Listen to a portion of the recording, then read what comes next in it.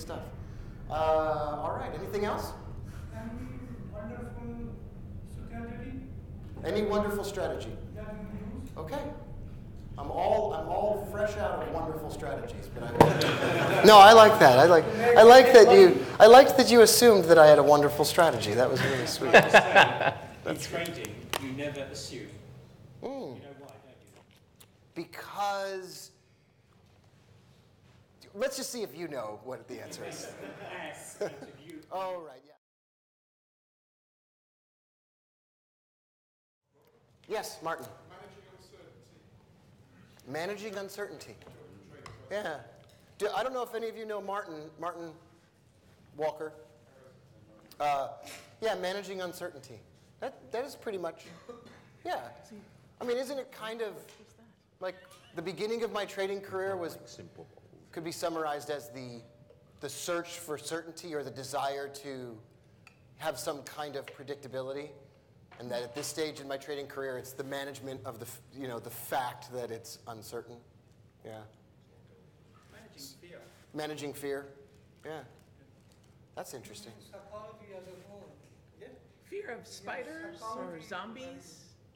Negative baggage. Oh, negative. fear all right, of, right. fear of zombies I, spiders and zombies. That's pretty real. spiders and zombies Just do a review of uh, Donald's first year in the White House. yeah we could do an overview of the first year of donald trump yeah that's no problem Here we go.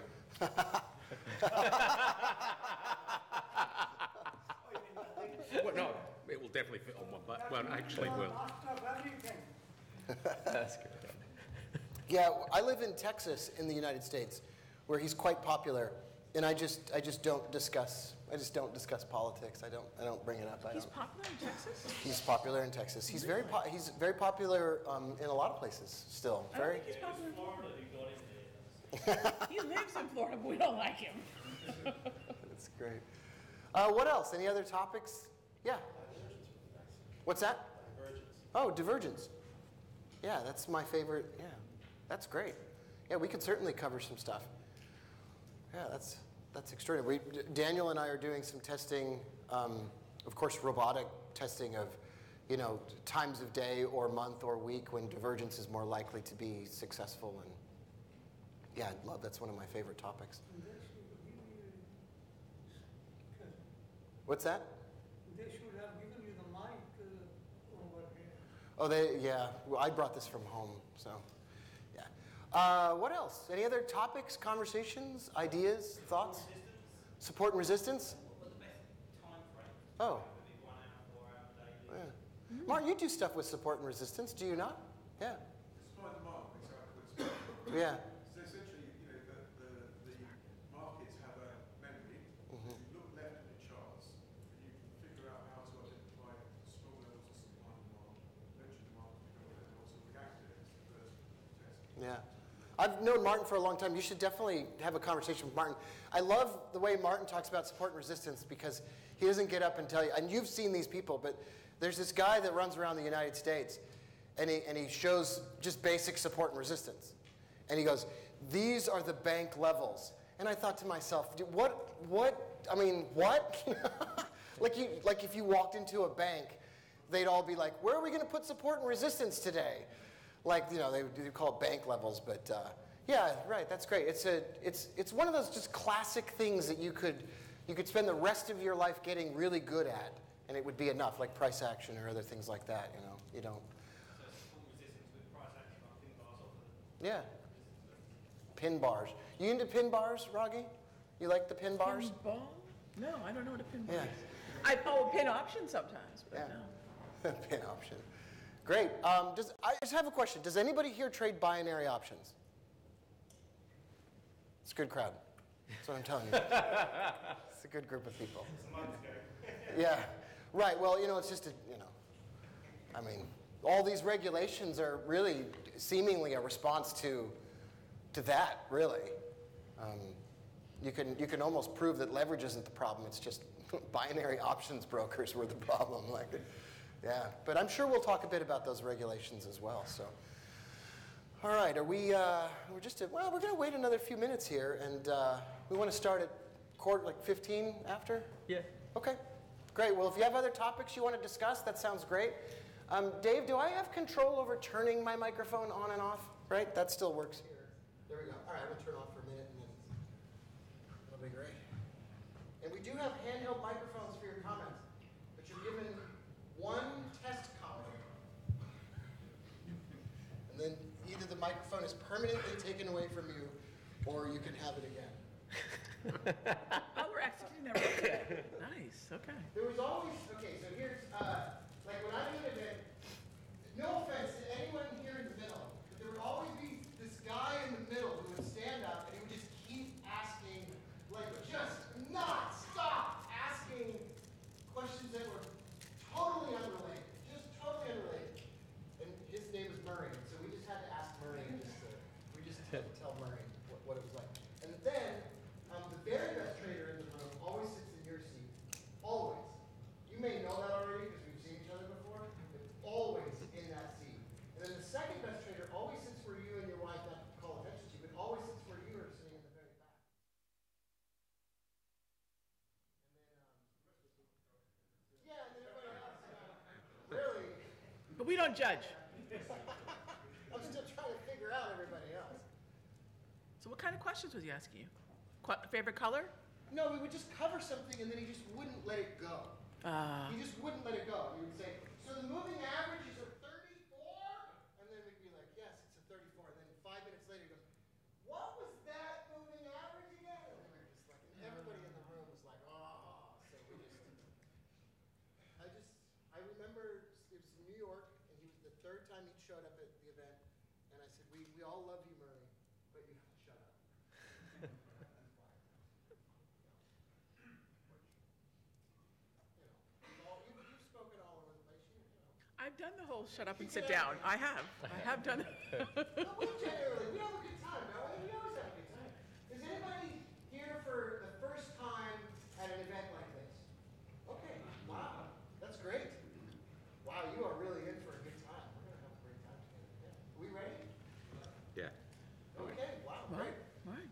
All right, I'm gonna turn my microphone on and we're gonna get this uh, show on the road. What's that? Yeah. We're, we'll now cut live to the uh, FX Pro Forest Park FX conference going on in central London. Welcome. I just want to say, of course, first of all, and we're going to say this again, could we just get a round of applause for our sponsors? Could we just say thank you to our. Thank you. Uh, this is Ed Anderson from FX Pro. Um, Ed is the um, just just the greatest representative from any broker I've ever met. Scott, we just had the greatest time listening to you speak last year, and we are not to put too much pressure on you. We're really looking forward. to it. And this is Justin Hertzberg from Forest Park FX. I've worked with Justin for many years now, and uh, they've made this conference possible. I don't know if I'm the MC for their conference or if they sponsored my conference, but for the next 15 minutes, this is all mine. So, uh, all right. So I'm going to just uh, say hello to you first. Uh, I'm, I am find that there is nothing better in the world than speaking to traders and spending time with traders. And I love you, and I am so glad to be with you. I don't do things the same way that everyone else does them. Raghee doesn't do things the same way I do them. You'll get a variety of perspectives on stuff over the course of this weekend. Focus here. No, I'm just kidding. Um, I want you to listen closely. Raghee is going to share some stuff about trend trading. It's not really what I do, and I'm going to be listening intently. And then Alex is going to talk about technical analysis, and that's going to be great. We're going to hear a variety of different perspectives, um, and I, I hope. Now, this is the handlebar set from, from a British motorcycle. Actually, it's the shower. I can't understand. This is the only thing left here. I just keep coming to England because I can't understand how to turn on a shower. I go four days here, and I get like four drops of hot water on my chin, and that's the end of it. But they look, they, it looks like the handlebars from a Triumph motorcycle. It just doesn't make any sense to me. So once again, a thank you, a special thank you to our sponsors. Um, I'm super happy to be here and together with you. I want to give you a risk warning. Uh, trading is risky. Most people trade like, like they were an animal let out of the zoo, and I have certainly been that animal let out of the zoo before. Trading involves a very substantial and very real risk of loss, including the loss of the entire account balance. Um, You shouldn't trade with money you can't afford to lose, and you should know your limits. And you should know, you know, what it is that you do best, and you should focus on that. But none of what I'm saying here today or tomorrow, or any of the speakers will say here today or tomorrow, is intended to communicate that somehow trading is not risky because it is. Um, this is who I am. This is me and my family. I was married last year, my wife and kids. This is the reason that I do all of this. Um, some people on Instagram trade so they can supposedly rent or buy a Lamborghini. Some people want to show themselves driving around in a fancy car or whatever. This is the reason I do it, and I suspect that this is the reason that you do it as well, is that you have people that you love, you want to take better care of those people, and if that's who you are and if that's the kind of situation you're in, then we're a really great fit for each other. But I want to ask, why is it specifically that you're here this weekend? Why is it? I'd love to hear from some of you. Like, what is it? What is the purpose of being at an event like this? Yeah, in the back. Improve your trading. All right, so hopefully to improve your trading, and I think I heard reduce the risk. That was great. that was just for regulatory purposes, but yes, that's great. You want to make money in a and manage your risk, and you want to learn something. I'm glad you're here. And we had another comment in the middle of the room. Where was that? Why else are you here? Let's get a couple. I want to hear, Serge. Why are you here? Um, to meet new people, to get new perspectives. Yeah, meeting people, getting a perspective. Yeah, this is a great place to meet other like-minded traders. This is a great place. Um, think about now why you're here. Like, set your mind right now for the reason that you came. Set a goal to learn something new, to hopefully generate some income and, and manage your risk. Whatever it is, think about it now. Don't sit as a passive attendee. You know, I'm here, Raghee's here, Philip's here, Alex is going to be here. Like, get, get it in your mind now what you want to get out of this event so that you can ask the questions you want to now um, while you have us all here in, in the same place. So I've made a whole lot of mistakes.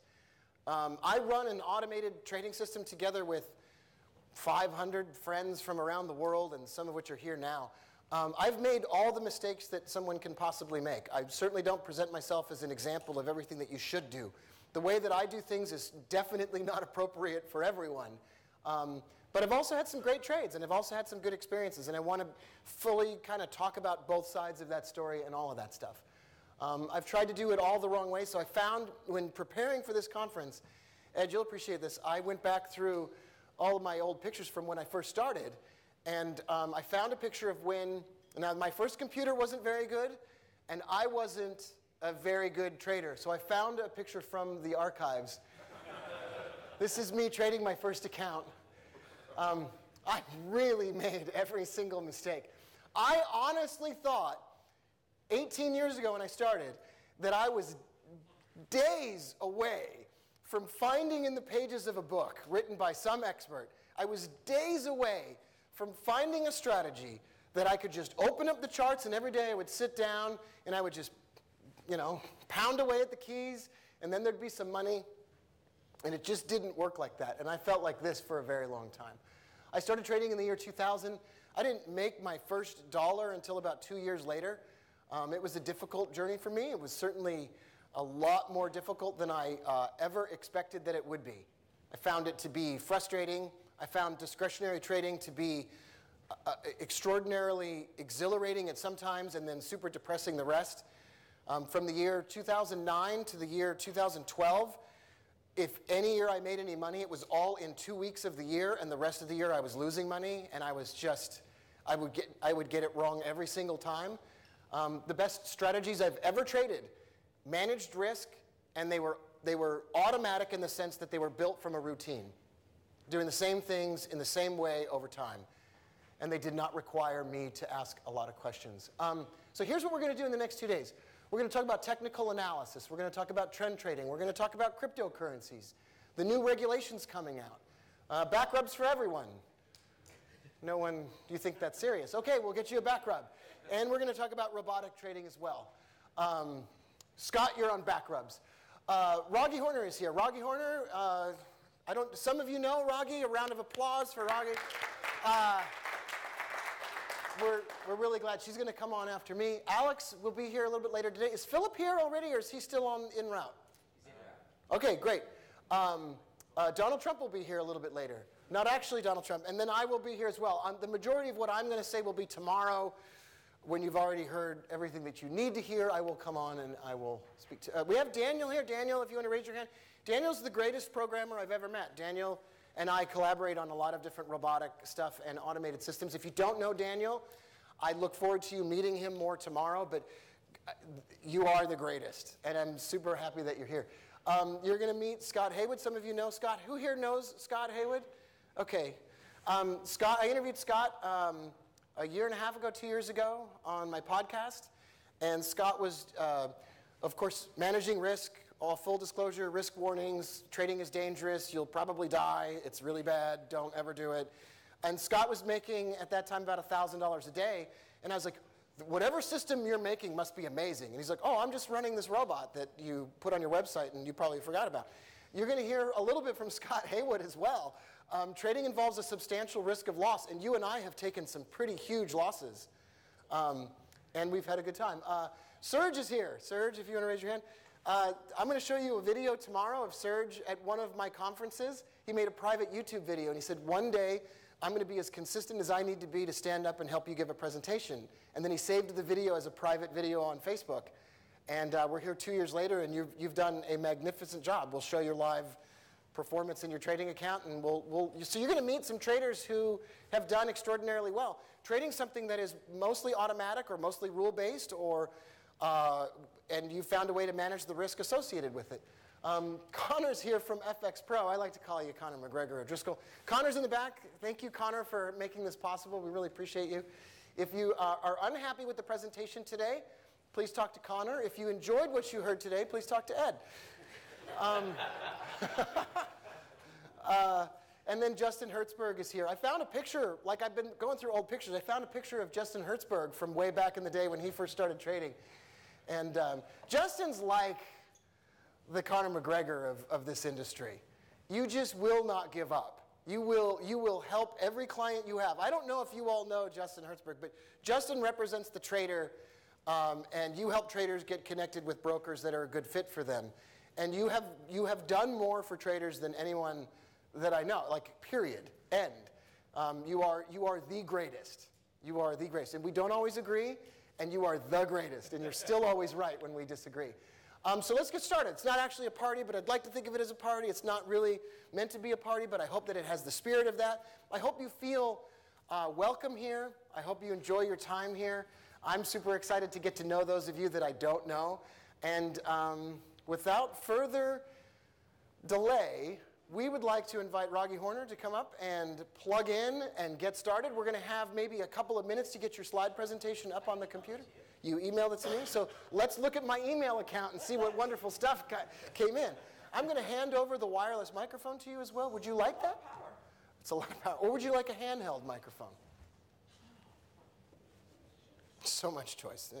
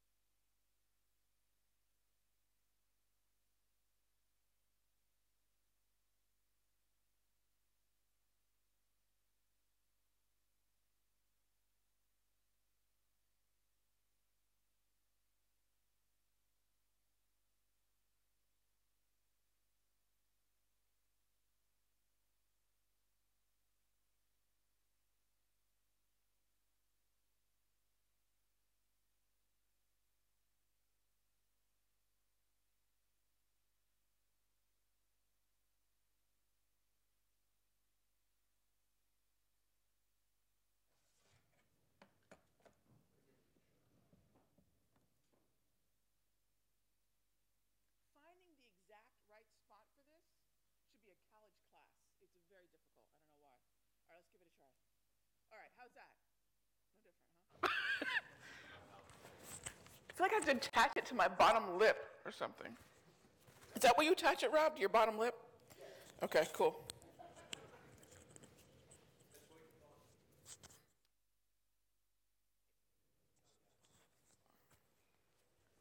What time is it at home? Yeah, like four, five? Wow, I really must love you people. And I don't even know you because it's early. Thank you so much for coming out. Some of you actually won. I know, Evan. So thanks for making it out. And then some of you I know from uh, from Rob. I love Rob's shows. They're just fun. And unlike a lot of, and Rob, the whole suit thing still is throwing me off. I have to say. So I met just real quick. So I met. I didn't actually meet Rob until I watched a video of him talking about a laptop that you had and like a smushed banana or something and the wonderful aroma of like banana bread. And I thought, I don't know who this guy is, but I need to be his friend. So, and that was, I don't know, how long have I known you, Rob? 10 years? Seven years? Let's just make up a number. Yeah, I mean, I shove a banana in my computer once every couple of years, so I'm not sure which which what banana year it was? that Oh, I thought it was a special year. That just robs the whole experience for me. All right, so this is what we're going to be talking about, but not really. I mean, this is a nice group. We can take some Q&A. I don't like presenting at you people or you guys feeling like I'm just uh, talking at you. It's boring that way. And I actually personally hate PowerPoint, but we'll just kind of get through this. And then later on i mean the conversations in, you know in between to me are the best part of any of rob's you know shows where you guys get to know each other you get to know us and we'll talk about things that have worked for us and and not. So in light of what we've been seeing since meltdown monday the 5th how many of you trade just only forex?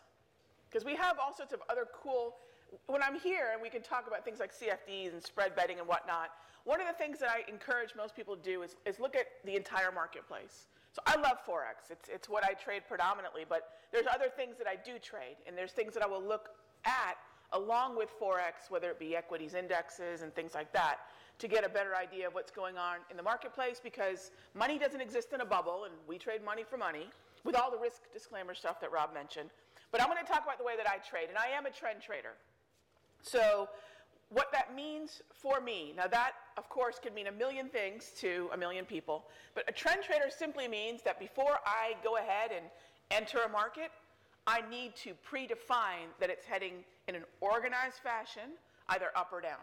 Now that might sound really basic, but I think a lot of traders find a strategy that they like and then they, just, they apply it to every market.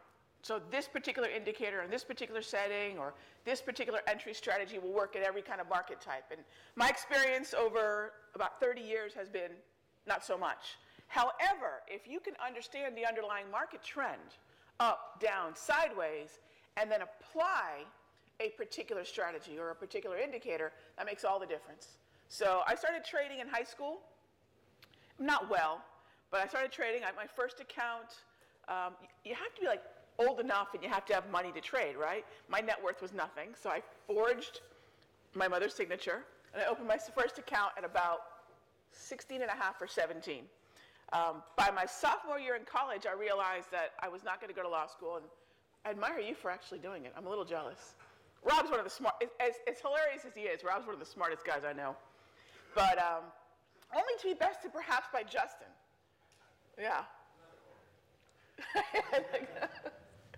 but I realized about my sophomore year at university that I was going to be a trader and I didn't know how to break to my mother that I, one, really didn't want to finish college at this point and was not going to law school.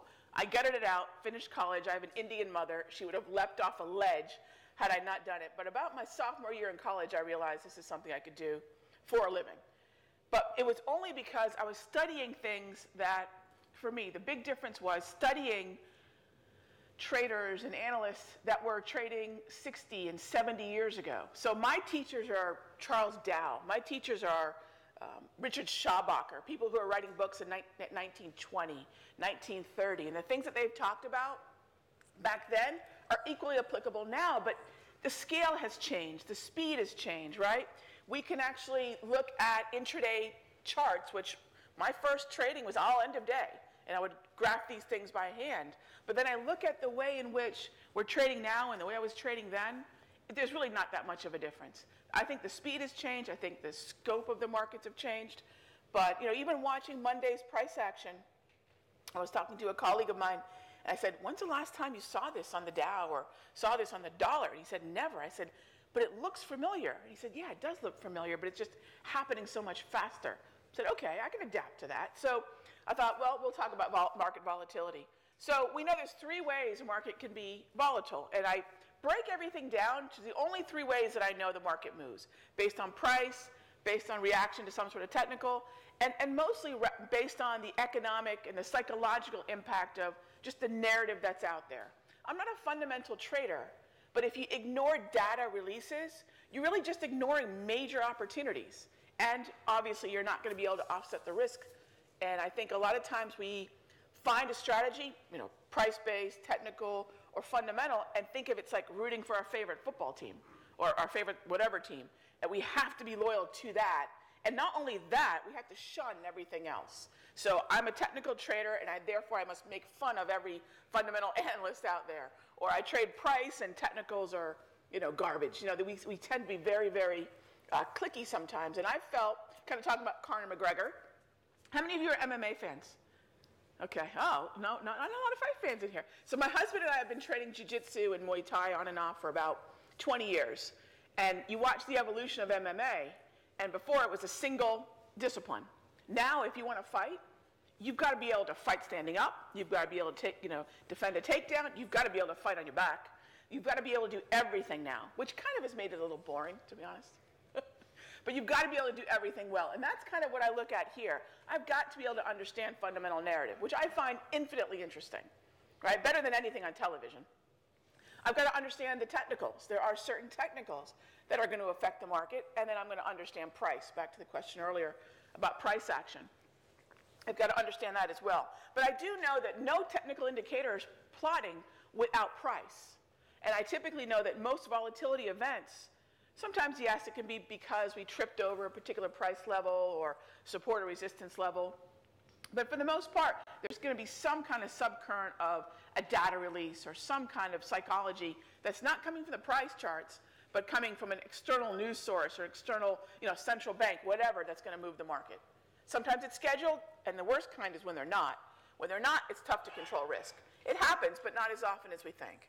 So a lot of your volatility uh, cues are going to come from what I'm talking about here central banks' earnings. I'll look at commodities, I'll look at equities, um, I'll look at the whole market and then understand back when, say, the Canadian dollar was moving with crude, it hasn't been lately, but back when it was, it made sense for me to understand the trend in crude and what's going on in the Canadian dollar. Um, you know, one of, the, one of the easiest things that I, I used to look at was during, say, earnings season. Most, most futures traders understand what's going on with earnings season. A lot of stock traders, of course, do. But for me, looking at the way perhaps Apple could move the equities market and what that could do to the yen. So I'm looking at it from all these different places, and it might sound confusing at first, but it just opens the whole playground up to you. you know, that's the way I've, look, I've looked at it. All right, so I want to, I'm going to speed through some of this because we'll be talking on and off, but, and just kind of going from some of the questions that came up earlier. Um, one of the questions, who had asked about support and resistance? All right, so one of my favorite things when I was, a, I discovered it around 17, and then I kind of let it go, and then I really came back to it when it, I found an automated tool for it. How many of you are familiar with Nicolas Darvas? I know you are. You're with me every morning. so Nicolas Darvas wrote a book. Okay, quite a few of you wrote a book, which was more like a little. Wouldn't you say it was more like a life story type book? It really wasn't a trading book, right? But it was a good book. It, you can read it in an afternoon. He was a he's a Hungarian dancer who got paid in I think it was Canadian Railway stock. He put the stock in the drawer, not knowing it was worth anything at all, and I don't know, however, what it, wherever it was. Years later, months later, he took it out and realized the price went up and he had made some money and he was hooked. He was a, he still was a dancer and he traded end of day charts. But what he, dis, what he discovered was a way, or what he created a methodology of, was a way to identify support and resistance in a more automated manner. So while I'm not full on robot in terms of my thinking, the, the idea behind the consistency and taking the subjectivity out of trading and adding more objectivity has been a pursuit my entire career. And I'm thinking, how do I consistently put up a chart that would look the same to anybody in this room? I'm just going to fast forward to one of my charts here. Gosh, a lot of slides. All right. So uh, it doesn't matter, it's the Dow. Here's, let's see. Okay, here's a pound yen. So if I'm looking at something like this, and you might go, well, that's kind of a different looking chart. What'd you do to your candles there, Raghee? I'll talk about that in a minute. But what I wanted to be able to do was know that if all of us were in the same room, like we are right now, and we were all looking at the same chart in the same time frame, you would have the same lines, levels, moving average readings, be able to have the same opinion. We could share the same opinion of the market based upon very objective ways of reading candles, lines, and whatnot. So I'm a huge fan of automating as much of that process as I can. And the way that I've been automating my support and resistance lately is going back to something that I kind of sort of thought I was too cool for school for, which was Darvas levels. Darvas is a, and maybe we'll, I don't know, we're going to maybe talk about that tomorrow, but um, Darvas levels are a very neat methodology, and anyone who's interested, let me know, and we'll, I'll show you some of the things that I'm doing with it. But it's a very cool way of identifying support and resistance based upon minor highs and lows and a certain candle count. So unlike a lot of other kinds of support and resistance out there, Darvas actually uses previous highs and lows. And you might think, well, so? Mo most support and resistance levels, if you actually really look at them, they're projections. Like, I know this is going to sound like heresy. I don't draw trend lines anymore. Evan, Evan is, is someone who's in my chat room in the morning. I don't draw trend lines at all. And if you would have told 19 year old Raghee, or 29 year old Raghee, or even 39 year old Raghee that you were going to spend the last you know, seven, eight years not even drawing trend lines, she wouldn't have believed you. The reason I'm stepping away from those things is they're extremely subjective. So I call that precious little snowflake syndrome. I never want to think, because I've drawn a level or connected two dots on a chart, that that is where the market's going to react. I think a lot of traders fall in love with their analysis and they slip into precious little snowflake syndrome because they're thinking that, well, that's where the market's going to react. And I thought, well, why not look at where the market's reacted before? So even when I use my indicators and moving averages, I'm teetering on that. So let me just share, the, share the moving averages that I have in this chart. And, and who here is familiar with my, my wave or grab candles? Anybody? Okay, perfect. That hurts a little bit, but okay. okay, opportunity.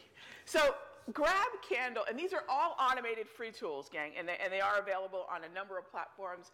I think MT4 and 5 included, but I know it's available on MT4, which I've used for, for a very long time. But what I've done is I've taken Japanese candlesticks, and no, I do not use candlestick patterns. I've taken Japanese candlesticks and I've added another layer of analysis by color coding the candles. And I'll tell you why in a moment. So anytime I feel the market's heading lower, bearish sentiment, bearish momentum, you'll notice it's just a string of two shades of red. I don't know if you guys can see that back there, but when the market's moving higher, you'll see it's two shades of green. I didn't want to completely abandon all that was Japanese candlesticks, so what I did is for an up candle, I used a lighter shade of either the green or the red or the blue, and for a down close, I used a darker shade of either the green or red or blue. So I have that more traditional candlestick interpretation, like a hollow candle or a shaded in candle. But what I wanted to do is have a visual way to look all across my monitors and identify whether or not there was a trend in place. Without drawing a trend line, without waiting for a 20, 50, or 100 moving average to cross, just looking at whether or not we were heading up or down. But there's an arbitrary element to this. Believe me, I know, I know the, uh, you know, on one hand, I want to get as, as objective as possible, but I'm still using certain arbitrary tools. For me, that tool is an expen- exponential moving average set on 34. I love Fibonacci numbers. I actually, you know, as much as I kind of poke fun at some of my friends that do Fibonacci analysis, Fibonacci is really a mathematical law of nature. The way in, the way in which things expand or contract, I mean, you could actually take it back to Fibonacci, which actually Indians discovered, not Fibonacci. I just learned that this morning on Twitter. I didn't even know that. So I use a 34 period, which is a Fibonacci number. Now, a lot of people ask me why 34. I'll be happy to tell you over cocktails. But suffice to say, let's just for now, it's 34. When the candles plot below the 34 EMA, on the low, my candles go red. When they plot above the 34 EMA, they plot uh, on the high, they plot green. So you'll see there's three moving averages, one thick green, one thick blue, one thick red. That's a 34 EMA on the high, the close, and the low. So it's the same period setting, but you change it from high, close, low. What I'm trying to understand is the same thing that Charles Dow didn't personally teach me, but I feel like he did, which is understand market trends. How many of you are familiar with Dow theory? Anybody? Okay. So I'm not a huge fan of Dow theory, not all of it. I mean, most of it's pretty interesting, but you know, it's, it's really more of a stock conversation. So Charles Dow wrote a little newsletter. That little newsletter eventually turned into the Wall Street Journal. But one of the things that definitely he, it, what was impressed upon me in reading his work was that the market has four trends: up, down, accumulation, which is sideways, and distribution, which is really volatile and sideways. And if I persisted on using the tools that worked in this kind of market, in this kind of market, and I was shocked that it wasn't working, it's like, you know, a friend of mine invited me to go play golf and I bring a tennis racket. Both good sports, but you, you can't show up with the wrong equipment. So I find a lot of traders are really good for a while, but they don't know why. Right? So what happens? You're trading with whatever strategy you're using, and you're doing well. And of course, now, you know, you jump back, kiss yourself because you're a genius. You've decoded this thing. And this is a very, you know, this is a challenging thing to do for a living. No question about it. I, like Rob says, I love traders. Why? We're different. Who does, who does this? Who does this to themselves? We do. You know, when other people see fear, we're like, well, where, where's the opportunity in that? I think traders are traders in every element of their lives, which is really cool, which is, I think, why Rob and I get along with it. You know, you guys have the same wiring, which I'm, I'm sorry to say that we have. so if you're looking at a trending market, for example, and you've got whatever strategy you've been deploying, and it's working well, and then suddenly, maybe it's a day, maybe it's two, maybe it's five, it stops working. What I've found, unfortunately, is most traders stop and go, well, what am I doing wrong? And my system broke, or my, my approach broke.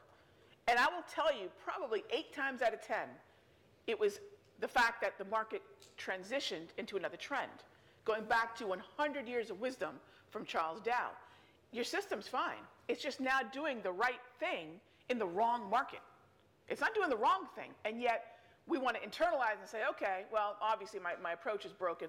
Let me go start my search again for the Holy Grail. When in fact, all you probably needed to do is have a way to understand that the market either became more volatile or transitioned, and now you need to deploy a different strategy. That's it. So, kind of going back to MMA. If someone wants to throw hands and, and stand on their feet, that's one strategy. But if they want to roll, if they want to, you know, that's a whole different strategy. So, for me, these colors are going to show me when those transitions are happening. It's my first heads up that, okay, maybe I need to use a different strategy. So, um, Rob, do you have do you have charts up in here? Like, I would love to. Do we? Can we? I don't know. I wasn't sure.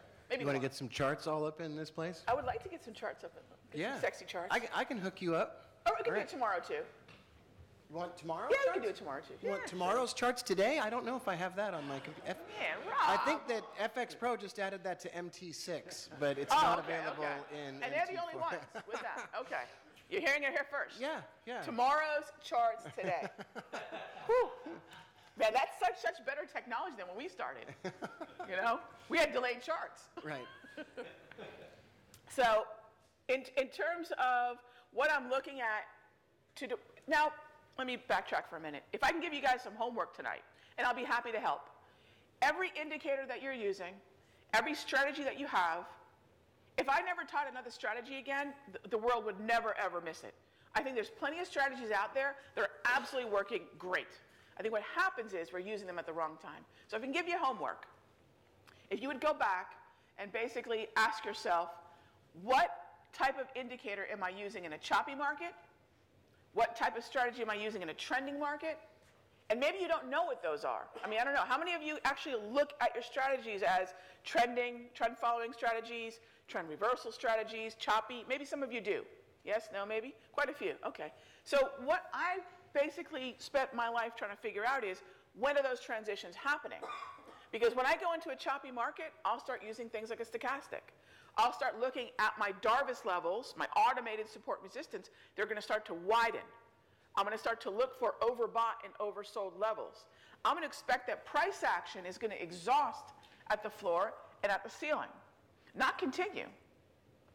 If I've got a narrow sideways market, that again is going to be a different set of tools. So how many of you like to play momentum? Anyone here like to play momentum? Breakouts through ceilings, breakdowns through floors. Okay. And momentum's a great type of strategy. You know, I mean, anytime you go, if you see a pack of birds and or what do you call it? A flock of birds, you spook one, the rest of them go. They don't even know why they're going. They're just going with. That's momentum trading. spook one bird and 40 of them go in the, in the same direction for no other reason other than the one got spooked. That happens in the market all the time. If you guys watch Meltdown Monday, where the U.S. markets just sold off at historical levels, I'm, you know, it, it kept rotating around the globe. It, no one really knew why they were selling. I promise you that.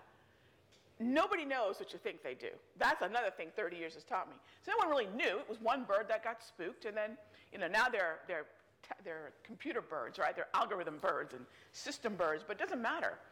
It fed on itself. And, and really, I don't think anyone knew why, but it was all the financial media's job after the fact, of course, to tell us why it happened, right? But if that's momentum trading, there's an environment that's very, very good for it. So if I see what Charles Dow would have called an accumulation market trend, a narrower trend, which by the way, on my charts would plot predominantly blue. I don't have to guess, I'm going to read some colors. If I see predominantly blue, I know the markets are starting to consolidate, that the range is getting narrower. And then I'll start thinking about momentum, breakout, and breakdown. But I won't in a choppy market, and I won't in a trending market. So again, every one of these strategies are really good, and then I want to show you what I'm going to do in each one. So let me give you the tools. So third, first of all, 34 EMA, high-low close, and then the candle colors. And like I said, if, if you want to ask me, and if you're on a particular platform, let me know, and I'll, and I'll tell you whether or not we have the indicators. I found almost every platform has these available for free. Some people have cooked them up themselves. I have some versions as well. But the color coding is based on the way the 34 EMA high and low are interacting with the candles. Again, price above the 34 EMA on the high, green, price below the 34 EMA on the low, red.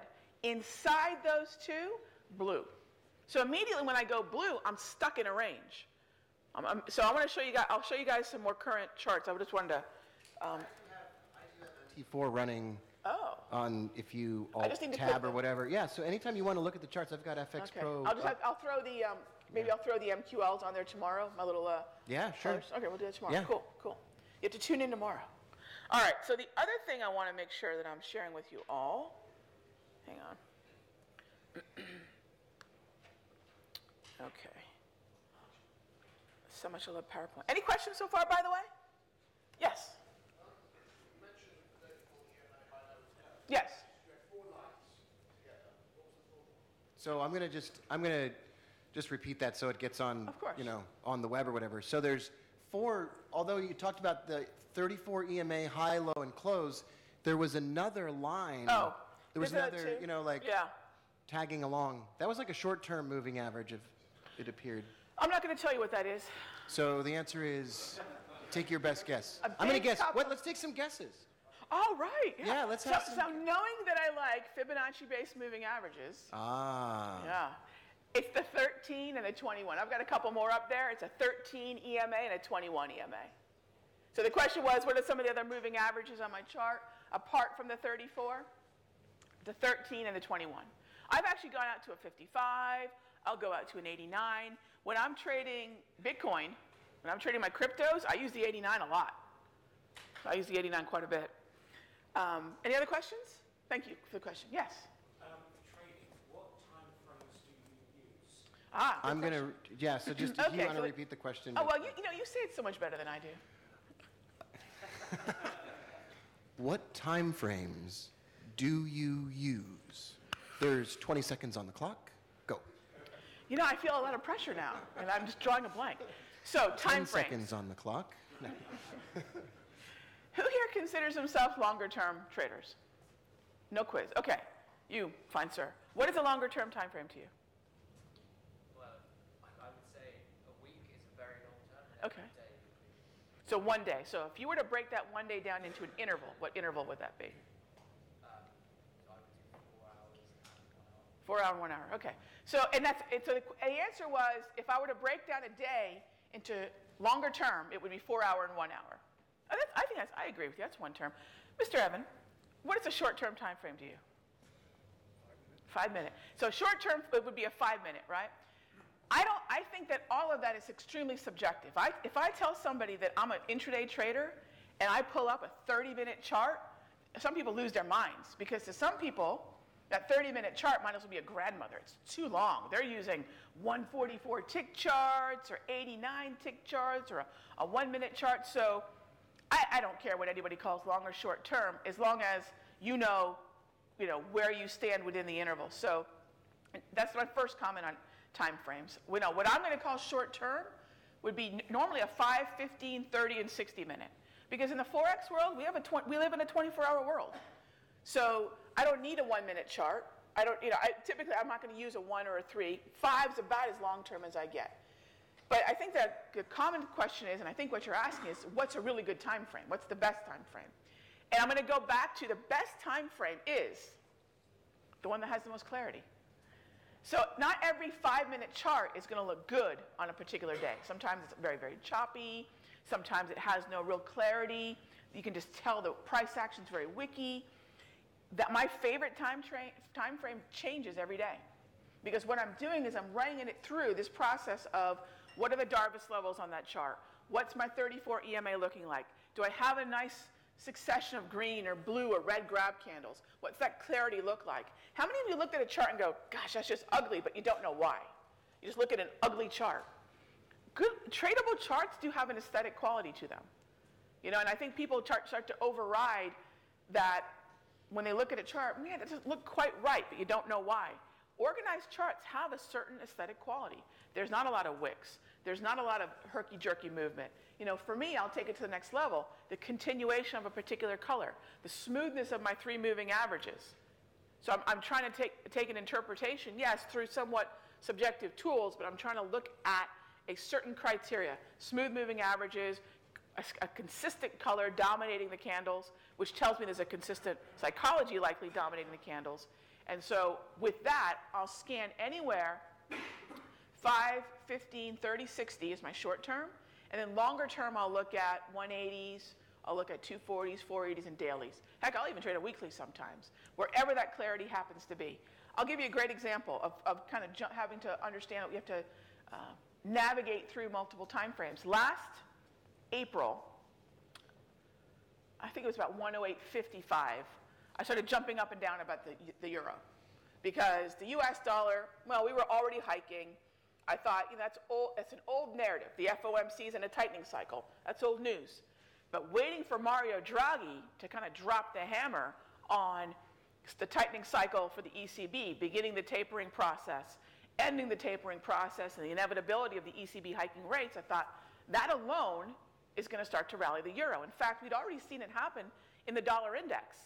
The dollar index, well before we ended taper, heck, before we even started taper in the US, and before Janet Yellen and company did their very first rate hike, I'd say nearly 60% of the ascension in the dollar had already happened because the market is always discounting. It's always thinking it could see around a corner. It's always looking at what's going to happen and reacting to that. It's a discounting mechanism. So I thought, well, now just fast forward to 2017, early 2017, it was looking like the US dollar did back in mid 2014. Thought, you know what, it's time to buy the euro. And if it's time to buy the euro, it's time to short the US dollar. So I did that back in uh, April, May. But all of a sudden around September, you guys might remember, Mario Draghi did not really dedicate himself to, or the ECB, to a real taper. In fact, they, they, they began the tapering process of the asset purchases, but they extended the program out. The dude's brilliant. I mean, golly, how, how, it's a hawkish thing to do, but he didn't want to see the euro strengthen. So they began the tapering process and extended the program out. Brilliant. Now, whether or not you knew all that or followed all that, that's the drama of the market that I love. But it completely derailed the uptrend of the euro. The daily really couldn't hold the volatility any longer, and Charles Dow would have said, well, we had a really nice markup uptrend, and we went into distribution. The weekly, however, did not. So when the market started to chop, I identified, actually Darvas did, so I can't take credit, started to identify what the bottom of the chop was, and it happened to have been a really gorgeous weekly correction. And the weekly had consistent green grab candles. I call those grab, G R A B, very clever. Green, red, and blue. nobody tells me, nobody tells a trader when they're at home that one day they might be speaking and they're supposed to name everything after themselves. But Horner candles don't really sound that good. Raghee candles? No, don't sound good. Grab candles, G R A B, green, red, and blue. My grab candles on the weekly looked gorgeous. They were green, green, green, green, green. the market was literally surfing the, I'm from Florida, so surfing's a thing. The market was literally surfing this, these three moving averages. Every time we were about coming back down to these moving averages, prices were held. So, okay, I shifted from daily to weekly because that's where the clarity was. Now, there's so much I would love to brain dump on you guys, but part of the choice for a time frame, gang, is a risk tolerance. And that's one thing that's probably not discussed enough. Risk tolerance is a muscle. If you ask me what my risk tolerance was, my very first trade in my life was picking up the phone and calling my broker, John, who, whom I golf with now, he's retired, and I bought one contract of December corn. And I was mortified. I was about 16 and a half or 17 years old, put in that one contract of corn. That was my risk tolerance. That's all I could manage. You know, emotionally, financially, that's all I could handle. You know, fast forward five or six years after that, I was moving 10 and 20 lot. But it wasn't overnight. And it didn't matter how much money I had in my account.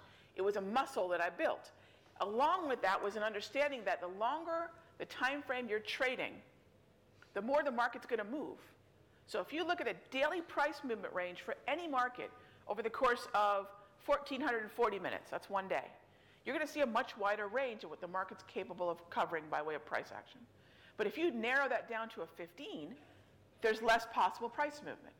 So if I'm looking at a 1, 3, 5, 15 minute time frame, inherent to the smaller increments that we're going to move per candle, I have less risk. The other, the other part of shorter term time frame trading is it's just a little bit more work. You know, if you're doing it from a discretionary standpoint, if you're making decisions, and I'm a discretionary trader, I have a methodology, you know, I have a way, I have a sequence of, of what I need to see, and then also a sequence of how I would react, but still, it's discretionary. I'm still making my own decisions on what I want to trade and how I want to trade it, but there is a methodology to it. My risk on a 1, 3, 5, 15 minute time frame is inherently going to be smaller because the increment, the price movement per increment, per interval is going to be smaller. When I was trading the euro, the, the typical price movement back in April, May was about 100 to 105 pips per day. So on a daily time frame, I knew just to let the euro do what it wants to do, I need to step back and be aware that it's going to move 100 to 105 pips. So my stop losses are based on that. Now, you don't have to do that, right? The only thing that someone in my position with a mic clip to him can do is share with you what, what I do. That's it. It's, it's by no means saying it's the only way. That's the dumbest thing ever, right? Who's read the Market Wizards, by the way? Market Wizards or the new Market Wizards? Okay. If you read that book, there's no trading strategy in the book. It's a great book, though.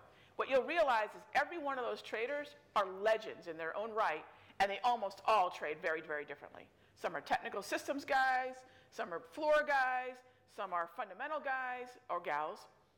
They all trade, they all look for different types of reasons to get into the market.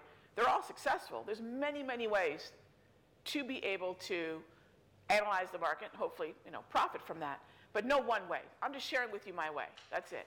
So part of the choice of, in the interval question we could spend a day on, part of the choice of intervals is accepting the risk that that interval presents. My stop on a five minute time frame is very different than my stop on a daily. Very different. And part of the logic behind that is going to be if I now know that in a choppy market I'm going to be using a particular type of strategy, that strategy has inherent to it a certain validity. I have to know when that trade is no longer valid. Not, not a dollar amount. That's precious little snowflake again. The market doesn't care that I've lost $1,000 or $2,000. It doesn't care. That's an arbitrary amount to me. It's important, right? Because some trades are unaffordable, regardless of how beautiful they might look. If a weekly chart looks great, and I tell you, hey, gang, in September we're going to trade a weekly time frame, and that weekly time frame presents, based upon my setup, two to 300 pips of risk, which back then, that's about what it represented. That might be a gorgeous setup, and it's worked really nicely since, but it might really be just unaffordable. And that's, an, that's a, like I said, risk is a muscle that you build. And early on in your career, there are going to be unaffordable trades. I think at that point, the best thing to do is look at shorter term time frames and smaller price movement range, um, well, typically pairs or, or, or, markets. And every market, again, has its own personality. You know, I could talk about 100, 100 to 105 pips on the Euro US, but I could talk about, say, on Euro Aussie, I think it's under 90. So every pair has its own personality. And then I'm not even dialing it down to how, if you were to break it down hour to hour, like one of my dreams is to live in London for maybe a few months and trade from here because in Florida I'd have to get up around 3 a.m. to trade here, trade you know the London Open, which is actually one of my favorite times to trade futures, um, Nasdaq, Dow, and uh, S&P, as well as yen. But golly, I mean, I want to stay married, and getting up at three in the morning is just not going to cut it.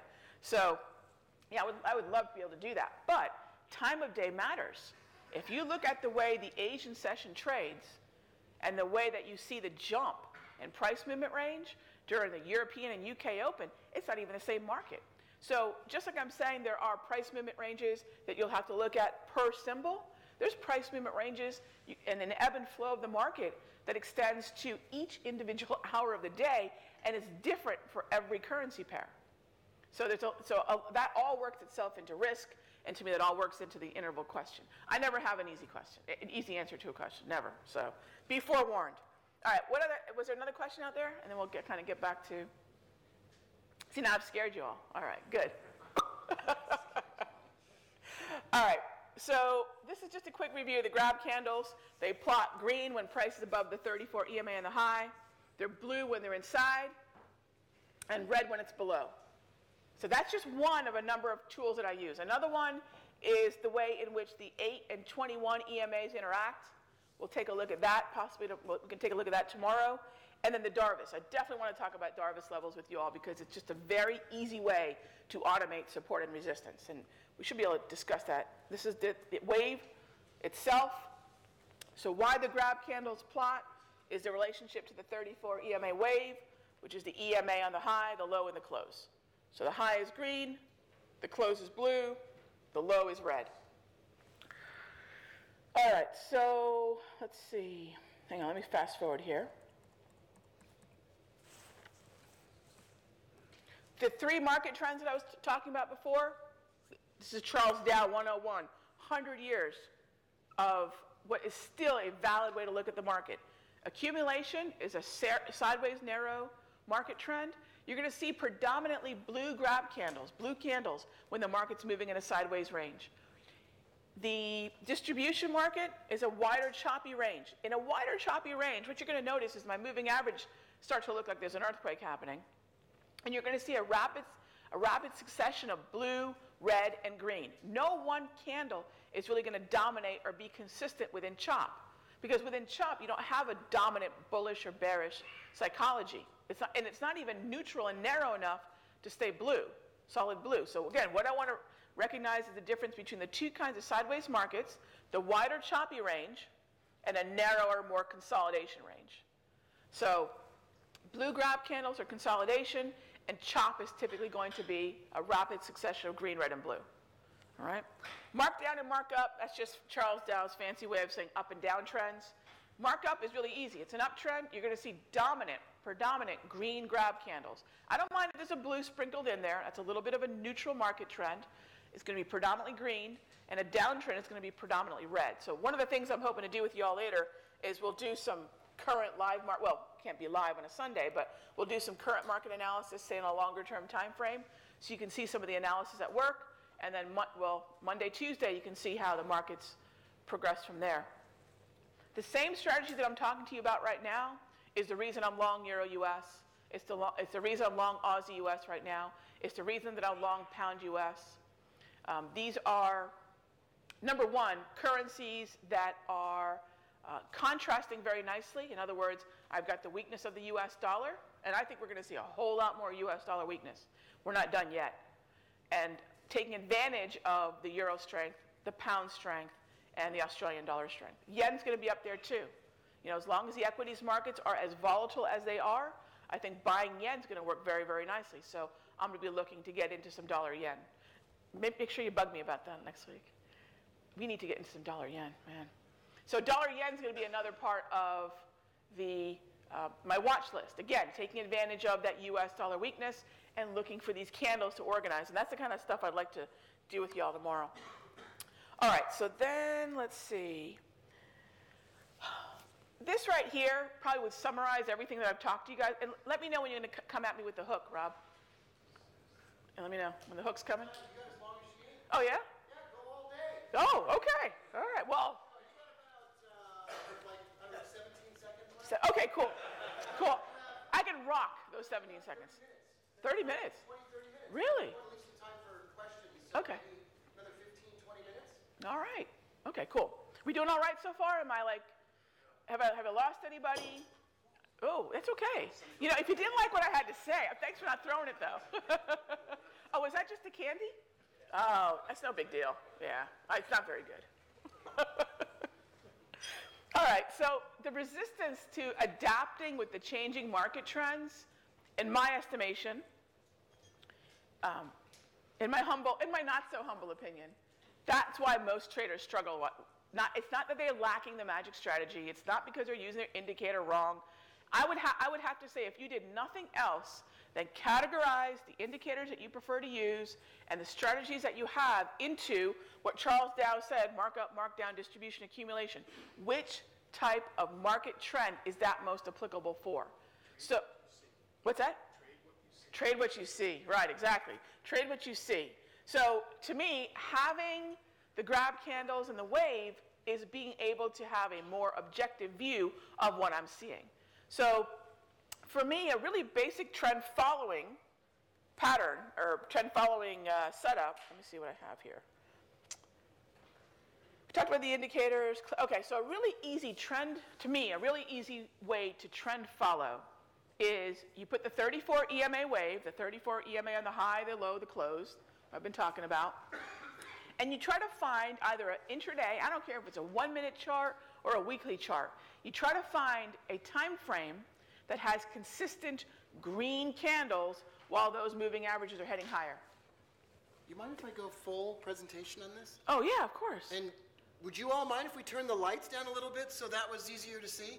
Because I don't want you to miss any of this, and some of you are, uh, had mentioned, yeah, there we go. Oh, yeah. Ooh, mood. All right, now the music. Yeah. Now, now we're going. All right. Are we gonna dance now? Yeah. I know, come on. This is good. All right, that's a little better. Hey, I wake up. No, just kidding. Everybody's good. All Yeah, right. it's, it's early, yeah. All right. Got the mood lighting going now. All right, I like it. So, one of the easiest ways to follow a trend in the markets for me is again, put the grab and the wave on your charts. And even if you have a different trend following strategy, but I'll tell you what I do. So, you have to identify a market that's predominantly green, no red, no red. Blues are okay. And you want to make sure that time frame has not ever pierced the 34 EMA on the low. Because if it does that, the, the validity of my moving averages has been broken. So, mostly green, upward angling wave, and, and you can't pierce the wave. That's the third, those three 34 moving averages, 34 period. And you're going to be looking at almost solid green, maybe a little blue here and there. When you have a market that looks like that, I don't care if it's one minute or weekly, when the market pulls back to the 34 EMA on the high, I buy it. I did that all last year with the, with the euro, for euro versus US. Yes? The blue represents congestion? So the question was, does blue represent congestion? I'll take a, a little bit more, um, I'll go a little bit more granular with that. I think the blue represents consolidation. So congestion can be, I would, uh, to me, congestion's wider, more like distribution, and accumulation's narrower. So I'll call that, I'll call it accumulation, narrower, yes. So the more blue there is, the narrower the range. Yes?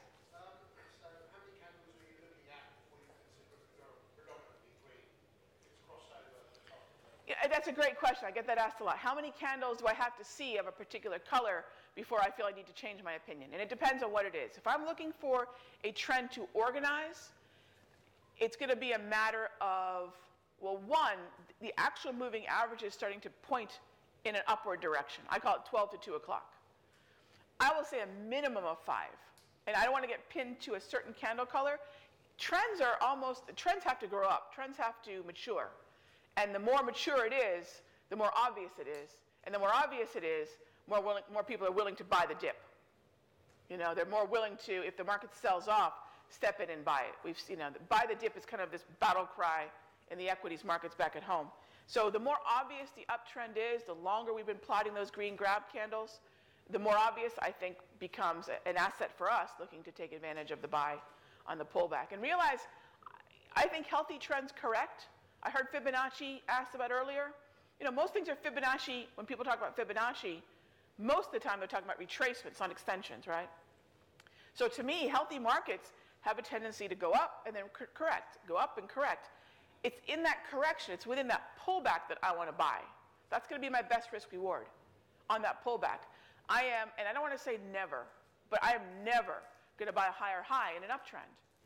You know, they have a joke and say Wall Street's the only place, or any equities market is the only place they throw a sale and nobody comes. You know, never have I gone to the store, and I, and I love these apples called, um, oh gosh, Honeycrisp apples. These apples are five, five US a pound. That's expensive for, for a damn apple. But no time ever have I gone to the grocery store and seen, oh, it's $6 a pound. I better load up on these apples. But that's what happens in the markets all the time. So within the context of a trend, I'm never going to be buying that higher high, ever. I'm going to be waiting for the correction because, again, you have to have a belief, right? Any trading system you have, there's got to be some bedrock of things that you believe to be true. And to me, those are that healthy trends correct. And in those corrections is when I'll put my buys on in an uptrend. How do I identify the uptrend? Mostly green grab candles, no red, some blue is okay, and I have to be trading above my three moving averages the 34 EMA on the high, the close, and the low. That's just very, very, very simple. And I'd say probably 80% of my trend following is really that simple. Now, simple doesn't make it easy. What else do I need to know? I mentioned there was a narrative. I'll get to you, give you one moment. I mentioned there was a narrative, right? The reason I was as confident as I was to buy the euro is the narrative around the ECB, the narrative of that heightened expectancy, expectancy of the, uh, the taper, uh, eventually moving into the end of taper. That was going to continue to be the bullish narrative for the euro. And what's a bullish narrative for the euro is a bearish narrative for the US dollar. So there's still that underlying story that I'm looking at as well to accompany price. So anyone out there who's a technician, realize if you have a fundamental narrative, and no fundamental is absolutely true, unless it's data, right? The non-farm payroll was what it was, or a CPI number was what it was.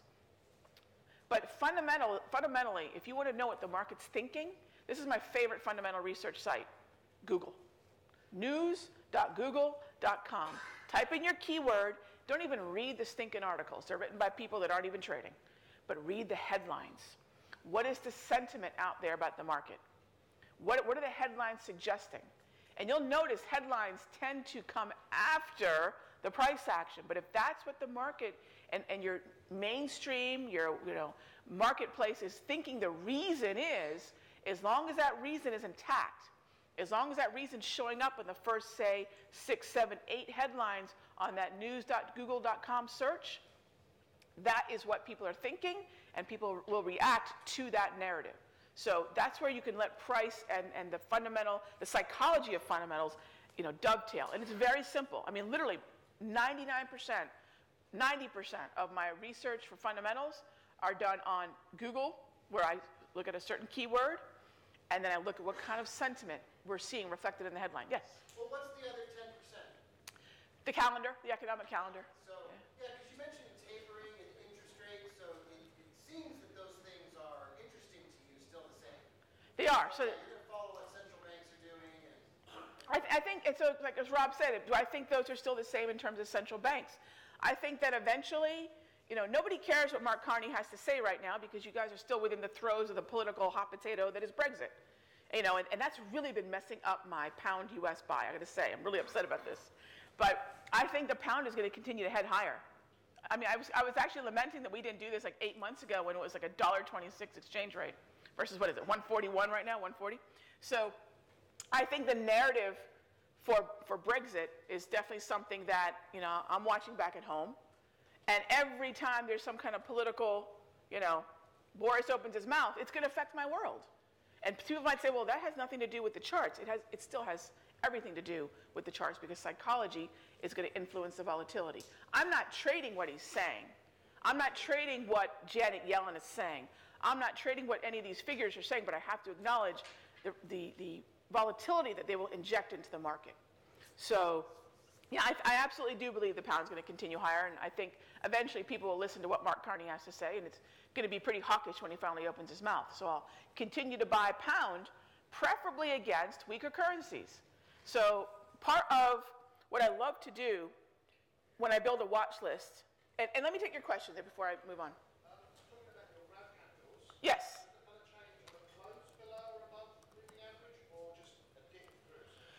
How does it change the colors is the question?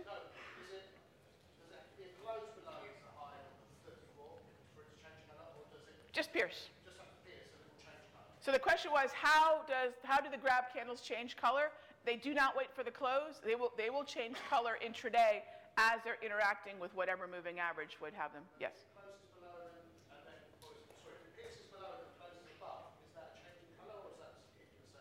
It might be blue. Let's say it's going down. It might temporarily be red, but if it closes back above into the wave, it'll close blue. It'll end blue. But it might have been red throughout the let. Yes. Yeah, it, it, is, it will change. So one of my favorite ways to build a watch list for Forex is a simple contrast watch list. Let me skip. So I go to Poker Stars. I don't go to Poker Stars, although I'm sure that might be good.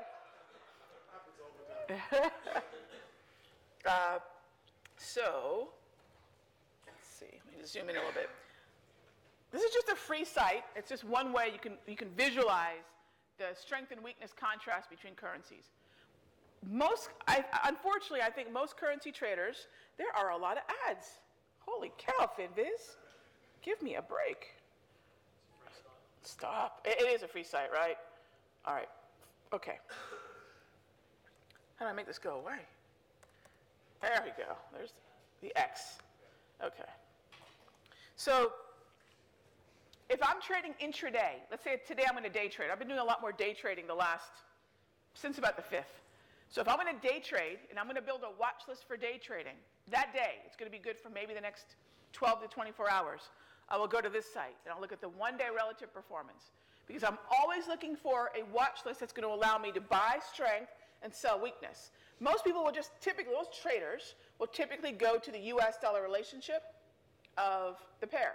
So if they're playing pound, they'll play pound US. If they're playing euro, they'll play euro US. But what I've found is that's not playing against the US dollar is not always going to be the smartest way to go. There might be better contrast elsewhere. So what I'll do is I'll look at this one day relative performance and I'll ask myself, what are the one, top one or two currencies to the left? What are the top, bottom one or two to the right? And that is going to be my best intraday, the beginning of my watch list. In other words, right now, if this were a trading day, I would look to buy yen or buy US dollar against Canadian dollar or euro. Pit weakness against strength. Every time. I, and I don't want currencies that are very close. Like, in other words, I'm not going to play euro Canada and I'm not going to play dollar, dollar yen. I'm going to look for pitting the weakness against the strength. That's my watch list. Now, whether that's intraday or end of day, same story. I want to pit weakness against strength. But that alone isn't enough. So if I feel that, say, Canadian dollar, Japanese yen represents a good contrast, or that Aussie versus yen represents a good contrast, I still will go back to my daily, my daily chart and look for the organization of my grab and wave that indicate that, for example, Aussie yen is in a downtrend, or that, for example, you know, Canadian dollar, Japanese yen is in a downtrend. So it's got to then be confirmed by the price action. But this is where I'll start. Whether that be end of day or intraday, I'll start with something like this that pits, that shows me how you know, weak currencies are doing, or which weak currencies are, they are, are moving right now for that session.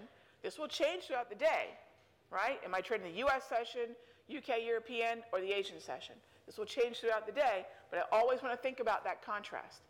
The shorter the term, the shorter the time frame, I'll go to a one-day relative performance. But if I get out to, say, a four-hour chart or a daily chart, I'll look at the one-month contrast. So again, my watch list is going to start from something like this. And then I'll go back to the indicators that I was just telling you about to confirm that there is indeed that organization showing me that there's a trend. So if there's no trend, am I not trading? Not the longer term time frames. So once I run into a choppy market, I'll usually retreat to shorter term 60, 30, 15, 5, shorter term timeframes within CHOP because now there's not a dominant psychology any longer. And the only time that'll shift is with something like what the uh, Aussie US did the other day, where we actually traded down to uh, actually a Darvas floor. It was a, little, a little double bottom. If I'm at the range extreme of a choppy market, then I'll deploy another strategy. In that case, I'll look for overbought, oversold markets and use a stochastic, right?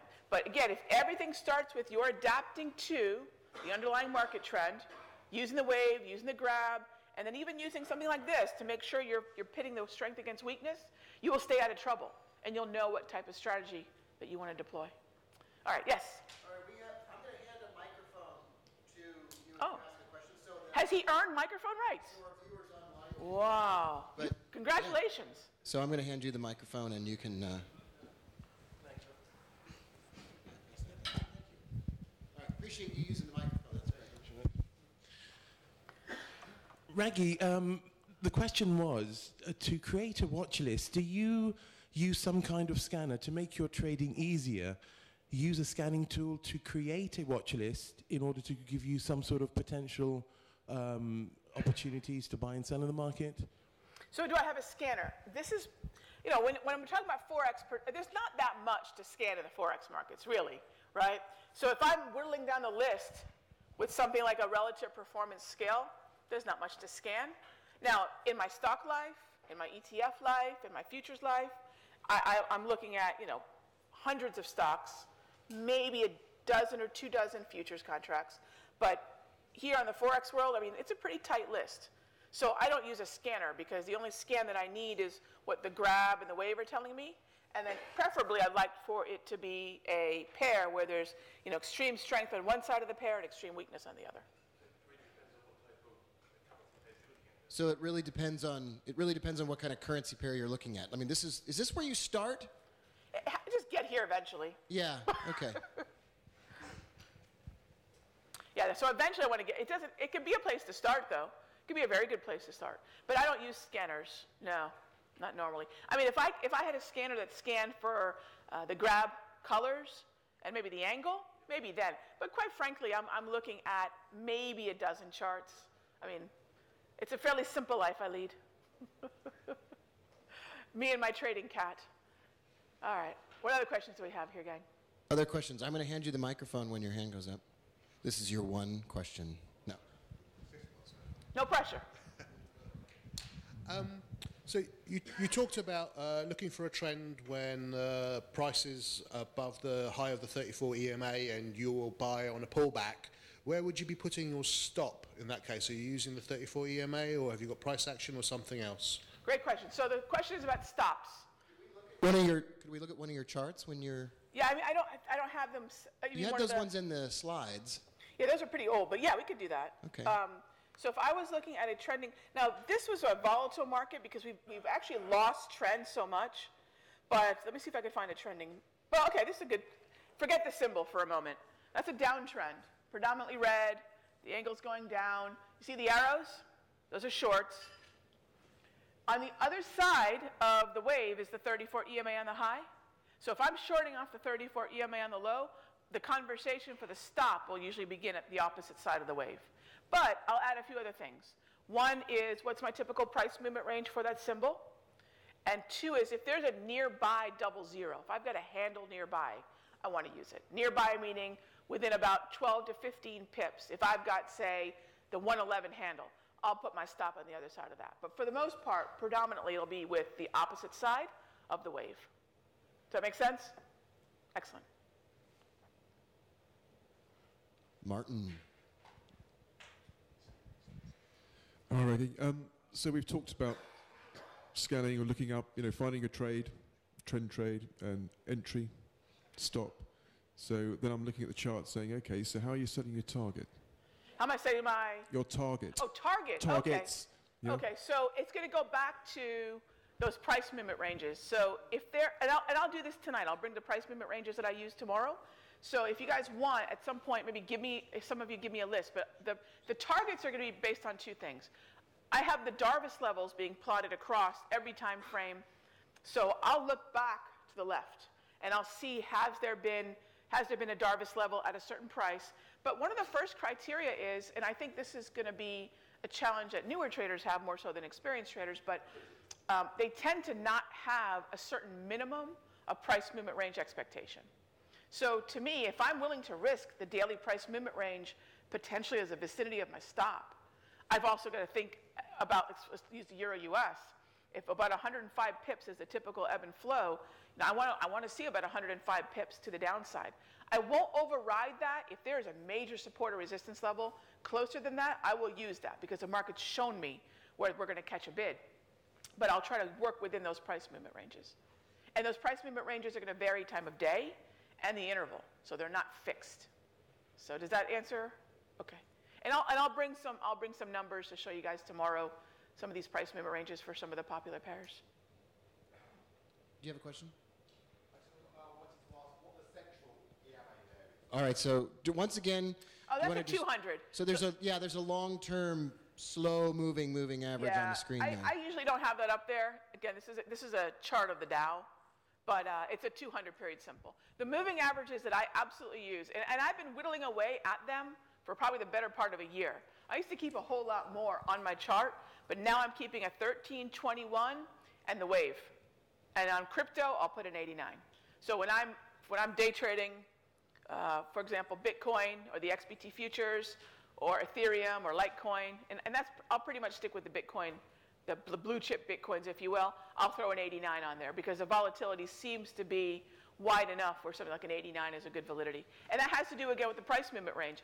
I don't know how many of you trade Bitcoin. Bitcoin's intraday, hour to hour to price movement range is about 220 to 320 points. So if I'm going to trade Bitcoin, I've got to be ready for about a two to 300 point, you know, ebb and flow. So it's really depend on the symbol. But yes, that's a 200, simple. All right. Yeah. Oh, Yes, me again. Um, you mentioned about um, the US economy and the Euro, Eurozone and, and this um, strange phenomenon of the euro going up against the US dollar because you, of, of people trying to get out the market saying, okay, what's around the corner, etc. Uh, when it first started happening, I was scratching my head because you've got central bank divergence there, you've got the US tightening, you've got them, they're, they're, they're getting rid of their book from quantitative easing, uh, and the Eurozone is still printing money. Um, uh, so what was the first inkling, apart from price action? You know, you're looking at this fundamentals and saying, well, you know, what is going on here? Because it's, it's going against um, the, the real story of central bank divergence between the two. The US should be stronger and the, the Eurozone should be weaker. Well, I think what ha- I think there's two things. So the question basically is, from a narrative standpoint, which I realize is very subjective. The, the first thing was we were, if I'm going to do a more objective analysis, if you looked at the Euro US, it was in distribution, so it was chopping around. We actually started to break outside the distribution range. So I had a visible reason where price action was starting to expand outside of a range it was contained within for months. So I started seeing more green grab candles. That's probably the most objective. But I think when it comes to central bank narratives like that, the US narrative was so old. You know, I, I still had people saying, why are you shorting the dollar? We're going to raise ri- rates. You know, even now in 2018, I said, if you look at 2016 to 2017, December to December, we, we hiked in the US for, you know, 100 bips. And yet the dollar has been on a decline. And I say that's because the narrative is owned right now by the euro.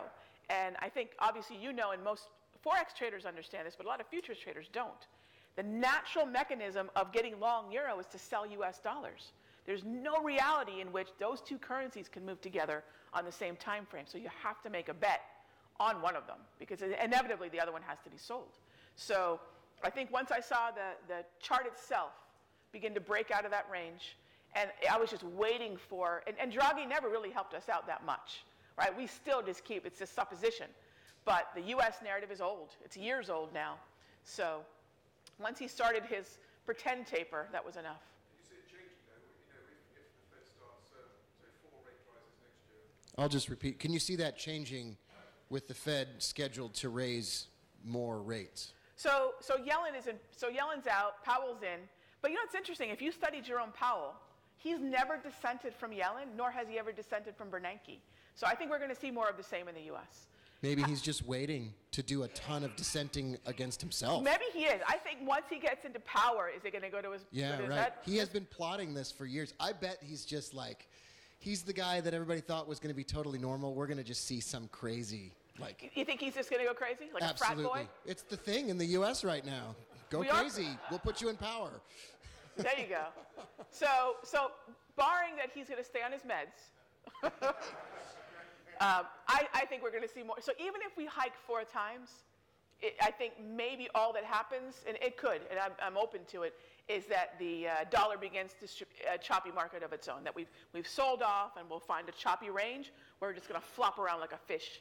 And I'm not doubting that, but I still would prefer to respect the trend that was, and I will sell ceilings. I will sell the dollar more often than I'll buy it. But here's the great thing: if as long as the dollar remains in a range, let's say it begins to trade in a choppy range, as long as I think about the contrast and I pit the U.S. dollar short against what I think is going to be a predominantly stronger currency, I have a margin for error now. But if I'm playing the US dollar against a weak currency like the Canadian dollar, my margin for error shrinks because the Canadian dollar can be weaker than the US. So as long as I take advantage of this contrast, I think it's going to help me out. In case the dollar, you know, decides it wants to rally. Yeah. We have a question over here on the end. If I could ask uh, y'all to pass the microphone down, that would be great.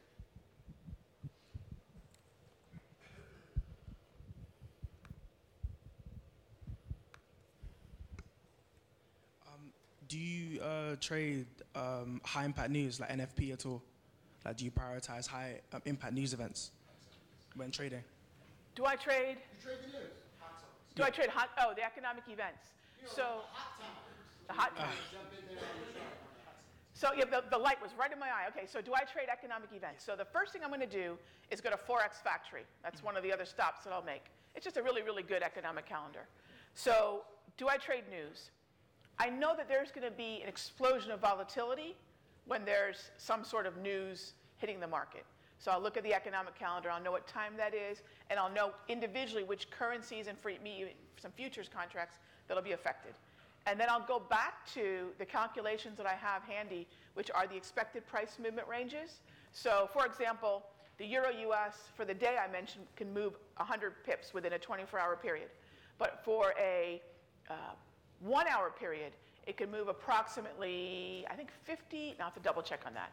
36, do you remember the PMRs for euro off the top of your head? 36, 40? So in an hour, on a very volatile move, the euro can move about 36 to 40 pips. So I'll use that information.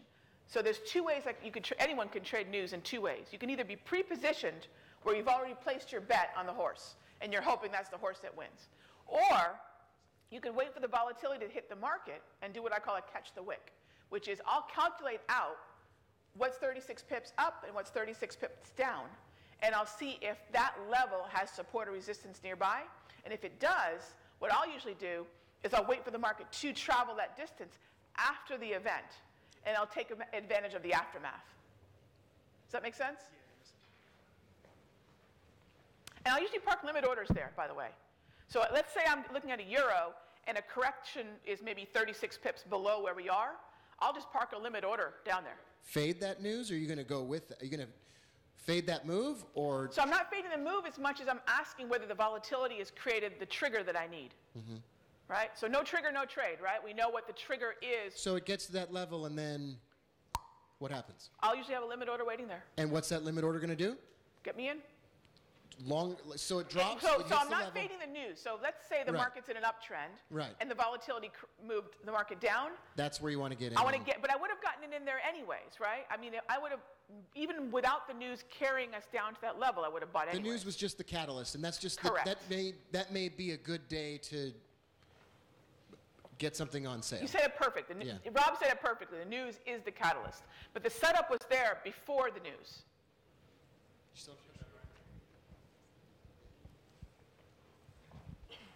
Um, do you build up your position whilst you're in the trade already? So when there is another signal or good uh, entry so occurs, or is it only one single uh, trade you take and then you exit and the same amount?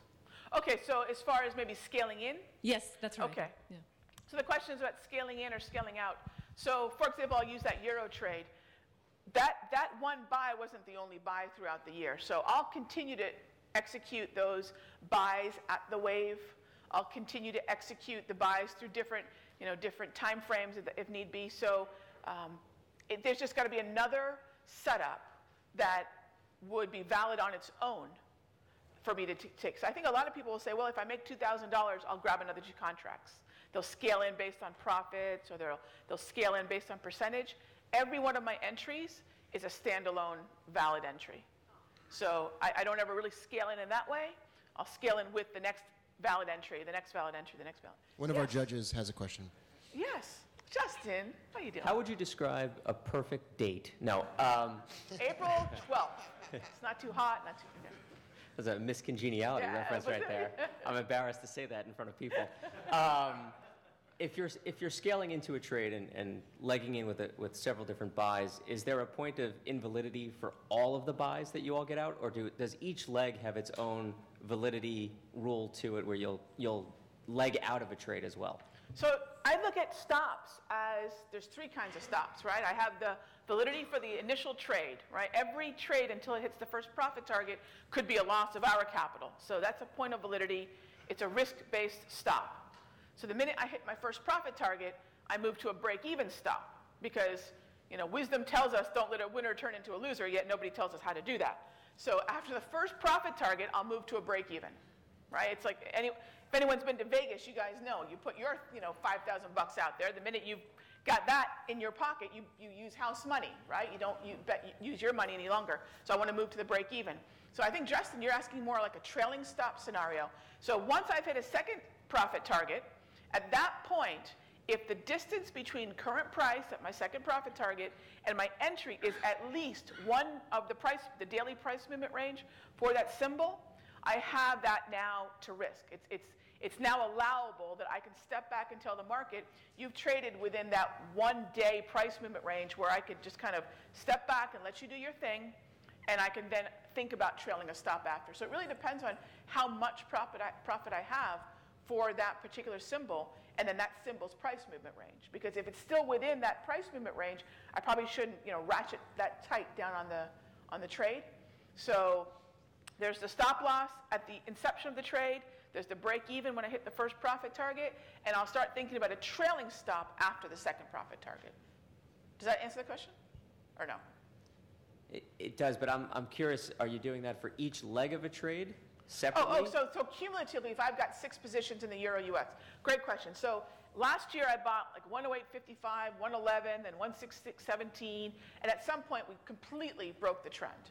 So at that point, every one of those trades, you know, from the inception of my trade to when we started to exhaust was like about 1,200 pips. I was in trailing stop mode. Okay. So at some point when we broke the wave, or we, and at that point I was backed off by two daily price movement ranges. So when those 200 points pips left, yeah, at that point I started to realize that I've got to go ahead and take something off the table. So yeah, it's, it's still going to be a trailing stop, right? Like almost like a safety net. Yeah. Yeah. All right, so uh, Raghee, it's time for you to wrap it up. So whatever slides you have at the end or whatever. That you guys pretty much have everything. I mean, we're going to be together for the next day and a half. So Yeah. either that's great, or you know, oh God, not that Raghee woman again. Do you have any final slides or Like things? meaning of life. So the meaning of life stuff, I leave to you, well, man. in particular, all right, I'll just cut to the chase. Do you have anything you want to, to give all of these folks? Is there like any like free stuff yeah. that you have? Okay. Oh yeah, free stuff. All right. Just, Free stuff's good. Just wanted to, trying to say it in a really appropriate manner. No, no, free stuff's good. Yeah, I, we're gonna do the free stuff so soon.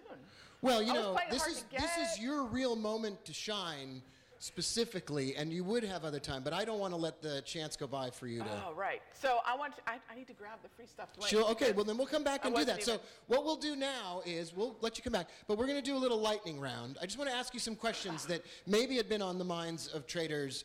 Um, most important trading book you ever read? Most important trading book I ever Yep. read.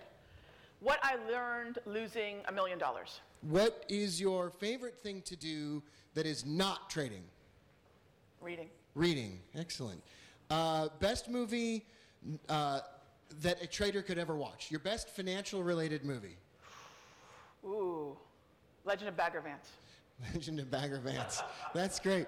Um, has there been have there been times when you di- disregarded all of your trading rules and still came out of it okay? Ha- that's the most dangerous trade ever, of course, right? All of us do our whole, you know, rebel and, oh, yeah, unfortunately, yeah.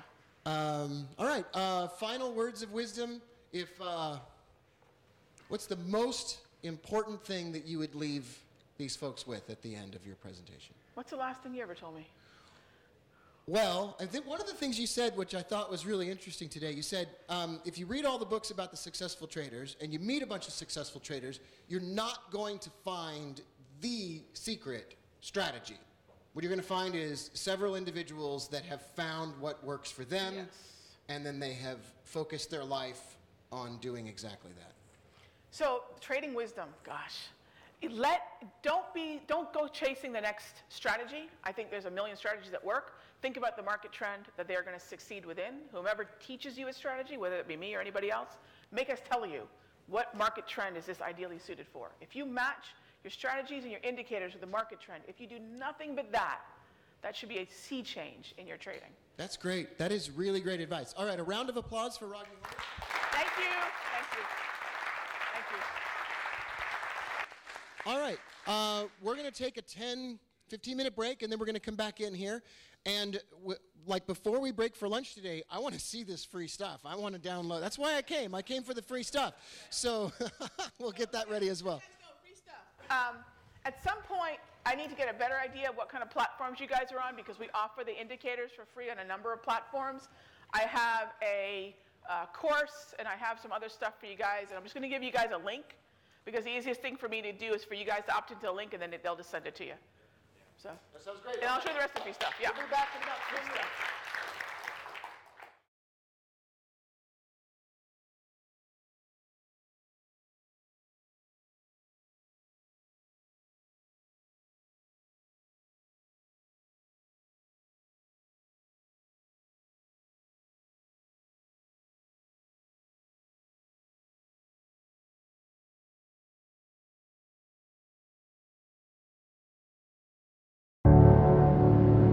Whenever a company is conceived, there's a fleeting moment when its founders decide just what kind of a firm it's going to be.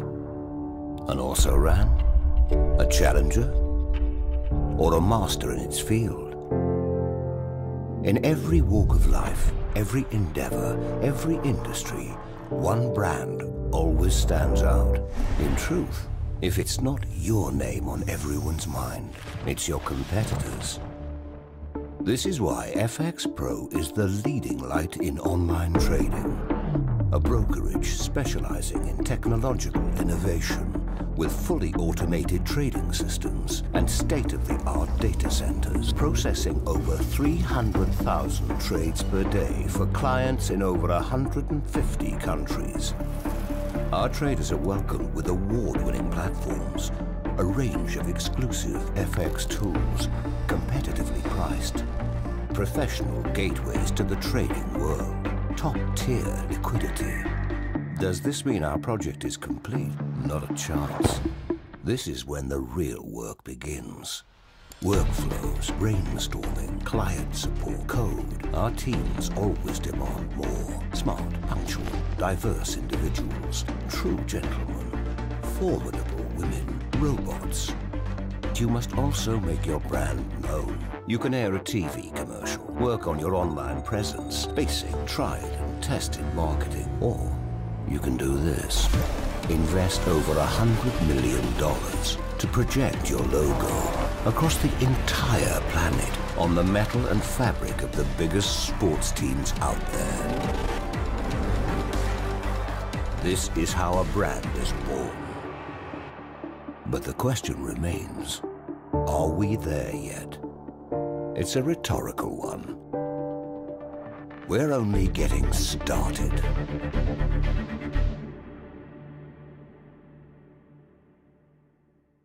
Sometimes success looks you in the eye.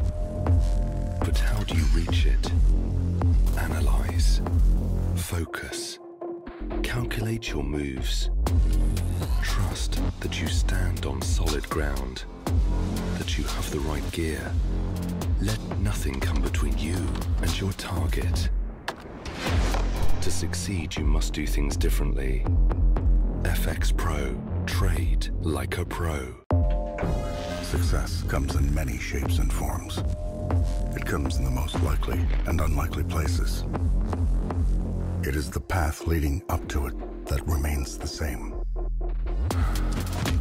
Dedication, hard work, and an absolute will to win. To succeed, you must do things differently. FX Pro. Trade like a pro. Succeed, sometimes you must step into your comfort zone. Prepare, think ahead, anticipate. Choose your next move carefully.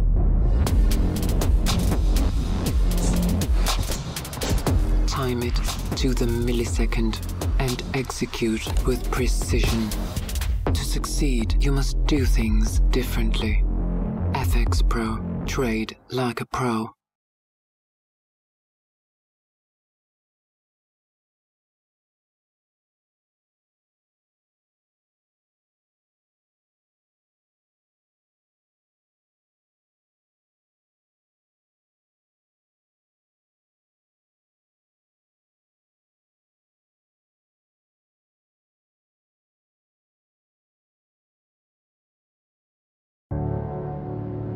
Whenever a company is conceived, there's a fleeting moment when its founders decide just what kind of a firm it's going to be. An also-ran? A challenger? Or a master in its field? In every walk of life, every endeavor, every industry, one brand always stands out. In truth, if it's not your name on everyone's mind, it's your competitors. This is why FX Pro is the leading light in online trading. A brokerage specializing in technological innovation with fully automated trading systems and state-of-the-art data centers processing over 300,000 trades per day for clients in over 150 countries.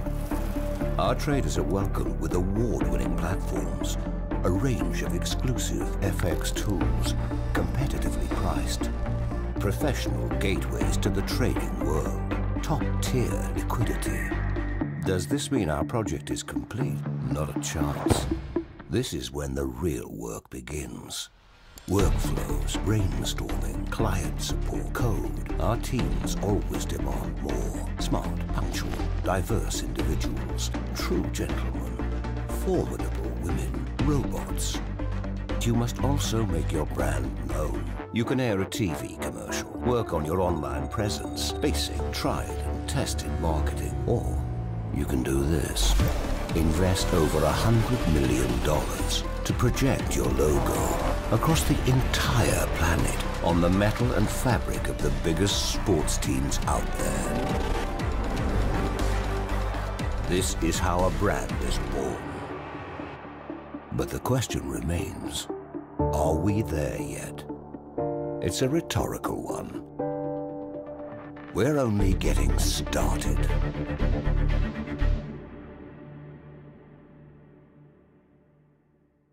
Sometimes success looks you in the eye. But how do you reach it? Analyze. Focus. Calculate your moves. Trust that you stand on solid ground. That you have the right gear. Let nothing come between you and your target. To succeed, you must do things differently. FX Pro. Trade like a pro. Success comes in many shapes and forms. It comes in the most likely and unlikely places. It is the path leading up to it that remains the same. Dedication, hard work, and an absolute will to win. To succeed, you must do things differently. FX Pro. Trade like a pro. To succeed, sometimes you must step into your comfort zone.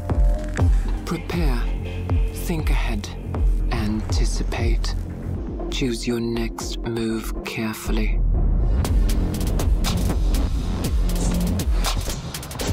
Time it to the millisecond and execute with precision. To succeed, you must do things differently. FX Pro. Trade like a pro.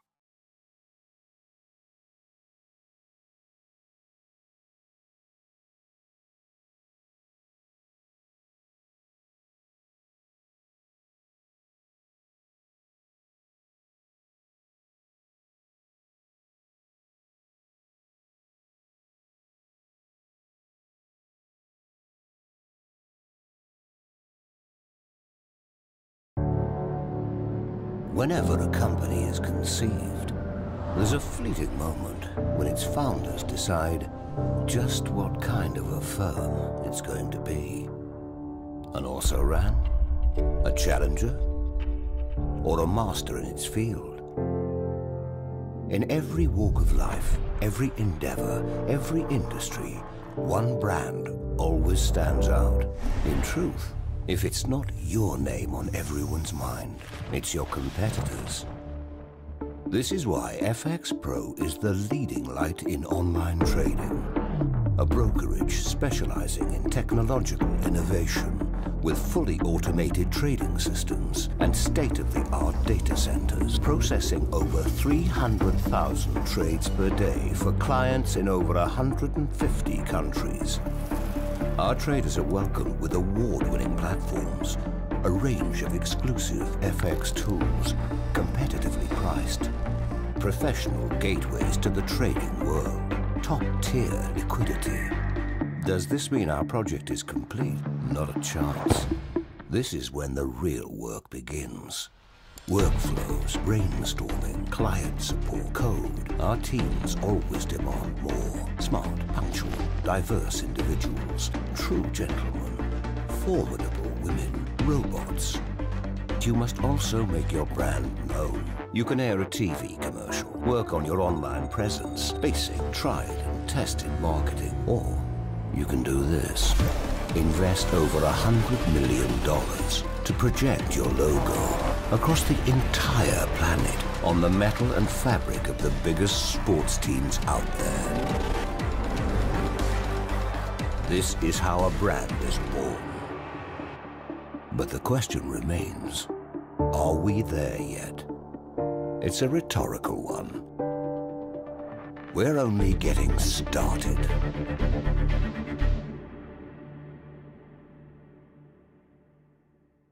Sometimes success looks you in the eye. But how do you reach it? Analyze, focus, calculate your moves. Trust that you stand on solid ground, that you have the right gear. Let nothing come between you and your target. To succeed, you must do things differently. FX Pro. Trade like a pro. Success comes in many shapes and forms.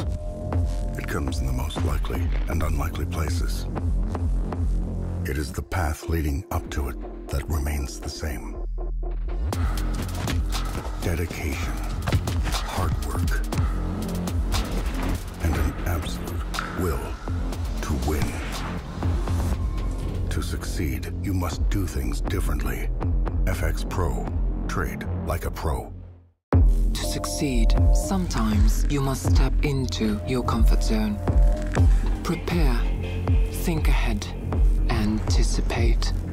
Choose your next move carefully.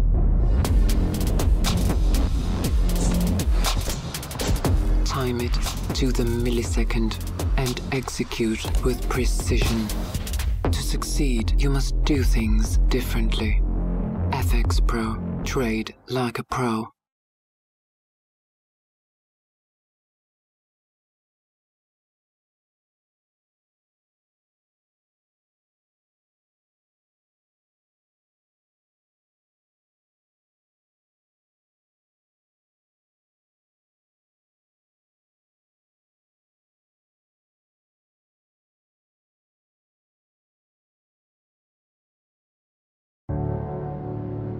Whenever a company is conceived, there's a fleeting moment when its founders decide just what kind of a firm it's going to be.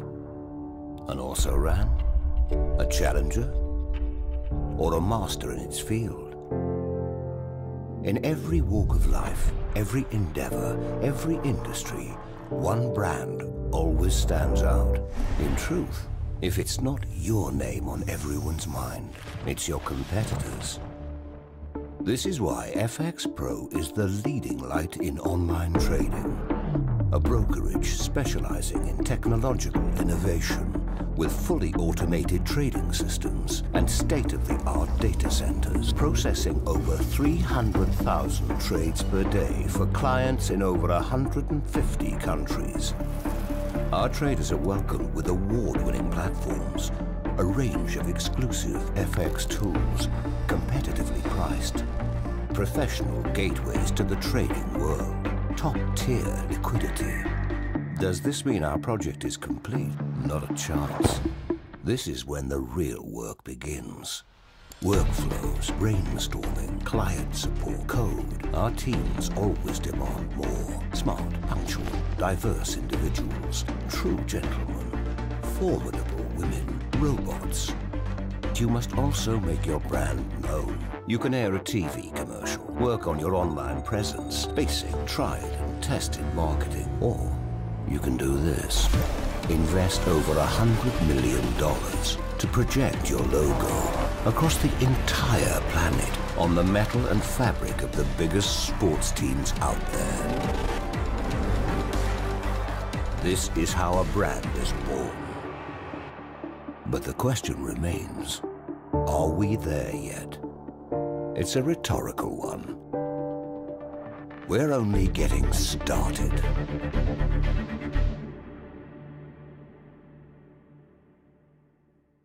Sometimes success looks you in the eye. But how do you reach it?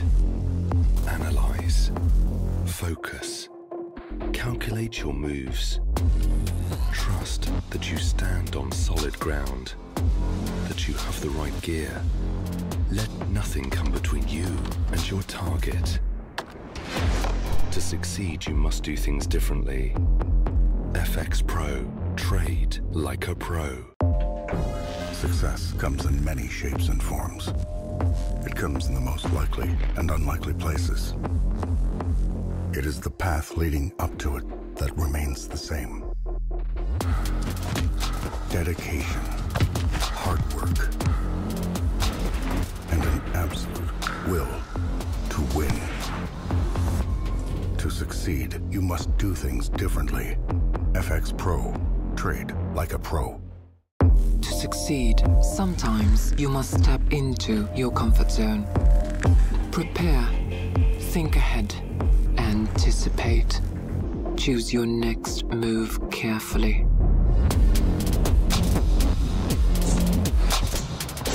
Time it to the millisecond and execute with precision. To succeed, you must do things differently. FX Pro. Trade like a pro.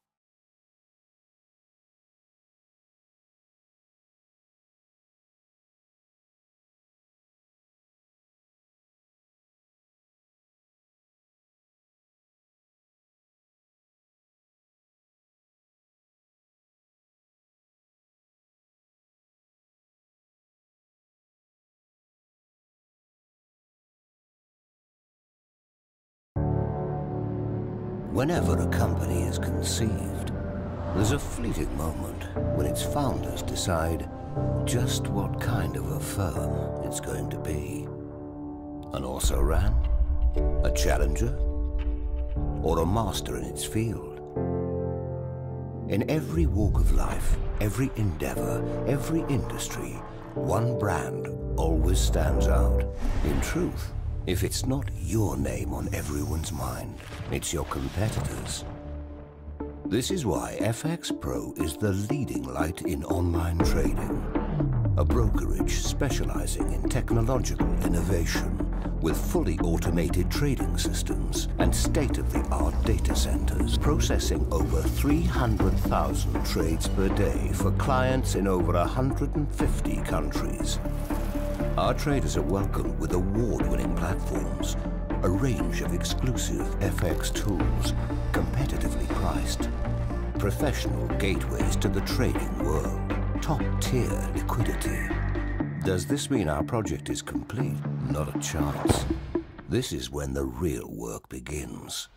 Workflows, brainstorming, client support, code. Our teams always demand more. Smart, punctual, diverse individuals, true gentlemen, formidable women, robots. You must also make your brand known. You can air a TV commercial, work on your online presence, basic, tried and tested marketing, or you can do this. Invest over a hundred million dollars to project your logo across the entire planet on the metal and fabric of the biggest sports teams out there. This is how a brand is born. But the question remains, are we there yet?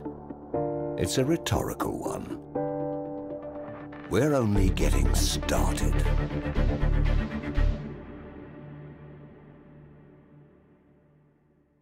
Sometimes, success looks you in the eye. But how do you reach it? Analyze, focus, calculate your moves. Trust that you stand on solid ground, that you have the right gear. Let nothing come between you and your target. To succeed, you must do things differently. FX Pro. Trade like a pro.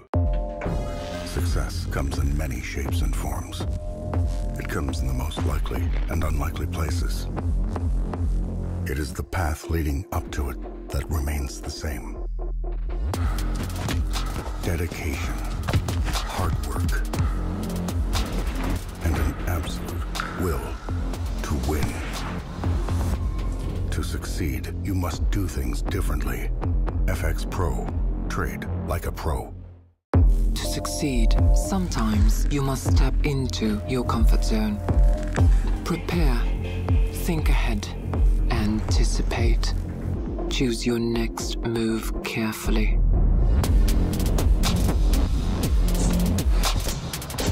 Time it to the millisecond and execute with precision. To succeed, you must do things differently. FX Pro. Trade like a pro.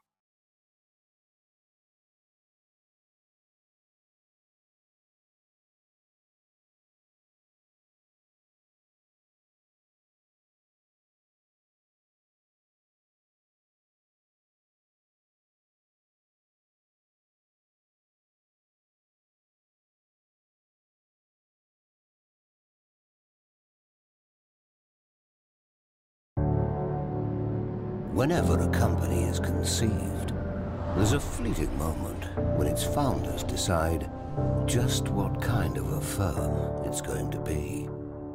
An also-ran? A challenger? Or a master in its field? In every walk of life, every endeavor, every industry, one brand always stands out. In truth, if it's not your name on everyone's mind, it's your competitors. This is why FX Pro is the leading light in online trading. A brokerage specializing in technological innovation with fully automated trading systems and state-of-the-art data centers processing over 300,000 trades per day for clients in over 150 countries. Our traders are welcomed with award-winning platforms, a range of exclusive FX tools, competitively priced, professional gateways to the trading world, top-tier liquidity. Does this mean our project is complete? Not a chance. This is when the real work begins. Workflows, brainstorming, client support, code. Our teams always demand more. Smart, punctual, diverse individuals, true gentlemen, formidable women, robots. You must also make your brand known. You can air a TV commercial, work on your online presence, basic, tried and tested marketing, or you can do this. Invest over a hundred million dollars to project your logo across the entire planet on the metal and fabric of the biggest sports teams out there. This is how a brand is born. But the question remains, are we there yet? It's a rhetorical one. We're only getting started.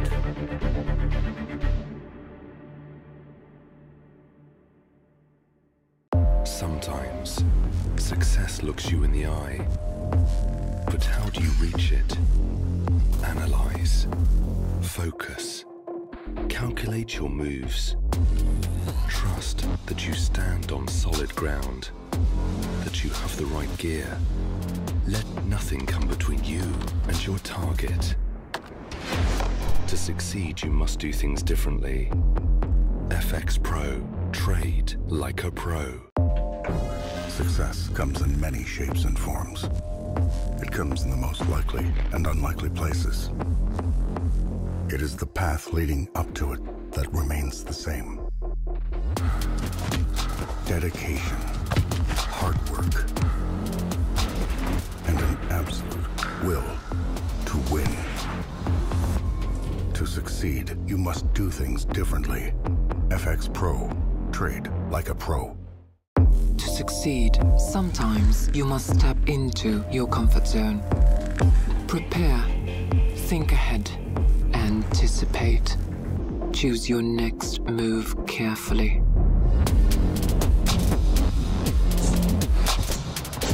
Time it to the millisecond and execute with precision. To succeed, you must do things differently. FX Pro. Trade like a pro.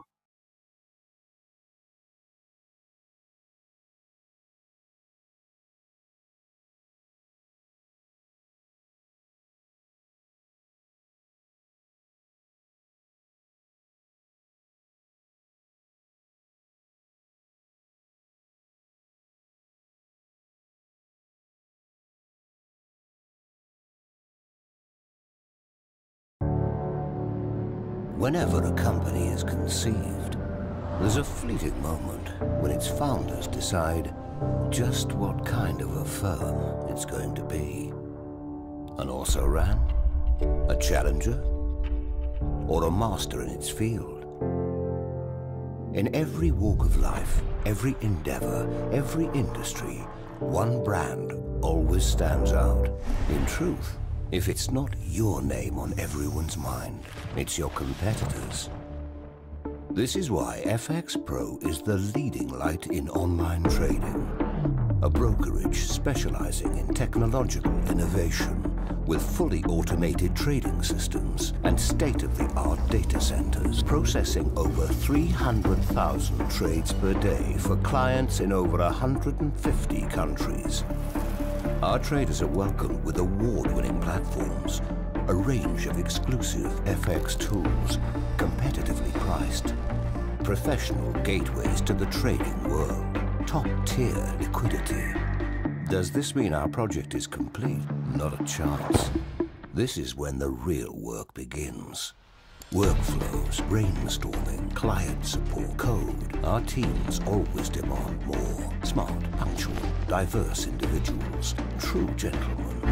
All right, so we're gonna. You got a couple minutes to get settled, and uh, when we come back, we're gonna be talking to Justin from Forest Park FX and Ed from FX Pro.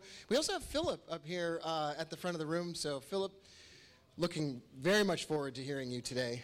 I'm very excited about that.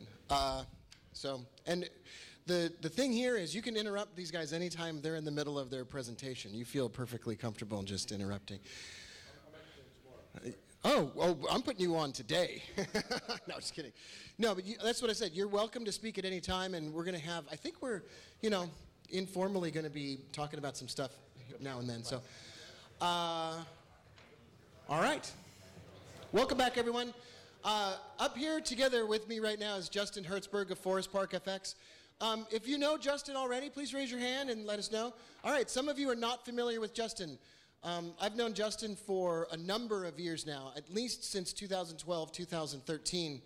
Uh, Justin is what is commonly referred to as an introducing broker Um, what that really means is Justin often represents the interests of traders in choosing a broker that's the right fit for them, that has the, the right spreads and commissions or technology that the trader needs, but also when a trader has a problem and with a broker, which does happen from time to time, Justin has, on the behalf of some of our friends, reached out and sorted out some really complicated and very expensive problems in the past. Uh, I don't know anyone else in the business at all in 18 years that has done as much to help traders as Justin. And I'm not just saying that, I genuinely refer to Justin as my friend and also uh, just one of the people in this business that will tell you exactly how it is uh, with no sugarcoating. So I want to welcome Justin here. A round of applause for Justin. Thank you. And it's all yours. All right. Is, is my mic on? All right, we're good. Well, Rob, thank you for the very nice introduction. Uh, it's really my pleasure to be here today to, uh, to help uh, co-sponsor this event with FX Pro, and uh, I hope you're enjoying everything so far. We've got uh, a number of great uh, speakers to come the rest of today and tomorrow. Um, but I'll get into my presentation. I'm pretty informal. I've done this before, and for those who have heard a similar presentation that I have given, I apologize. But um, please feel free to interrupt me, raise your hand for any questions. Uh, I'll go through a little bit about who I am, how I got into this business, uh, really what we do, what I feel our value propositions are to traders, and, uh, and how hopefully we can find ways to work together and we can help you ascend your own learning curve and improve as a trader. Uh, as Rob mentioned, I'm the, uh, the owner of Forest Park FX. Um, we are uh, a global company now. We have a US based company as well as a London based company here. And here's our risk disclaimer, which is more or less pretty standard. Um, but uh, just a little bit about me and my background. Uh, I graduated from Emory University in Atlanta, Georgia in 2003 with a degree in philosophy. And I like to joke that uh, upon graduation, none of the big philosophy companies came to recruit me. So I did the only thing that someone with a philosophy degree can do. I decided should I become a barista or should I go to law school? Because those are really the only options available. And uh, decided to go to law school. Went to the University of Miami, where I got a JD MBA with a concentration in finance. And even after eight years of post high school education, I still really didn't know what I wanted to do for a living. Uh, but I had a law degree, and I figured, okay, I'll go start as an attorney and see what that's all about. And kind of like Rob, who's an attorney, you get in there and you go, this just might not be for me. Uh, it works for other people. It really wasn't something that suited sort of the entrepreneurial nature that I had, and uh, I didn't like being part of an organization that valued the time I worked more than the quality of my work. And uh, I, I, quickly found my way out of uh, traditional practice of law, even though I maintained my license to practice. And uh, I, um, I got into Forex, and people always ask. I do uh, interviews and presentations all the time, and it's always the common question: How do you get into FX? Because no one's a seven year old kid and says, I want to be an FX trader when I grow up. And I always joke, I took a wrong turn somewhere.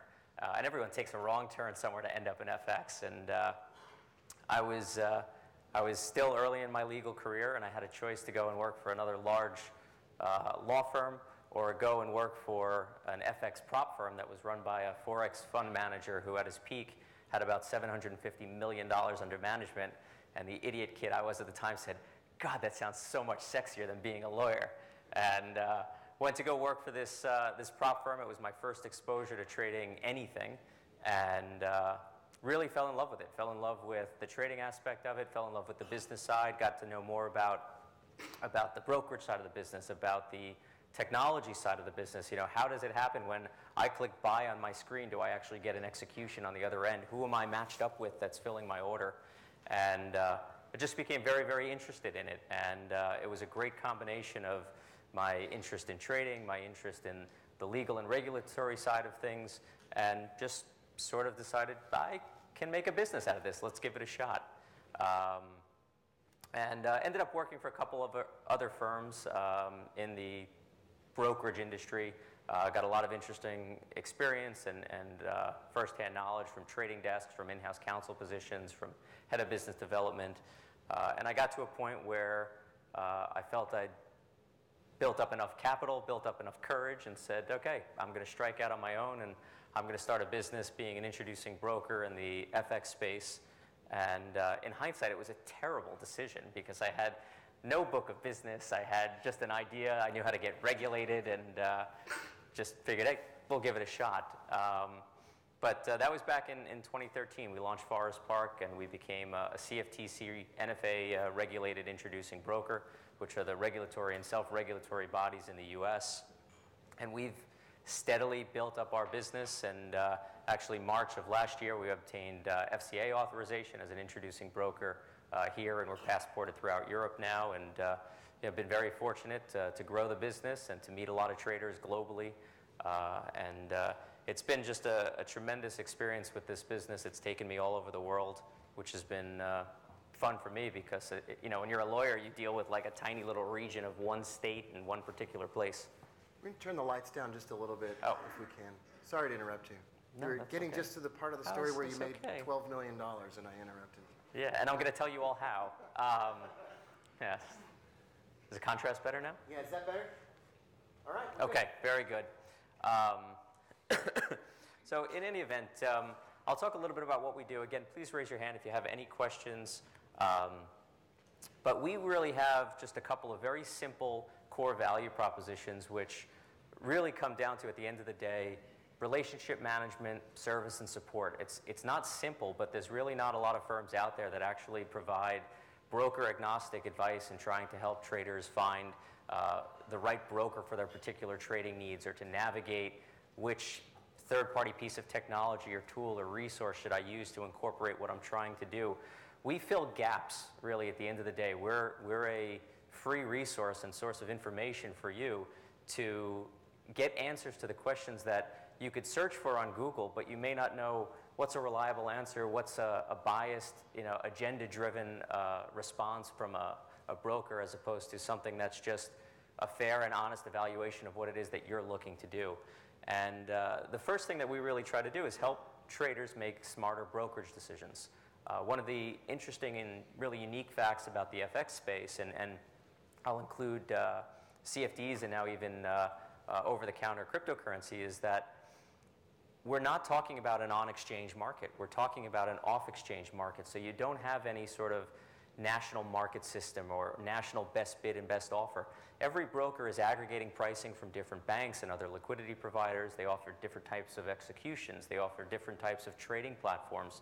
They offer different swap rates. And all these different variables can, can tip the scales one way or the other in, in terms of which platform, which broker, which pricing model, which execution model is going to work best for your trading. And what we really try to do is have a consultative approach with our clients and understand who you are as a trader, what is it that you're looking to do, and try to try to matchmake, try to make a happy marriage between you and a trading platform and broker that will give you the greatest likelihood of success based upon our understanding of what's available. Um, and that kind of leads into the second point where we are, we are really full service. We are 24 7 to be there to help you with all of the things that cause a lot of newer traders, especially, to become disenchanted with the process. You know, there are so many people that start in trading that leave trading not because they lost all their money, not because uh, someone scammed them or, or this or that. Sometimes they leave simply because they're not getting answers to the questions they have. They're not sure how to manipulate platforms the way that they need to. They're not sure how to use a VPS for a, uh, an expert advisor or other, other automated trading strategy that they're looking to employ. Little things like that can cause people to just become disenchanted with the process and see their way out. And what we try to do is be there for you and say, listen, all of those questions that you have, bring them on. This is why we're here. You know, as our client, we're here to support your trading needs. We're not here to be a, a mouthpiece for the broker, as much as Ed would love me to be because I'm so eloquent. Um, I'm not here to, to, uh, to sell you on a broker. I'm here to support your trading. Uh, that's what we, we've done. That's what we've, you know, the mission around the, the company that we've built. Um, and it extends really beyond just opening an account and getting started. We're there ongoing throughout the life of your account for whatever questions you have, whether it be broker, platform, technology, changes in regulation and how that might impact your trading, how it might impact your uh, current position with your broker, how to address um, other things that might be happening. big events that might be coming up, uh, changes in margin rates because of an anticipated volatile uh, Brexit type announcement or something along those lines. We're there to try to walk you through all of those challenges and be as prepared as you can to be as knowledgeable as possible. Who do we work with? Um, I mentioned uh, a short while ago that we are broker agnostic, and um, we work with a lot of firms, as you can see here, and you probably recognize a lot of these names as some of the best in the business. These tend to be the largest, most well capitalized global brokers that you'll find anywhere in the world. And the reason we choose to work with these firms is that we go through an extensive due diligence process. We want firms that are well capitalized, well run by experienced people who have a history of fair dealing with their clients, who have prompt service and support for their clients, um, because we want to provide you with the most fair and equitable trading conditions possible, and we need to work with brokers that we can rely on to deliver that. Um, and we also don't want to fit a round peg in a square hole. Because I talked about the OTC nature of this business, not every broker is right for every trading strategy. Not every broker is right for every trader. And so we want to have a wide ranging offering so that we can talk to a particular client and not fit them into a broker that works best for us or that pays us the most money that you know, may not be a good fit for you. We want you to succeed. We want you to find the right brokerage solution for your particular trading needs. And by having a, uh, you know, a fully fleshed out offering like this, we're usually able to find the right fit with a regulated, well run brokerage for your business.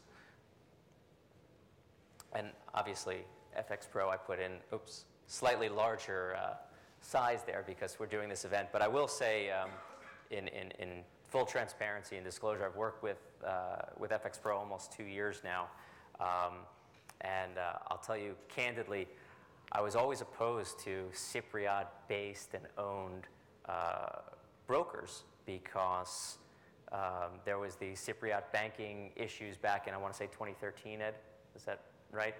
And um, my fear was always that if, you, if you're in a country where there's some instability, when push comes to shove, when someone leans on someone else, the people at the end of the chain are the ones that are going to get hurt the most. And that's going to be the end retail client. And I never wanted to put a client of mine in a situation where they could be adversely affected by something completely out of their control that they couldn't foresee or protect against.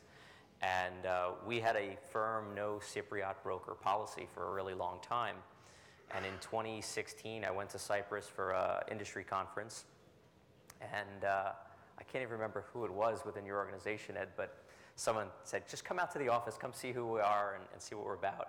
And uh, was actually blown away uh, by their entire organization. Um, hundreds and hundreds of people dedicated to running um, a very fair, very equitable trading environment. Great tools, great service, round the clock, multi language support, multi language platform, application, service, um, and incredibly compliance centric, so much more so than your average European broker.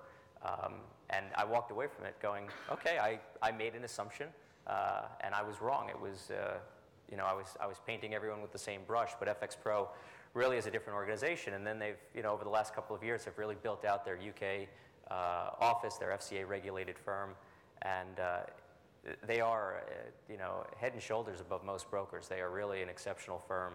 And um, I'm, I'm happy to do this event. We did one in January last year that was co-sponsored by FX Pro.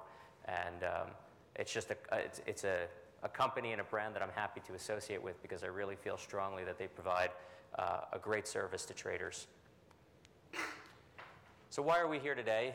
Um, this was actually an idea that, uh, that I had along with Rob and, and uh, Ed and Connor from FX Pro. Uh, we did this event, like I said, last January, and it was really very successful. Um, not, not in terms of, dollars made by, by brokers or by introducing brokers, but really in the quality of the content and the feeling that, the traders took away from the event. Uh, we did an event similar to this where we brought in speakers, some of whom are actually sitting here today in the audience um, to be on our panel then. It was just, a, just such a high quality content event, and we really wanted to do it again because that's where a lot of the best learning comes from is just you're, you're here, you're sitting on a weekend, you're dedicating your time, you're getting to meet people who have gone through a similar journey to what you're trying to do for yourselves. They've, they've started out as newer traders and they've found how to succeed through discipline and hard, expensive lessons. And uh, we've just had such a good time and a good experience with these types of events that I wanted to do another one. And, and FX Pro was, was interested, and, and Rob was willing to give his time and energy to, uh, to moderating and, and, and bringing a lot of people here.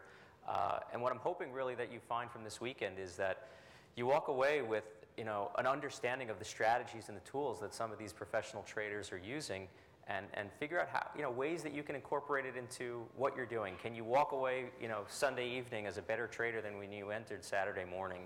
Um, and I think that a lot of that comes from just the candid way that, that you know, the speakers will talk to you, the panelists, these traders. Um, there's no sales going on here. No one is trying to sell you anything, uh, which one, is one of the major differentiators between this type of conference and any other that you might attend. They're here simply to talk about their journey, their process, their approach to the market, how they come in in the morning, what they do, what, what routines that they go through, what progressions to get a handle on what happened overnight when they were sleeping and how to approach the upcoming day. Um, and I hope that, that you'll be able to take away some of those things uh, from them. And I hope that you'll also feel comfortable reaching out to them and talking to them during a break and saying, hey, I really liked what you had to say, would love to talk to you more, or how can I listen into your, um, to your live trade room, and uh, you know, what can I read or study to get a better foundational understanding of what you do, because you know, Raghee, what you said this morning, it resonates with me as a trader, and I've been trying all these things that don't really fit for my approach to the market or the way I see things or, or my risk tolerance. And I like what you said. How can I do more of it? How can I incorporate that? And I want everyone to really feel comfortable. These are good people up here. They're not people that have, you know, armed bodyguards that keep you 10 feet from them. Uh, so please, you know, use this as, as an opportunity to, to meet people, to, to talk to potential mentors for you, to talk to Ed and the others from FX Pro for your questions about FX Pro and their platforms and their offering. You know, th- this is your opportunity to get the most out of it, and I really encourage you to do so while you're here. And, and, and also afterward, to take everyone's contact information and follow up with them, um, because we are really available and, and willing to speak with you and help you. Um, in particular, this is just um, something that I wanted to present uh, for everyone here and, and the people that are watching on stream or on the recording. Um, we want to you know, show our gratitude for you coming out and spending time with us uh, during your weekend. You don't have to be here, um, and uh, we really appreciate it. So some of the things that we're going to be able to offer um, to everyone here uh, that opens an account with FX Pro is uh, everyone will receive a uh, reduced spread on all of their FX pairs uh, just by opening an account, and we're happy to answer questions about how you can access that afterward. Um, so it's immediate savings to you on your trading, which is always something that you should try to take advantage of. Um, again, free access to these speakers. Um, they're all going to have an offering. Raghee mentioned something briefly, but everyone that you'll hear from today is, is going to give something of themselves to you just for showing up, just to say, listen, you know, you can't learn everything in a weekend, um, but we want to invite you into our circle. Ask us the questions you have, learn from us, take what we're offering to our our existing clientele and what we're using for ourselves and, and try to make it your own if you like. Uh, so you'll get that. And really the last thing is, you know, if you open an account with FX Pro, uh, going back to my experience with them, and I'm, I'm a very discerning person. Um, that list that you saw of our brokers is, is probably as extensive as it will ever get. Um, we typically remove brokers from our list more than we add them. Uh, and that's because we take our job as an introducing broker very seriously in making sure that we work with firms that just do the right thing. You hear all these horror stories out there uh, about brokers manipulating pricing, manipulating execution, uh, actively trading against you, um, you know, not promptly paying out withdrawals, doing all sorts of horrible things. And, and as an attorney, I actually represent some of these clients from time to time that are with some of these brokers I wouldn't touch with a hazmat. Um, okay? Am I still on? I'm not on. Am I on? Nope. Test. Test. Am I on or no? It's okay. I can project anyway. My, oh, I'm on? Okay, good. I was going to say, my wife's a school teacher and she's the loudest person I know, so I've, I've learned how to project uh, the way she does. Um, but, but really, I just, you know, I, have I've dealt with these horror stories for clients who sometimes find their own way to a broker with a sensational banner ad on a website or promising 5,000 to 1 leverage or some, something absurd. It, it, doesn't, it doesn't end well often. These are, these are firms that are designed for you to lose money. And um, there, is a, there is a peace of mind that comes with working with a professional firm like FX Pro. And uh, it's not something to be discounted because I, I often feel with trading, anything that takes your attention off of trading is a distraction, is, a, is something that's going to reduce your efficacy as a trader. If you're worried about your broker or your platform going down or, you know, your internet connection because you're running an automated strategy or whatever it might be, anything that takes 10 minutes out of your day to focus on a problem that's not studying charts, that's not fur- in furtherance of your trading strategy, is going to ultimately hurt your trading in the long run. And one of those things that you can put to bed is just work with a good firm. Just work with a firm that you're going to wake up every day, they're going to be there. Your funds are going to be in the account just where you left them. You're not going to have some of these nightmare scenarios that other traders have had. And uh, I, I really do think that that peace of mind does help to clear your head so you can just wake up and say, I'm a trader this morning. I don't have to be an IT specialist or a forensic accountant trying to recover my money. Um, those are important things, and, and again, you'll have that with uh, FX Pro. In terms of uh, any questions, uh, also to take advantage of uh, the offers that uh, all the different uh, speakers will be making today, um, please give, please contact me. You can send me an email. You can reach me on Skype. You can call me. Uh, those are stateside numbers. Um, but please feel free to reach out. Um, we're happy to help you get started with a brokerage account, support your trading needs in whatever capacity you need that. Uh, we're happy to help you take advantage of all the free offers that all the different panelists will be making today. Um, and that's it. Any questions before I turn over to Ed from FX Pro? Um, yeah, I was just wondering, um, I know this is probably a hard question to answer, maybe you can't answer it, but do you think what you're doing now is more lucrative than being a corporate lawyer? All right, so I'm going to repeat the question, even though. Did you just ask if what he does now is better than being a corporate lawyer? Or is. That is the strangest. All right, how much do you make exactly? No. just- that is the. no, I mean, it's, it's just higher quality revenue, right? I was a lawyer for one half of 10 minutes.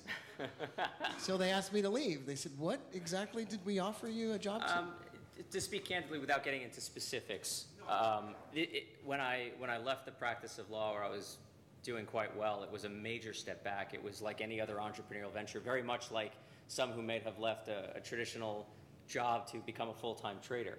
There's a there's a major risk and setback initially. Uh, it took me quite a long time to get back to the earnings that I had as an attorney. Um, I've, you know, I've been fortunate. We've worked very hard to grow the business where, comfortably speaking, I probably make more than your average corporate attorney uh, at this point, and I'm doing something that's mine, that's my passion, that I enjoy.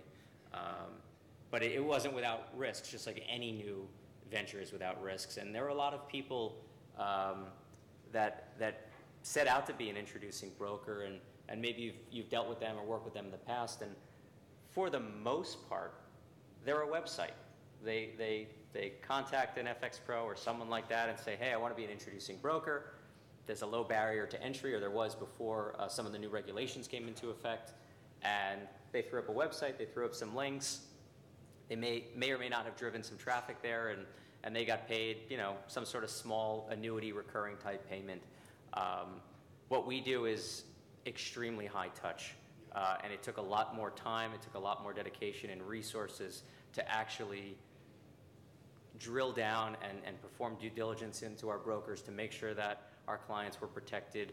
Uh, you know, Rob has made a, or wherever he went, made a nice comment that, you know, we actually do things. And uh, without getting into any specifics, we, um, we had a broker who, as part of uh, MIFID II changes uh, into the reporting that they needed to do, needed to migrate clients from one server to another server, which caused those clients to have to realize unrealized positions, which made them very unhappy, which disrupted the running of certain trading algorithms that they were using. Um, and they complained to the broker, they complained to us. Um, so I flew to go and meet the CEO and try to make a personal appeal to, to create an accommodation to, or, or some, some uh, you know, concession to, to help these clients who were being adversely affected through no fault of their own. Um, in some of those cases, we're, we're able to succeed, in others, we're not, but we make the effort. Um, and that's more than I would say most, if not all, introducing brokers make. Absolutely. Thank you for answering. No Yeah, problem. thanks, Justin. That was awesome. Uh, other questions before we move on? All right. Uh, Happy to turn it over to. Oh, I've never met, and so in my, in one of my chat rooms, Justin helps out my Forex traders, we have Forex and futures traders. Never have men so openly expressed their love. I mean, I, I- when I talk about Justin in the room, I love Justin, comes like streaming through the chat room. I don't know how many people say they love their attorney. But I mean, I, I have a few attorneys. I've never said that about any of them. well, if your, if your attorney gets you cashback rebates on every trade you place, then uh, thank you, Justin. Write down that information. We'll make this available all throughout the show as well. Um, as Justin mentioned, uh, Raghee's got some links and some cool indicators and whatnot. That'll all go through this. So, I mean, you want to write down Justin's email and just say, please send me all the free stuff. Uh, all right, we're going to switch computers over, get the presentation ready, and uh, so stay where you are. We'll be right back.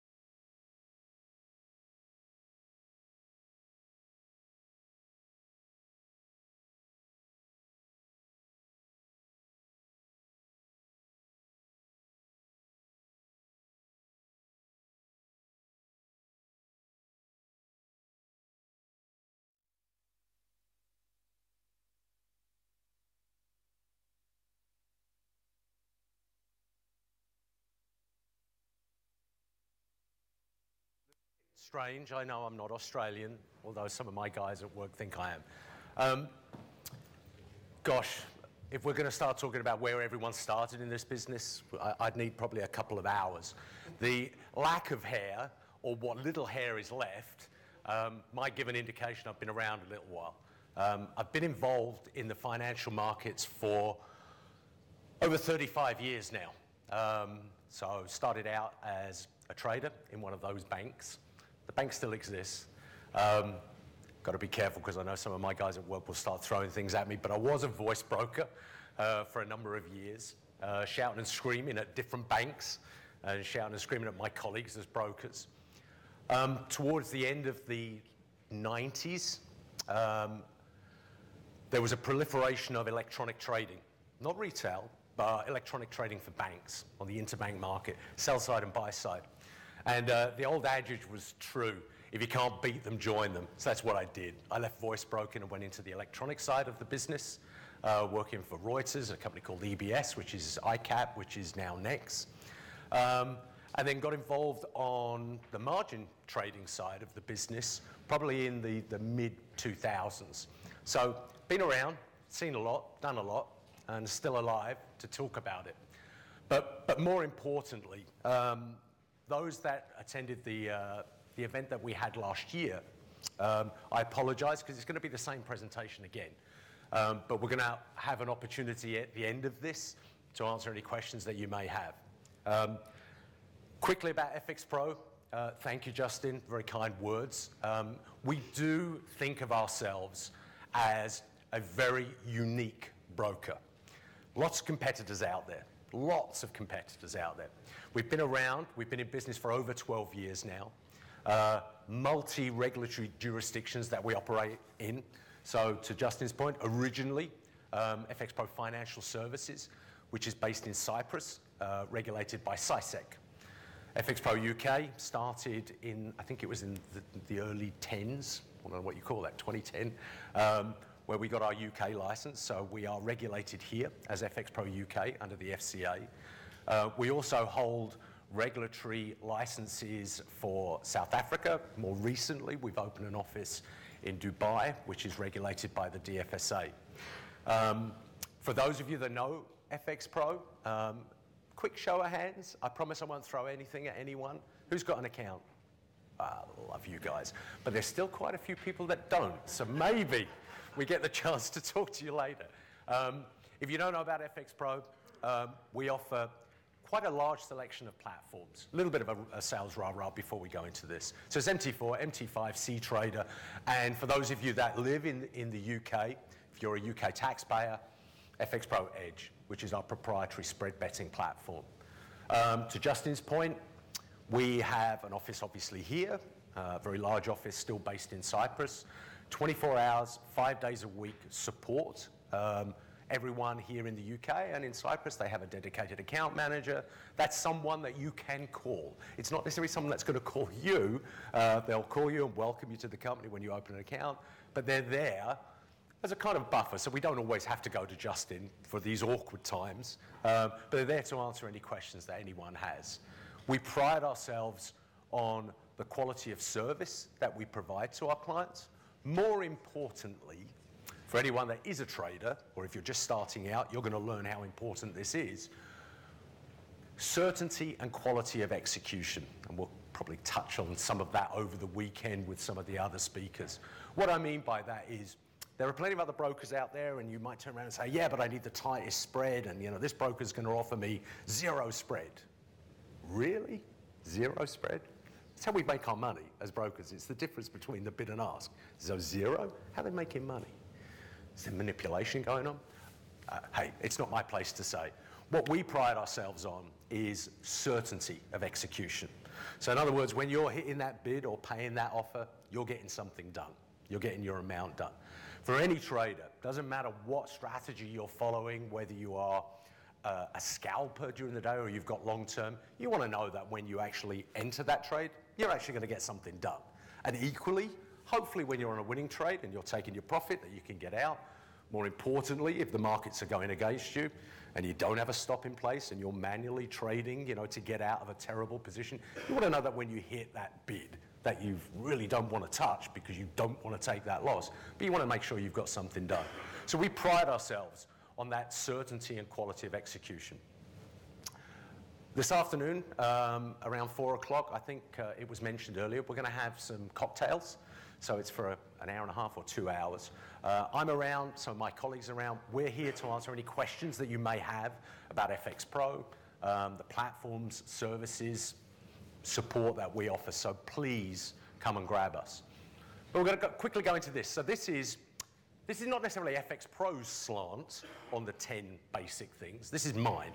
So this is 35 years of my experience in the market. More importantly, my experience in this part of the market, margin trading, trading on a leverage account. And what's so important? I guess this is a bit of a no-brainer, and you probably heard me say because we said FCA, DFSA, and all these other CySEC. If you're trading with a broker now and they are not regulated, and forgive us for anyone that's on a stream, and if you happen to be in North America, although it's still pretty early over there, we should probably put NFA and CFTC. I know we got the CFTC and we got NFA up there.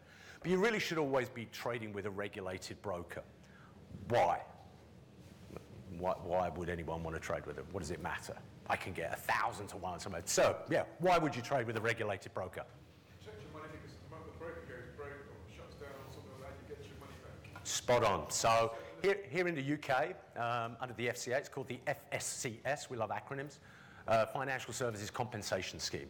There is a similar compensation scheme um, under CySEC. Um, DFSA will leave alone. I'm not sure what ASICS has. But you're quite right. If anything should ever happen to the broker, um, can anyone remember something that happened not too long ago that impacted a UK broker? Yes, sir? Alpari, yeah, massive company. But unfortunately, they kind of died over here following a market event. Um, the FSCS is there to protect client funds. Um, it is almost like an insurance policy. If you don't know what it does, it basically guarantees you £50,000 um, if anything happens to your broker. More importantly, not just the protection that a regulated broker uh, gives to you financially because of these compensation schemes. The other thing that's really important is the regulators are there to protect you and equally, in many ways, to protect us and keep us honest, transparent, and fair. Um, the FCA in particular is one of the strongest regulators, I personally believe, in the world. They've been around for a very long time. I have nothing against the NFA and CFTC, anyone that's over there in the States. I lived there for 20 years. I didn't do anything wrong, really. Um, that was a joke, okay? Uh, um, but they're there to protect you. There's a financial ombudsman, for example, with the FCA. So if you do get into a dispute, as Justin said, um, thankfully we've never had these conversations when there have been issues where the client has complained about something. But the financial ombudsman is there to protect you. It's someone that you can go to if you do have a dispute with your broker. Now, if your broker happens to be regulated, I don't know, in Ulaanbaatar, anyone know where Ulaanbaatar is? Correct, the capital of Outer Mongolia. You get a free FX. Oh, everyone's got a free FX Pro pen. Um, if you're trading over there, you've got really no protection at all. So if you are currently trading and you're not trading with a regular regulated broker, we'd love to see your FX Pro, but please think long and hard and seriously about where you're actually trading. Wrong button. Leverage, gosh, this is really in the headlines at the moment, and I'm sure we'll have opportunities over the next day and a half to talk about this. I'm sure we'll get thrown a few questions. Um, leverage is a really powerful tool. Um, when we talk to clients, when they call in to ask us about, you know, potentially opening an account with FX Pro, we always give them a very kind of unbiased approach when it comes to leverage. Yes, we do offer leverage up to 500 to 1 currently. Um, the thing to remember about leverage, the higher the leverage, the higher the risk. Lower the leverage, lower the risk. It's as simple as that. There are times and there are stories you can read in these chat rooms, and when people unfortunately get a little bit carried away and they treat this as a game where they kind of go all in with one big trade, use all of their margin, the market moves, they're wiped out, and now they complain. Um, really, they should be complaining about to themselves because they're trading on much higher leverage than they really need to. A lot of it will be determined by the kind of strategies uh, that you're trading as well long term, short term. Short term, scalping, maybe you can trade on high leverage, maybe, uh, because you're in and out all day and you can actually control it a little bit more. Longer term trading, maybe it makes more sense to have, you know, less leverage. But it's really important that you understand the way that leverage, the margin requirements when you open a trade, affects your equity and the way the markets move. And especially the instrument that you're trading, the time zone that you're actually trading in, and the kind of volatility around it. We've seen a lot of volatility recently in the markets, particularly in the equity markets of late. Um, you know, people want to get involved. We see an opportunity to trade, you know, a, FTSE uh, or a Dow or whatever. But again, this is where you have to kind of temper that with understanding what is leverage and how does leverage affect my profitability. So as I said in there, bigger is not necessarily better. Hello to my wife. Uh,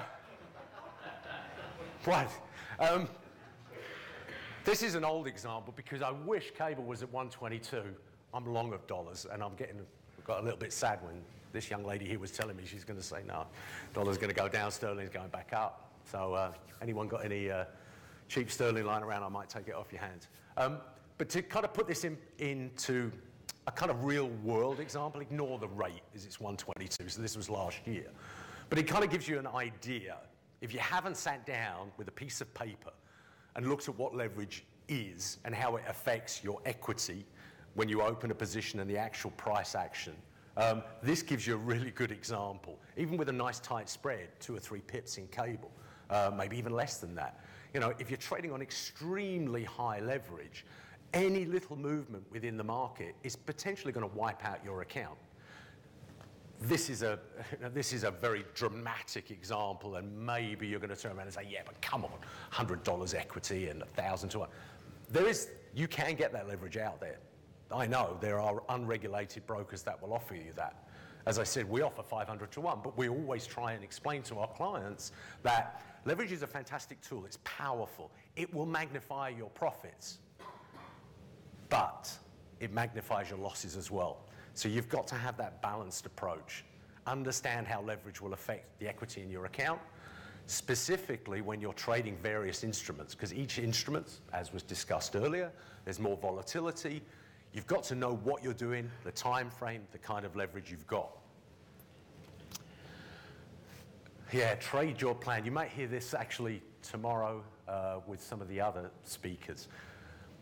Again, when we talk to clients that are basically just starting out on their, their trading career, we get asked all the time, you know, well, what makes a successful trader? What do I need to do? What strategy do I need to do? What books do I need to read?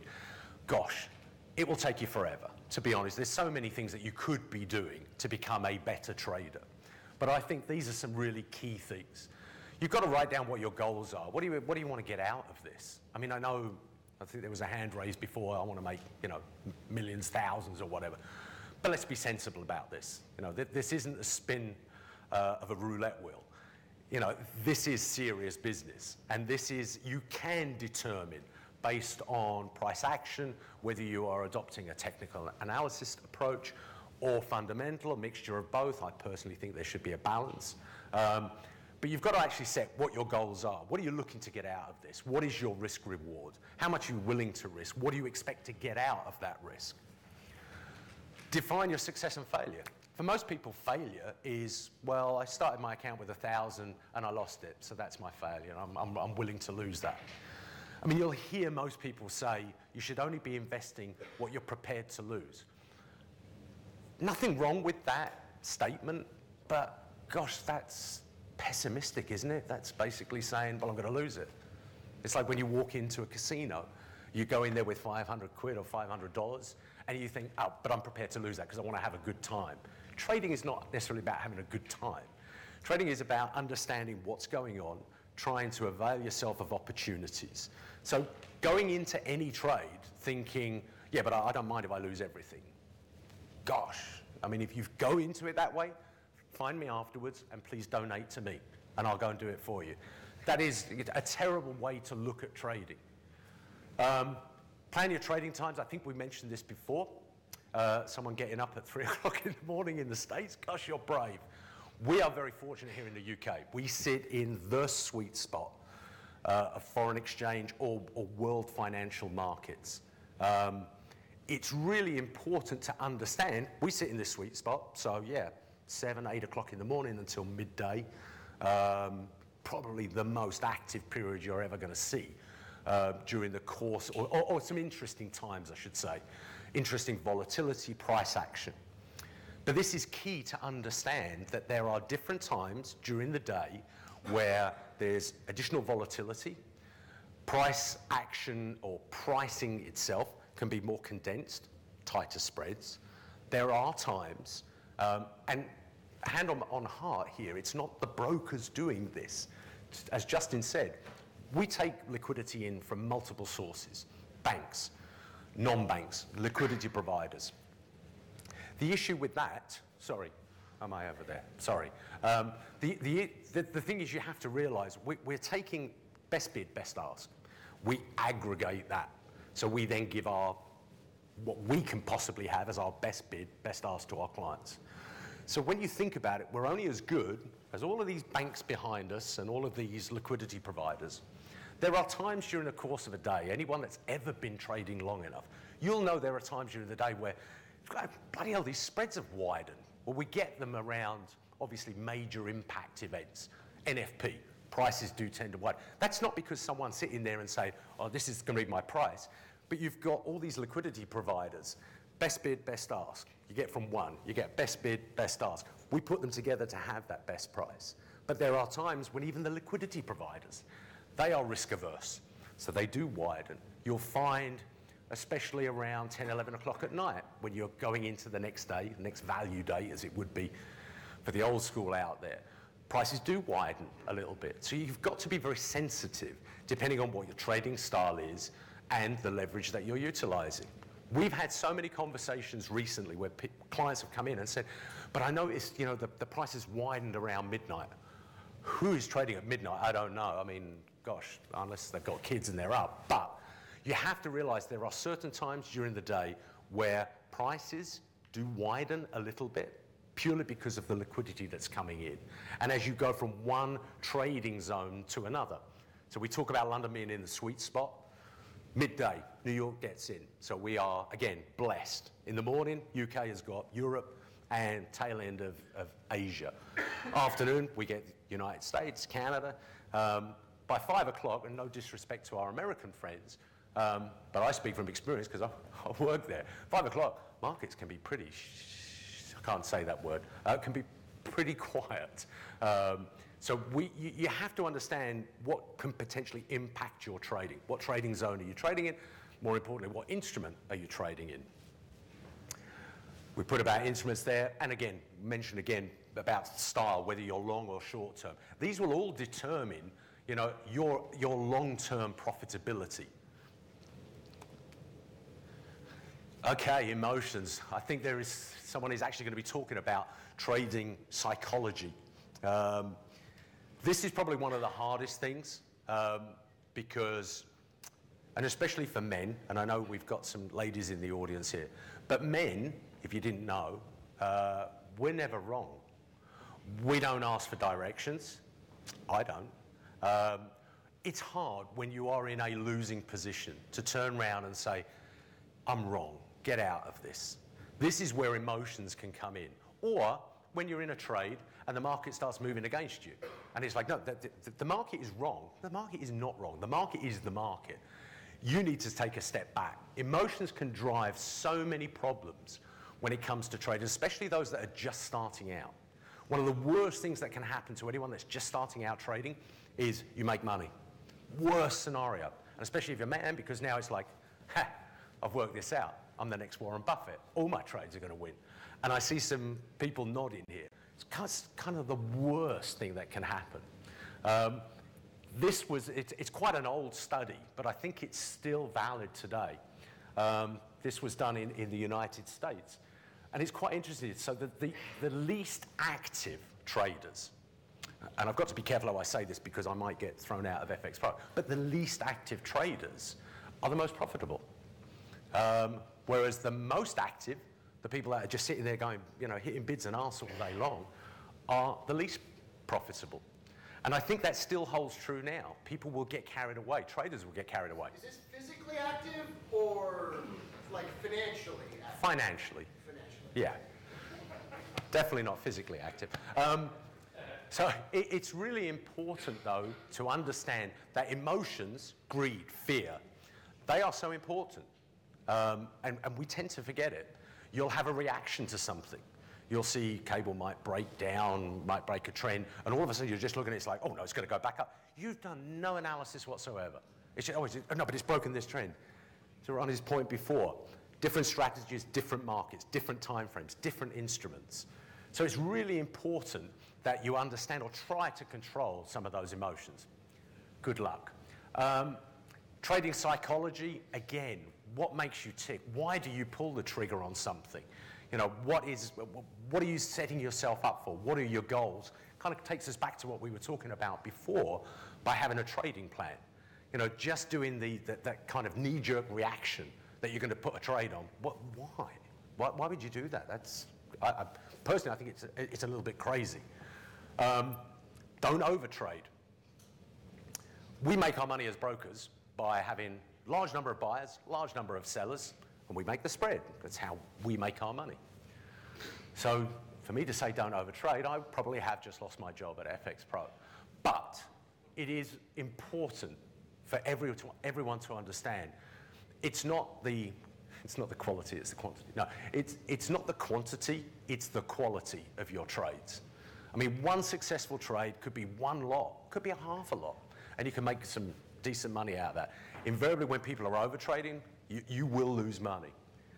Reduce your risk. Again, this is really important when you are trading. to understand where your, your kind of risk tolerances are. If you're working on a, risk reward ratio, is it three to one, four to one? Um, you should never be placing a trade and willing to lose more than you're willing to gain. Uh, doesn't that make sense? I mean, to me, it's common sense. You know, I'm in a trade. I see myself losing 200 pounds. My stop is down here, and now it starts to go into profit, and I get out of it.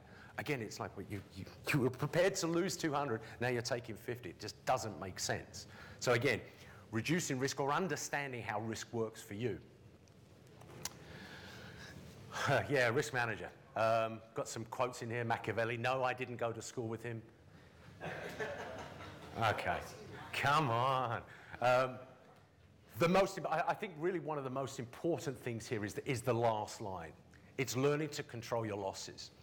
Any trader, whether you're an, using an automated strategy, if you're a manual trader, if you are a scalper long term, you are going to have losses.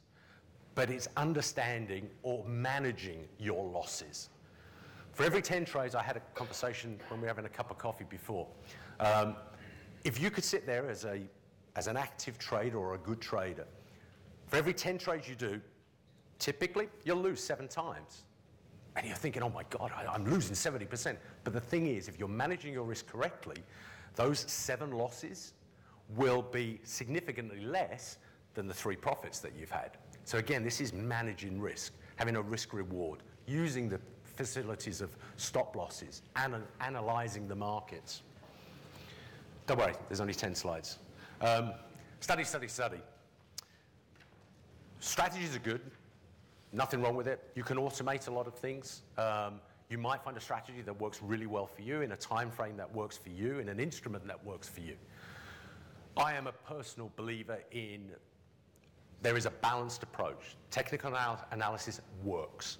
If everyone is looking at the same charts, this was said to me 20 years ago, if everyone's looking at the same charts and if it breaks out here, well, of course it's going to go lower. I, I, sorry, maybe a bit obvious, but that, that's the way I was taught, if everyone's looking at the same thing. But understanding why things are moving, that's where the fundamentals come in. To Rani's point before, looking at news headlines, what's coming out? Yes, markets always discount upcoming events, so NFP, CPI, retail sales. But understanding what will happen once that, that, that news has actually come out, based on what the forecast was and where it actually came out. Is it good for the dollar, bad for the dollar? Understanding this stuff takes time. It doesn't happen overnight. You're not going to sit at a chart and go, oh, I knew that was going to happen. That doesn't happen. You have to study. Avail yourself of the tools that wherever you're dealing, trading with now, whichever broker you're using, use the tools that they've got. They've got. I mean, if it's FX Pro, we've got tons of tools: Trading Central, Blog, Squawk, you name it, and a few others that we're going to be adding very shortly. It really does help you back up whatever strategy you've got, um, whether you are a scalper or a day trader. To sit back at the end of the day after placing a successful trade, keeping your journal, and to say, "Oh, I got that right because I knew this was going to happen, or I preempted that this was going to happen based on this bit of fundamental news. You will become a better trader because you will build up this habit, these good habits, not bad habits. No martingales. Um, this is very much a gambling term. Um, and you'll hear, you, you can read this in a lot of books. It's all about adding, never adding to a losing position. This does become a little bit of this emotional side of, of, of trading. I'm long because I believe these conditions are in place. The market moves against you. I'm still right. I'm buying again, and we double up. And the market goes against you. And not, not, I know I am right. My emotions get the better of me. I buy again. The problem with this is when you are doubling up, you are utilizing more leverage.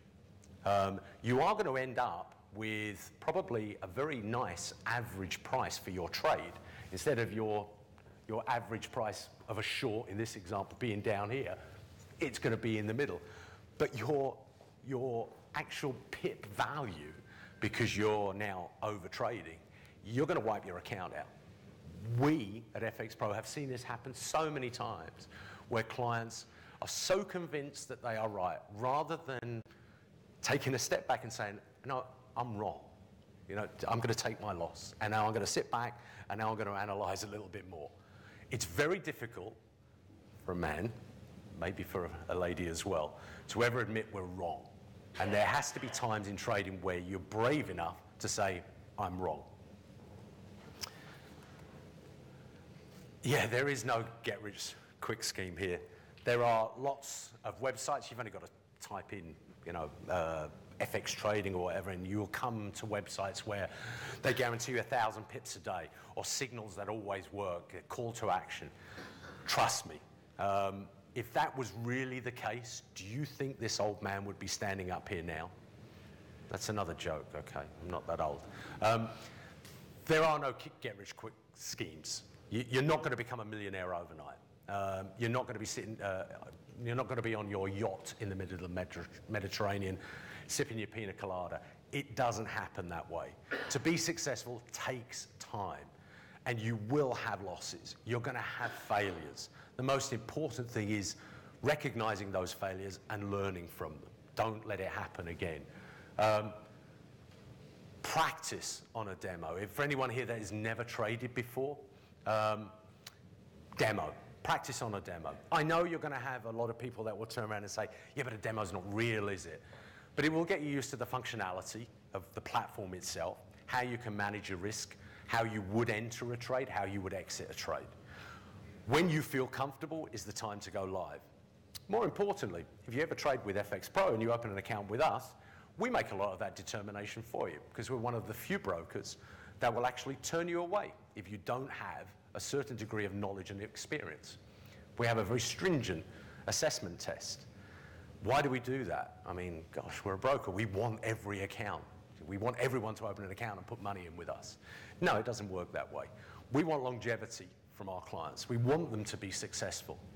A client that comes in and opens an account and puts £1,000 or £2,000 and then loses it in one trade, well, obviously, it's not very good for the client, but think about it, it's not very good from a business perspective, a business model. So we want to create that longevity um, with our clients. So if you are just starting out on your trading path or trading career, don't be afraid. Be afraid, you shouldn't be afraid. A demo is fake money anyway. But take your time.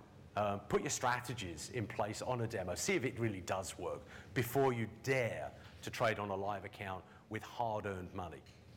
Because you will, sadly, you'll be making calls and saying, hey, but, but I should never have been able to trade. With FX Pro, that's never going to happen because we'll be the first ones to turn around to you and say, you need to go away and practice more. I think we've mentioned this before. So, a mistake or a loss is a learn. Um, and you have to take that out of the markets. Um, markets can be vicious. Um, I, I, I, tend to think of the markets as a whole as being almost like an, an organism. Pronounce that correctly before anyone says it. Organism. Um, it's in flux, it's moving all the time. Yes, there are trends, there are patterns. You can look at a historical uh, view of the market, which may predict a future move.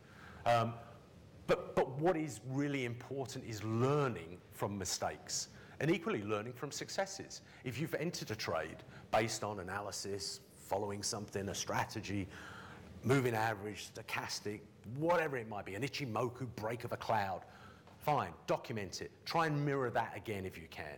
When you do make a loss, don't do it again. Learn from that mistake. Anyone here juggle? Okay, one juggler. I can't juggle. Um, but I tried once, and we had this uh, one of these corporate events at a company I work for, and my hand-eye coordination is terrible, and I kept dropping these balls everywhere. And I said, oh, this is a waste of time. I'm not learning anything. And the guy actually came and said, no, but every time you drop a ball, it's a learn. So I learned a lot, and I learned that I can't juggle. Um, but, but what's important, though, is learn from your mistakes. You're going to make them. Trust me, if, if, if there's anyone sitting here now that's placed 10 or 20 trades and, and you've been successful, please let me know and I'll give you these bloody dollars I need to get rid of uh, so you can trade for me. It, it, this is a learning process. It's not a get rich quick scheme. Finally, Kiss. Now, I'm not going to get amorous with anyone here, but, but this really is a, a mantra that I've upheld over the years. Um, and I think you can have this in most aspects of life, even trading, dealing with kids, anything in life. Keep it simple, stupid. We do at times, because of the world that we live in now, um, there is so much information available to us. You can overlay so many uh, indicators on MT4, MT5, CTrade, or any platform that you're using. It becomes analysis paralysis. Uh, you've got too much information. Yeah, but this one's telling me to do this one. Whoa, keep it simple. There are certain things that will work, certain things that won't work, depending on the time frame, the instrument, all these kind of things. You need to keep it simple. We can overcomplicate this. This is a big market. Foreign exchange, and what did it with the last BIS survey, survey five, over $5 trillion a day. Massive market. Um, this market moves, and it will move as an, as an ecosystem or an organism. If you overcomplicate it, you're never going to trade. You're going to be too afraid to, as it were, pull the trigger, enter a trade. Keep it simple. You don't need to have multiple, multiple, multiple strategies. You need to find something that works for you. Pick an instrument that you like, that you've got some knowledge about. Pick a time zone, time frame, sorry, time zone, trading zone that suits your style. If you're working, it's really difficult. I appreciate that. You, you can't just kind of click on a phone or get to a PC. Work out what works for you and stick to that. Again, bit of a strange mantra, I know, but keep it simple, stupid. With that said, I'll keep it as simple and stupid as I can. The main points here, relatively simple 10 key things. Whether you are going to open an account or you're an existing account holder with FX Pro, adhere to these. I'm pleased to say, with FX Pro, we adhere to all of these things. I occasionally control my emotions. Um, we, we've learned from our mistakes over the years. We now believe we've got the best offering in the market, best trading conditions. We've learned. Um, but I really cannot stress enough take your time when it comes to trading. Um, you're not going to become a millionaire overnight. Uh, it does take time and a lot of hard work. And with that, I'm more than happy to answer any questions as long as it's nothing to do with family, age, profitability. No, I'm kidding. Questions? All right, let me This young bring man. the microphone over to you.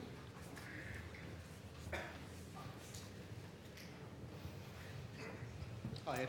Um, Sorry, yes. That's all right. Um, do you have a time scale on when you'll have spread betting on MT4, MT5? No. You don't. Okay, next question. Um, um, sorry, the, we are, were one of the last UK brokers to offer spread betting, FX Pro Edge.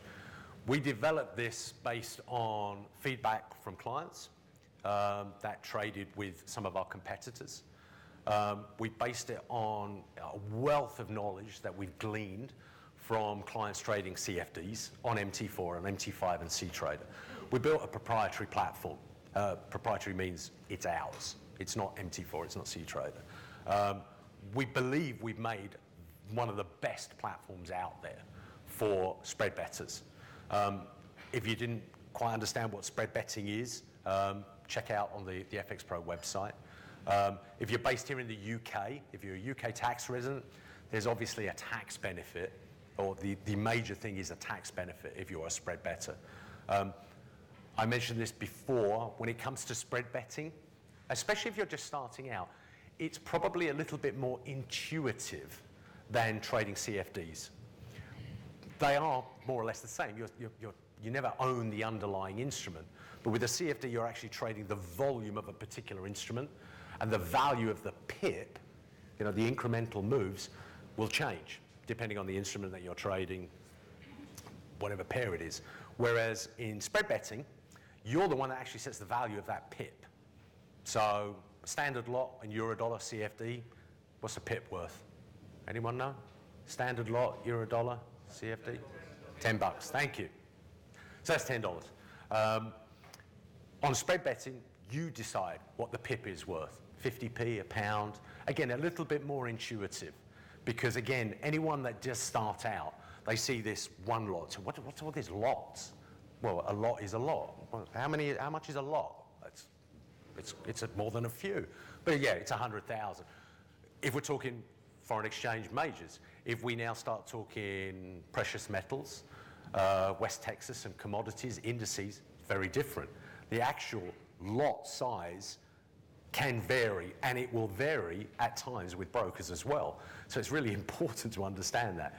But when it comes to spread betting, it doesn't matter what the underlying is. You're the one that's actually setting the value of that, that pip or the incremental pip moves. Good way, of get, good way of getting around the question that we're not going to offer it on him. No, but we, who knows? Right, we got time for a couple more questions, so you mind passing the microphone?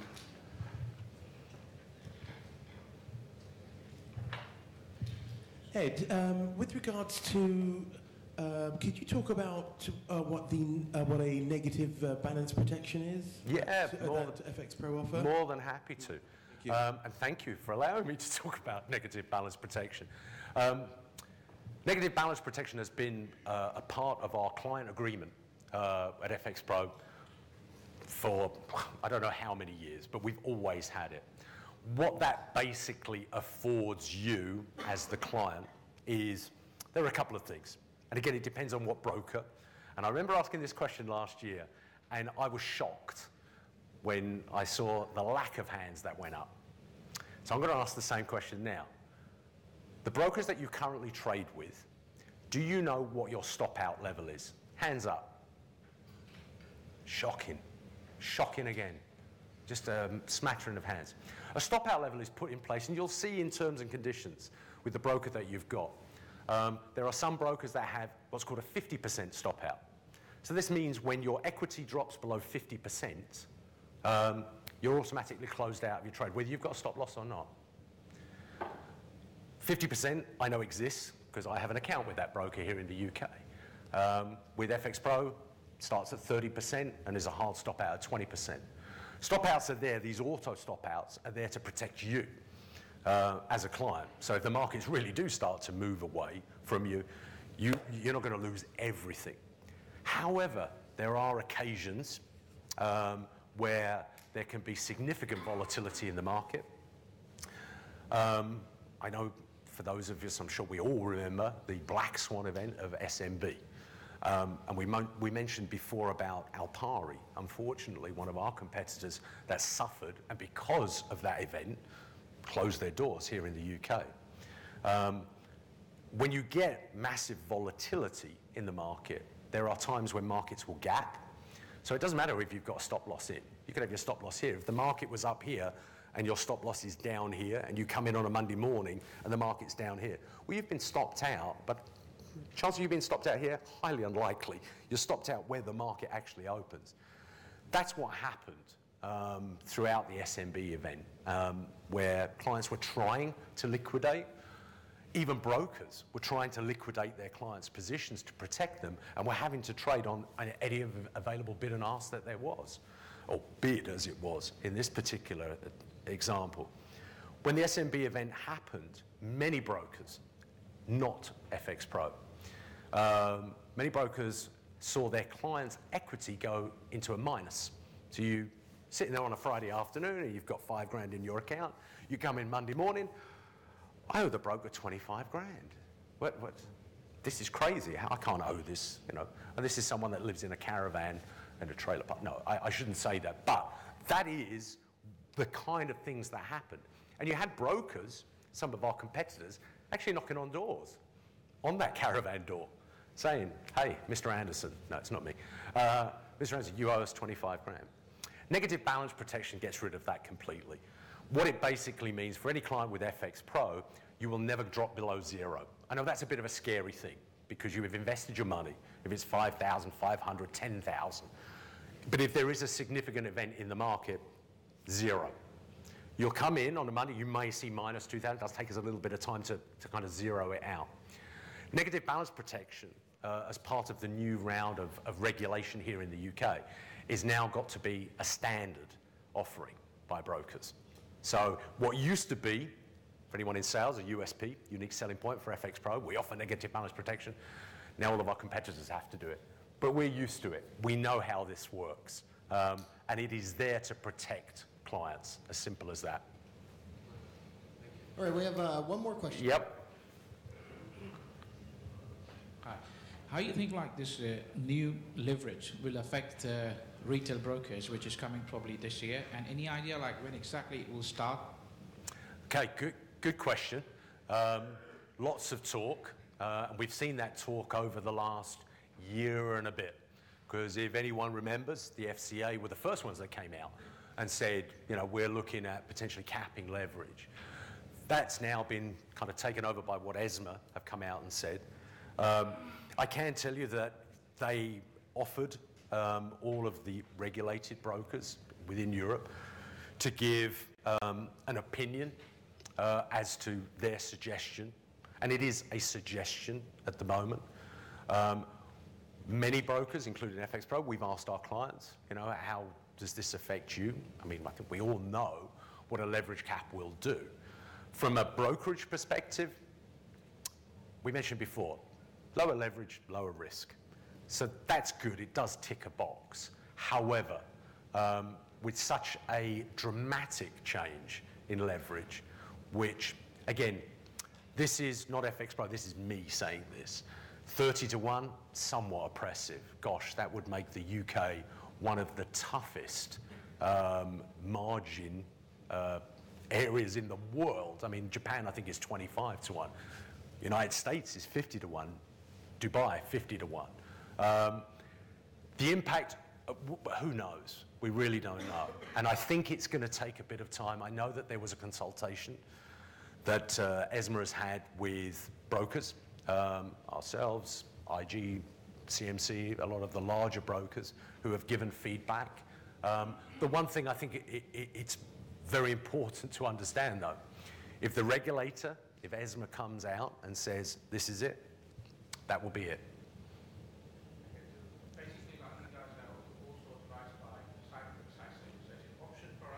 Nope. Remember, CySEC, Cyprus, it's Europe. So anyone in Europe, any broker that's in Europe, whether they're in Poland, the UK, Cyprus, this is Europe. And if you go outside of Europe, um, yes, you've got Dubai, DFSA. It's a 50 to 1 cap already there. North America, well, you can't open up over there, but it's a 50 to 1 cap. Um, yes, Australia, I'm not, I don't know what ASIC's has now, but. 500.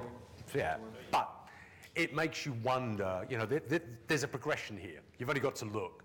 You know, this is the regulator's opinion that lower leverage does mean lower risk. Does it necessarily mean that clients will not lose money? I don't think so, unfortunately, because of all these bad things that we've spoken about before, that people, the habits, the bad habits. So I, I personally understand why these suggestions are coming through. Um, do I agree, disagree? I love my job. Um, sorry. Yeah, oh, absolutely. So, yeah, you can go and open your account in uh, Ulaanbaatar in Outer Mongolia and trade on 2001 and um, hope you get your money back at some point. All right, we're going to, is this related to that question? Yeah. All right. Yeah, good. Okay, th- this, it- it's a good question, Yeah, let's the professional. question just so. Okay, so the question was, how does this affect professional clients? The cap. Um, there, there are questions here as to the definition of professional. I, I will talk to you about the way it is in somewhere that I was recently, in Dubai. I was very fortunate able to go to Dubai to set up our Dubai entity. The way that the regulator looks at it down there is you have to have uh, a minimum amount of liquid assets that does not include your, your primary home. In, in the UAE, in the Emirates, it's a million dollars. Plus, you have to have one of the next two, which is either you can demonstrate that you have done significant trades, significant, I don't know, 10, 20, 30 trades over a year period, and or you've worked in a financial uh, services industry. Now, there, there are professional categorizations that exist under ESMA. Um, I don't believe they're as onerous as what is in the DFSA. I think, and please don't hold me to this, I think under ESMA it's around a half a million euros. Um, but you've still got this, you know, you can show that you are, you've actively traded. The, the thing with being a professional client, you're quite right, it would allow you as a client to trade on higher leverage. The, the caveat to that, and I'm not a lawyer, there are some lawyers down there, um, you're not giving up rights, but you are basically saying to the broker and equally to the regulator, I'm a professional. I know these markets move. I know I can lose all my money. I understand there could be a gap. I understand that an SNB event might happen in something else. So it makes it rather challenging. And this is where we want to be fair to our clients. You know, treating clients fairly. You know, you are protected. Of course you are, um, as a retail client. I'm not suggesting a professional client is not treated the same. They still have protection. However, you know, you have to look at it from the broker's perspective and equally the regulator's perspective. You said you're a professional. You now can't complain if, you know, the price moved from 0.3 to 0.6 wide, you know, and you happen to get stopped out on something. Of course you can complain, but you've basically said to me you understand these markets, and you've said that to the regulator as well. Thank you, everyone. Um, sorry, I know this kind of went on a little bit longer. We're here for you know the next day and a half. Tonight, four o'clock onwards, we're going to have some beverages upstairs. Um, please feel free to grab me, not literally, but you can. Uh, grab me. My colleagues are here as well. Any questions about FX Pro, services, products that we offer, um, questions about platform, spread betting. Um, I'm here, my colleagues are here. Be more than happy to help you with anything that you have. Thank you, Ed. Thank you. All right. Uh, our, our sponsors make all of this possible, and I just want to express my appreciation to Ed and the folks at FX Pro and Justin. And now it's lunchtime, so you can choose to eat, you can choose not to eat, but we will be back in one hour. So we're going to give a full hour. So back at 2:30 sharp, we will begin with Alex. Will come on, and he is a uh, renowned technical analyst. So look forward to hearing from Alex. So come back in one hour. We'll see you soon. Women, robots. You must also make your brand known. You can air a TV commercial, work on your online presence, basic, tried and tested marketing, or you can do this. Invest over a hundred million dollars to project your logo across the entire planet on the metal and fabric of the biggest sports teams out there. This is how a brand is born. But the question remains, are we there yet?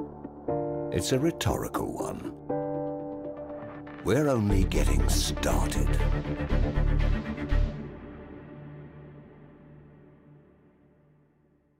Sometimes success looks you in the eye. But how do you reach it? Analyze, focus, calculate your moves. Trust that you stand on solid ground, that you have the right gear. Let nothing come between you and your target. To succeed, you must do things differently. FX Pro. Trade like a pro. Success comes in many shapes and forms. It comes in the most likely and unlikely places. It is the path leading up to it that remains the same. Dedication, hard work, absolute will to win. To succeed, you must do things differently. FX Pro. Trade like a pro. To succeed, sometimes you must step into your comfort zone. Prepare, think ahead, anticipate. Choose your next move carefully.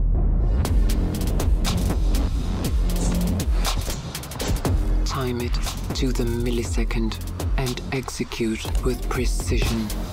To succeed, you must do things differently. FX Pro. Trade like a pro.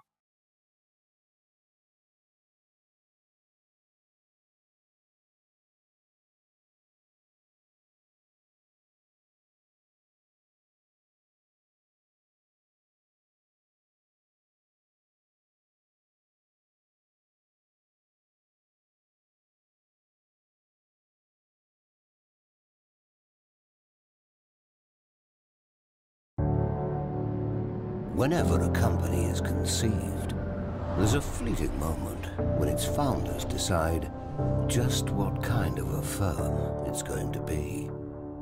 An also ran, a challenger, or a master in its field. In every walk of life, every endeavor, every industry, one brand always stands out. In truth, if it's not your name on everyone's mind, it's your competitors. This is why FX Pro is the leading light in online trading. A brokerage specializing in technological innovation with fully automated trading systems and state-of-the-art data centers processing over 300,000 trades per day for clients in over 150 countries. Our traders are welcomed with award-winning platforms, a range of exclusive FX tools, competitively priced, professional gateways to the trading world, top-tier liquidity. Does this mean our project is complete? Not a chance. This is when the real work begins. Workflows, brainstorming, client support, code. Our teams always demand more. Smart, punctual, diverse individuals, true gentlemen, formidable women, robots. You must also make your brand known. You can air a TV commercial, work on your online presence, basic, tried and tested marketing, or you can do this.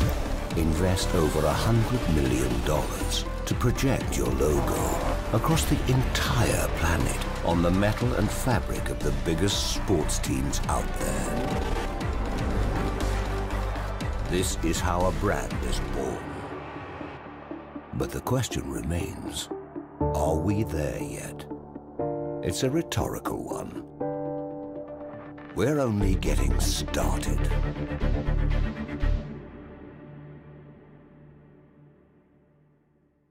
Sometimes success looks you in the eye. But how do you reach it? Analyze, focus, calculate your moves. Trust that you stand on solid ground, that you have the right gear. Let nothing come between you and your target. To succeed, you must do things differently. FX Pro. Trade like a pro. Success comes in many shapes and forms. It comes in the most likely and unlikely places. It is the path leading up to it that remains the same. Dedication, hard work, and an absolute will to win. To succeed, you must do things differently. FX Pro. Trade like a pro. To succeed, sometimes you must step into your comfort zone. Prepare, think ahead, anticipate. Choose your next move carefully.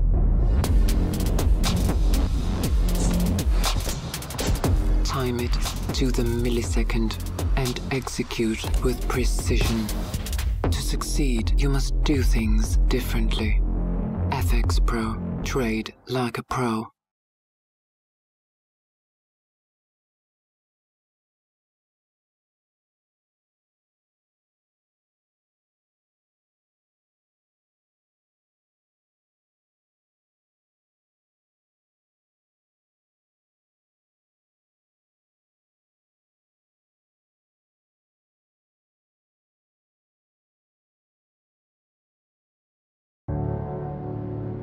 Whenever a company is conceived, there's a fleeting moment when its founders decide just what kind of a firm it's going to be.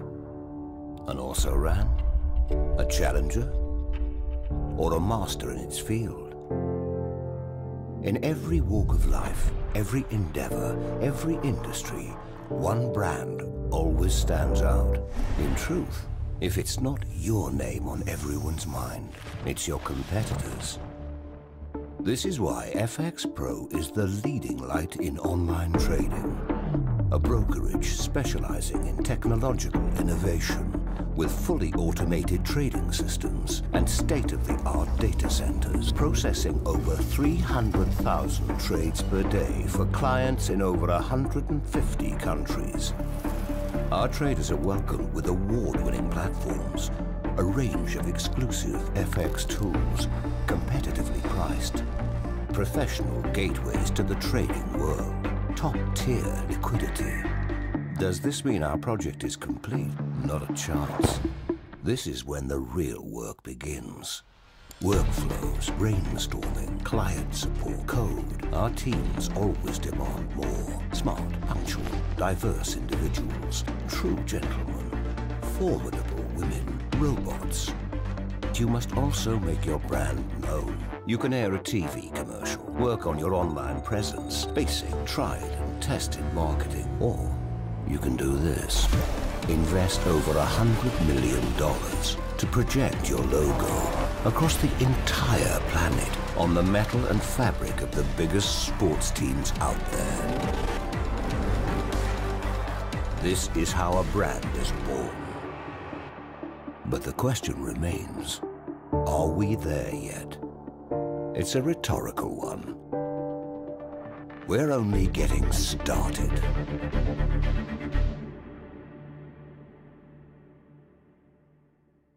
Sometimes success looks you in the eye. But how do you reach it? Analyze, focus, calculate your moves. Trust that you stand on solid ground, that you have the right gear. Let nothing come between you and your target. To succeed, you must do things differently. FX Pro. Trade like a pro. Success comes in many shapes and forms. It comes in the most likely and unlikely places. It is the path leading up to it that remains the same. Dedication, hard work, and an absolute will to win. To succeed, you must do things differently. FX Pro. Trade like a pro. To succeed, sometimes you must step into your comfort zone. Prepare, think ahead, anticipate. Choose your next move carefully.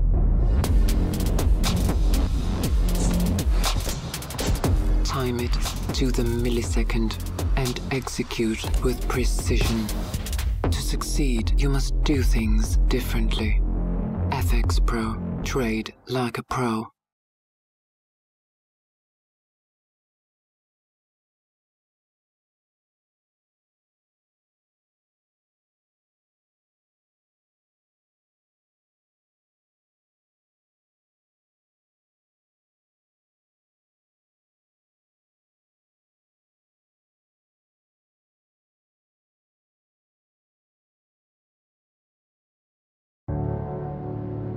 Whenever a company is conceived, there's a fleeting moment when its founders decide just what kind of a firm it's going to be.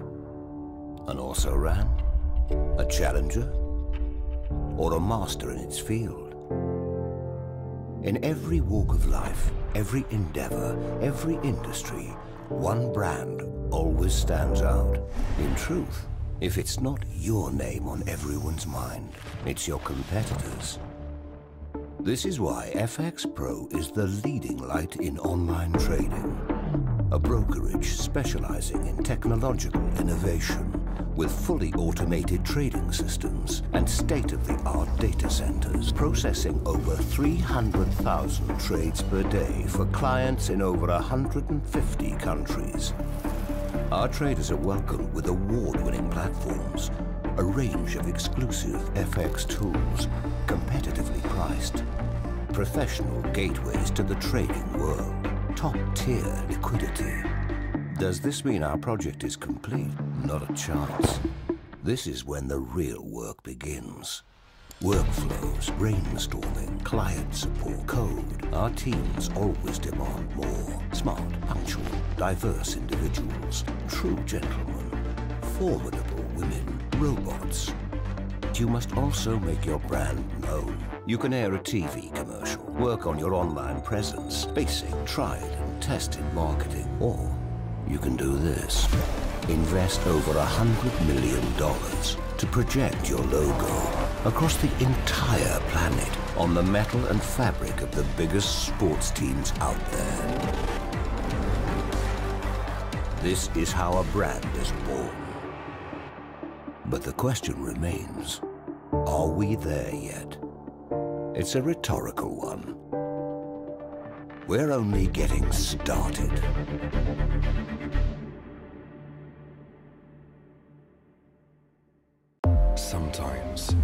Success looks you in the eye. But how do you reach it? Analyze, focus, calculate your moves. Trust that you stand on solid ground, that you have the right gear. Let nothing come between you and your target. To succeed, you must do things differently. FX Pro. Trade like a pro. Success comes in many shapes and forms. It comes in the most likely and unlikely places. It is the path leading up to it that remains the same. Dedication, hard work, and an absolute will to win. To succeed, you must do things differently. FX Pro. Trade like a pro. Succeed, sometimes you must step into your comfort zone. Prepare, think ahead, anticipate. Choose your next move carefully.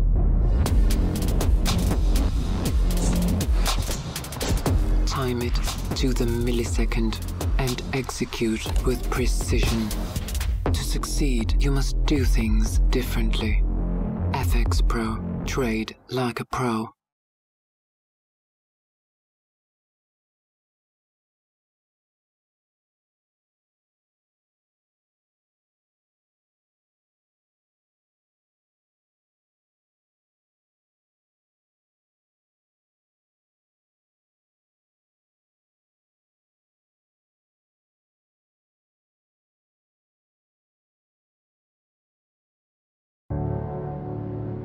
Whenever a company is conceived, there's a fleeting moment when its founders decide just what kind of a firm it's going to be.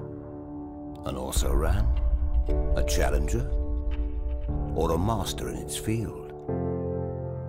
In every walk of life, every endeavor, every industry, one brand always stands out. In truth, if it's not your name on everyone's mind, it's your competitors. This is why FX Pro is the leading light in online trading. A brokerage specializing in technological innovation with fully automated trading systems and state-of-the-art data centers processing over 300,000 trades per day for clients in over 150 countries. Our traders are welcomed with award-winning platforms, a range of exclusive FX tools, competitively priced, professional gateways to the trading world, top-tier liquidity. Does this mean our project is complete? Not a chance. This is when the real work begins. Workflows, brainstorming, client support, code. Our teams always demand more. Smart, punctual, diverse individuals, true gentlemen, formidable women, robots. But You must also make your brand known. You can air a TV commercial, work on your online presence, basic, tried and tested marketing, or you can do this. Invest over a hundred million dollars to project your logo across the entire planet on the metal and fabric of the biggest sports teams out there. This is how a brand is born. But the question remains, are we there yet? It's a rhetorical one. We're only getting started.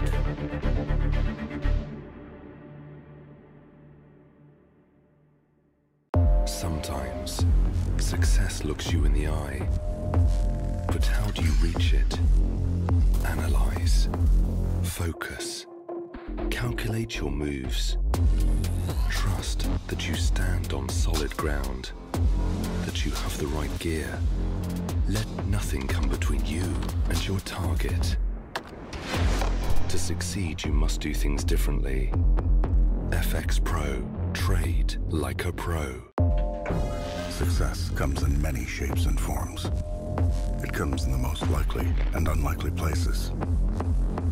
It is the path leading up to it that remains the same. Dedication, hard work, and an absolute will to win. To succeed, you must do things differently. FX Pro. Trade like a pro. To succeed, sometimes you must step into your comfort zone. Prepare, think ahead, anticipate. Choose your next move carefully.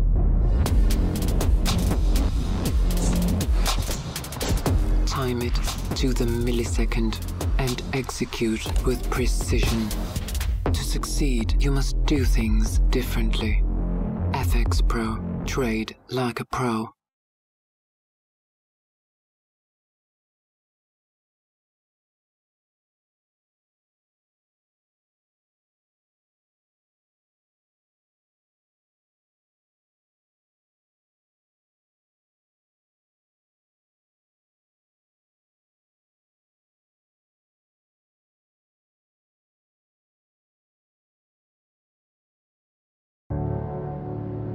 Whenever a company is conceived, there's a fleeting moment when its founders decide just what kind of a firm it's going to be.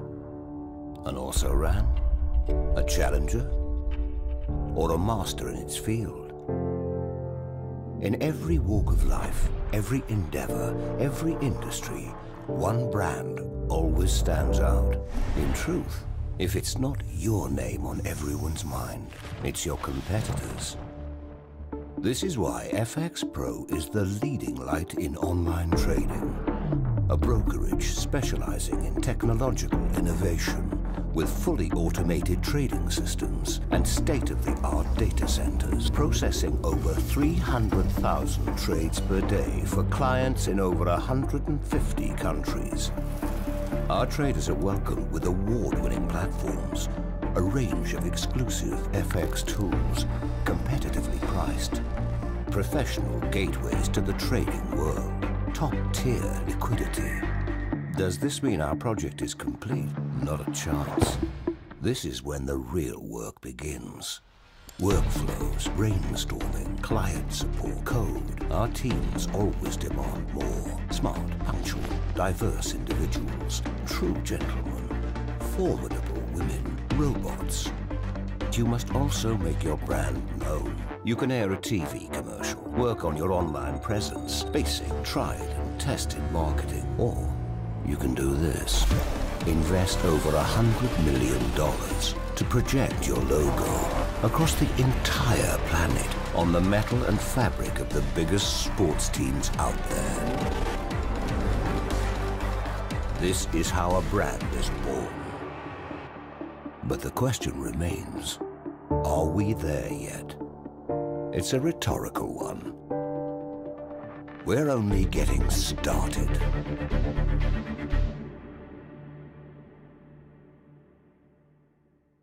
Sometimes success looks you in the eye. But how do you reach it? Analyze. Focus. Calculate your moves. Trust that you stand on solid ground. That you have the right gear. Let nothing come between you and your target. To succeed, you must do things differently. FX Pro. Trade like a pro. Success comes in many shapes and forms. It comes in the most likely and unlikely places. It is the path leading up to it that remains the same. Dedication, hard work, and an absolute will to win. To succeed, you must do things differently. FX Pro. Trade like a pro. To succeed, sometimes you must step into your comfort zone. Prepare, think ahead, anticipate. Choose your next move carefully.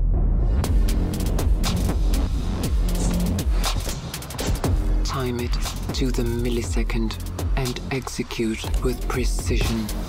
To succeed, you must do things differently. FX Pro. Trade like a pro.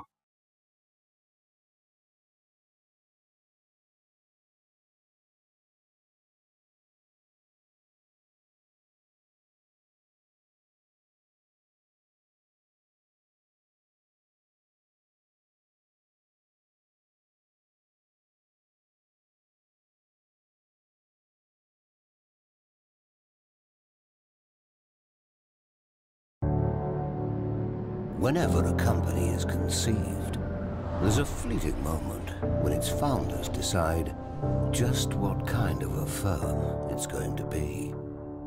An also-ran? A challenger? Or a master in its field? In every walk of life, every endeavor, every industry, one brand always stands out. In truth, if it's not your name on everyone's mind, it's your competitors. This is why FX Pro is the leading light in online trading. A brokerage specializing in technological innovation with fully automated trading systems and state-of-the-art data centers processing over 300,000 trades per day for clients in over 150 countries. Our traders are welcomed with award-winning platforms, a range of exclusive FX tools, competitively priced, professional gateways to the trading world, top-tier liquidity. Does this mean our project is complete? Not a chance. This is when the real work begins. Workflows, brainstorming, client support, code. Our teams always demand more. Smart, punctual, diverse individuals, true gentlemen, formidable women, robots. You must also make your brand known. You can air a TV commercial, work on your online presence, basic, tried and tested marketing, or you can do this. Invest over a hundred million dollars to project your logo across the entire planet on the metal and fabric of the biggest sports teams out there. This is how a brand is born. But the question remains, are we there yet? It's a rhetorical one. We're only getting started.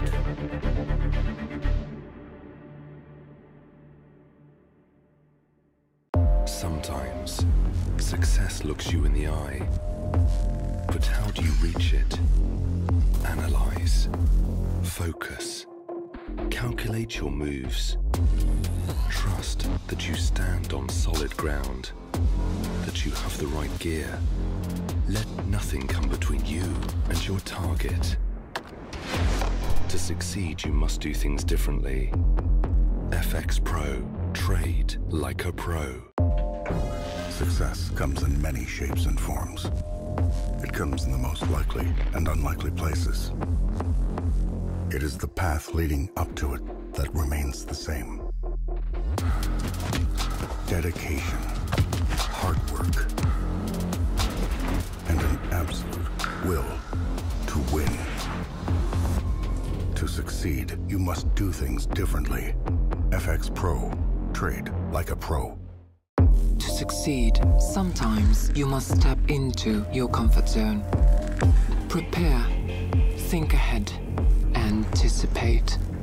Choose your next move carefully.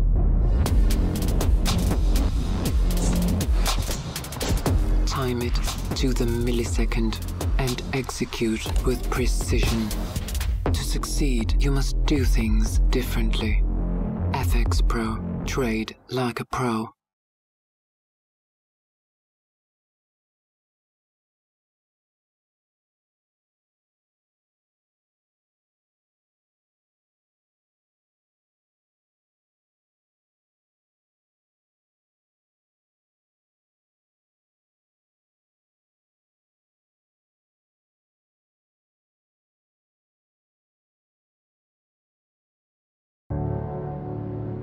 Whenever a company is conceived, there's a fleeting moment when its founders decide just what kind of a firm it's going to be. An also ran, a challenger, or a master in its field. In every walk of life, every endeavor, every industry, one brand always stands out. In truth, if it's not your name on everyone's mind, it's your competitors. This is why FX Pro is the leading light in online trading. A brokerage specializing in technological innovation with fully automated trading systems and state-of-the-art data centers processing over 300,000 trades per day for clients in over 150 countries. Our traders are welcomed with award-winning platforms, a range of exclusive FX tools, competitively priced, professional gateways to the trading world, top-tier liquidity. Does this mean our project is complete? Not a chance. This is when the real work begins. Workflows, brainstorming, client support, code. Our teams always demand more. Smart, punctual, diverse individuals, true gentlemen, formidable women, robots. You must also make your brand known. You can air a TV commercial, work on your online presence, basic, tried and tested marketing, or you can do this. Invest over a hundred million dollars to project your logo across the entire planet on the metal and fabric of the biggest sports teams out there. This is how a brand is born. But the question remains, are we there yet? It's a rhetorical one. We're only getting started.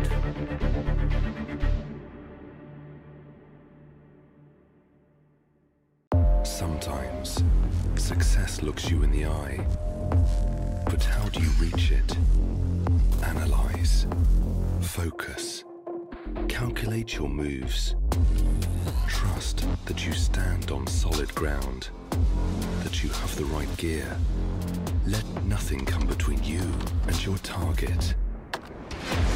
To succeed, you must do things differently. FX Pro. Trade like a pro. Success comes in many shapes and forms.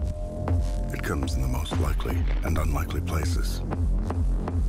It is the path leading up to it that remains the same. Dedication, hard work, and an absolute will to win. To succeed, you must do things differently. FX Pro. Trade like a pro. To succeed, sometimes you must step into your comfort zone. Prepare, think ahead, anticipate. Choose your next move carefully.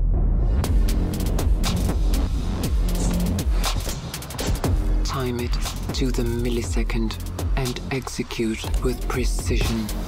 To succeed, you must do things differently. FX Pro. Trade like a pro.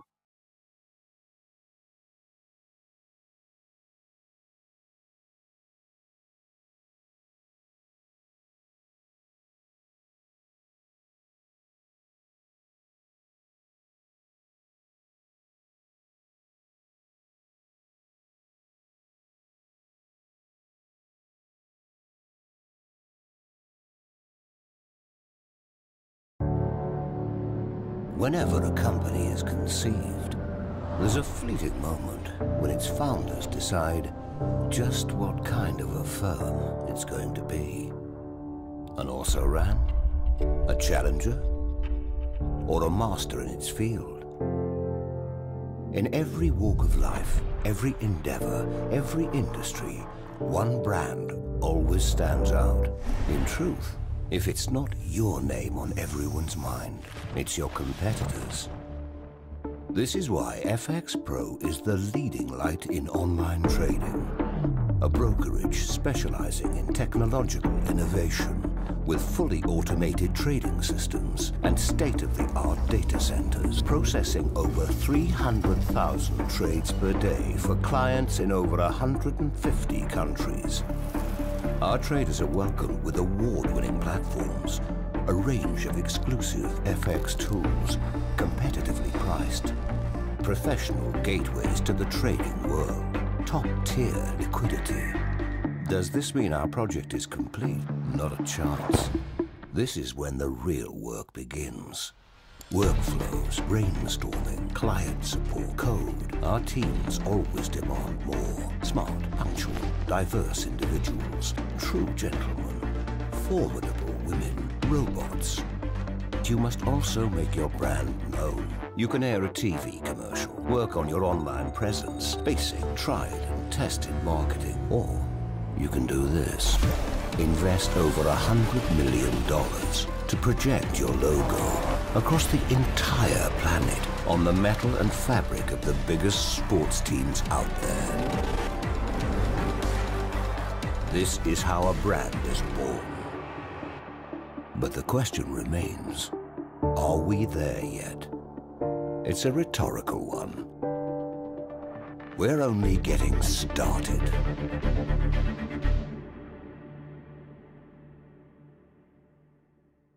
Sometimes success looks you in the eye. But how do you reach it?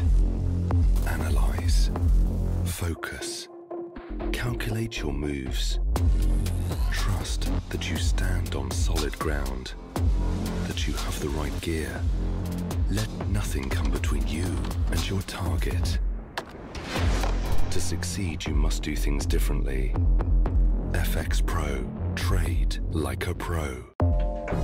Success comes in many shapes and forms. It comes in the most likely and unlikely places.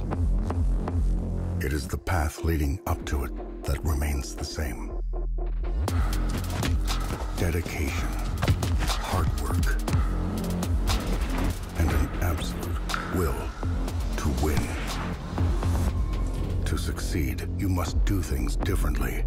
FX Pro. Trade like a pro.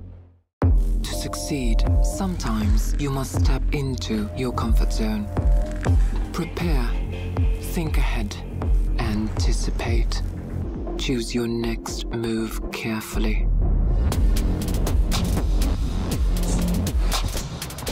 Time it to the millisecond and execute with precision. To succeed, you must do things differently. FX Pro. Trade like a pro.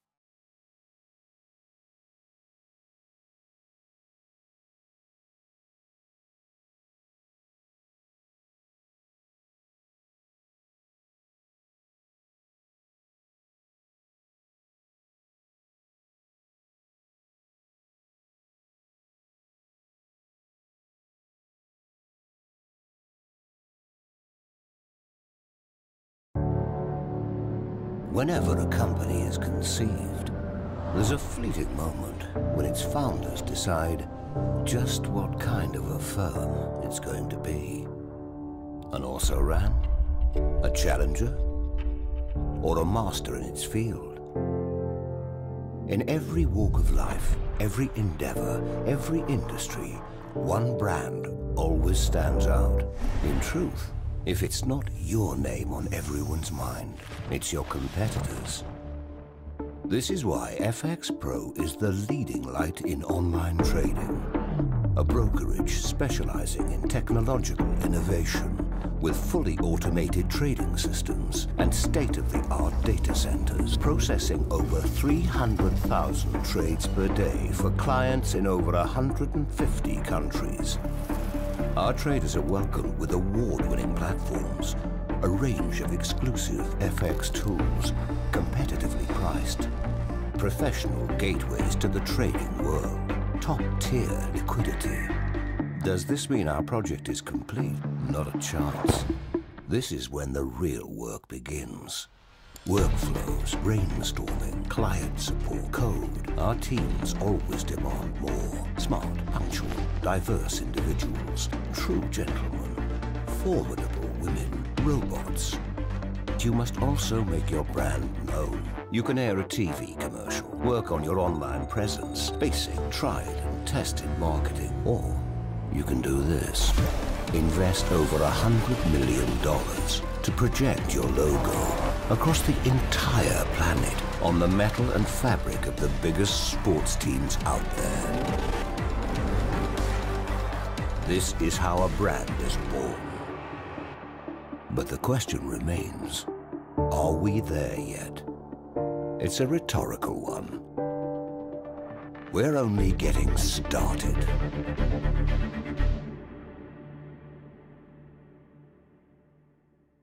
Sometimes success looks you in the eye. But how do you reach it? Analyze, focus, calculate your moves.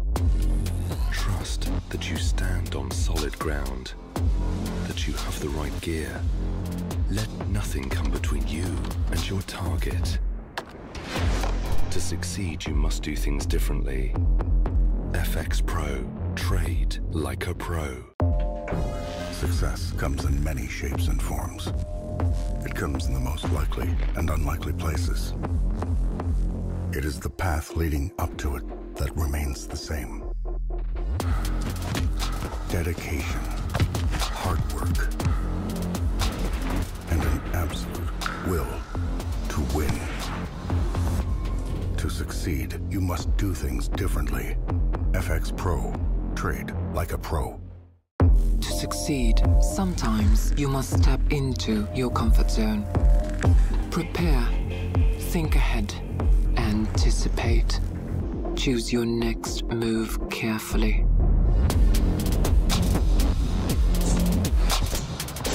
Time it to the millisecond and execute with precision. To succeed, you must do things differently. FX Pro. Trade like a pro.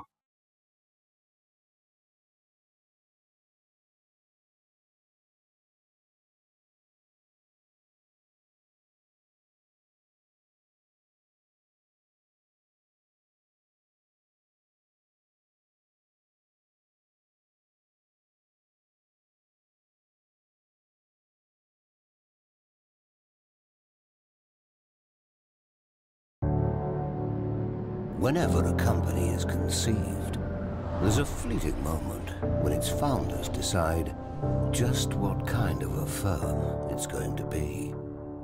An also-ran? A challenger? Or a master in its field? In every walk of life, every endeavor, every industry, one brand always stands out. In truth, if it's not your name on everyone's mind, it's your competitors. This is why FX Pro is the leading light in online trading. A brokerage specializing in technological innovation with fully automated trading systems and state-of-the-art data centers processing over 300,000 trades per day for clients in over 150 countries. Our traders are welcomed with award-winning platforms, a range of exclusive FX tools, competitively priced, professional gateways to the trading world, top-tier liquidity. Does this mean our project is complete? Not a chance. This is when the real work begins. Workflows, brainstorming, client support, code. Our teams always demand more. Smart, punctual, diverse individuals, true gentlemen, formidable women, robots. You must also make your brand known. You can air a TV commercial, work on your online presence, basic, tried and tested marketing, or you can do this. Invest over a hundred million dollars to project your logo across the entire planet on the metal and fabric of the biggest sports teams out there. This is how a brand is born. But the question remains, are we there yet? It's a rhetorical one. We're only getting started.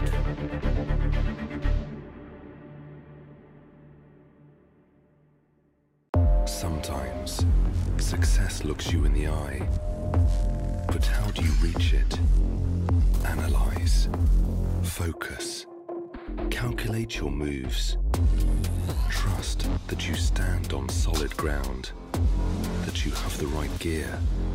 Let nothing come between you and your target. To succeed, you must do things differently. FX Pro. Trade like a pro. Success comes in many shapes and forms. It comes in the most likely and unlikely places. It is the path leading up to it that remains the same. Dedication, hard work, and an absolute will to win. To succeed, you must do things differently. FX Pro. Trade like a pro. To succeed, sometimes you must step into your comfort zone. Prepare, think ahead, anticipate. Choose your next move carefully.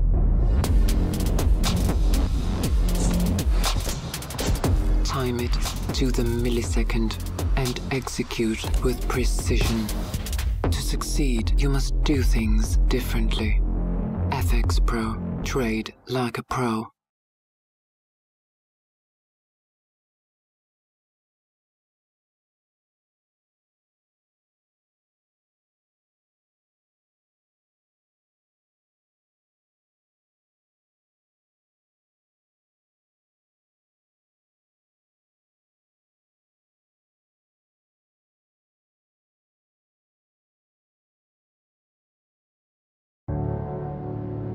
Whenever a company is conceived, there's a fleeting moment when its founders decide just what kind of a firm it's going to be.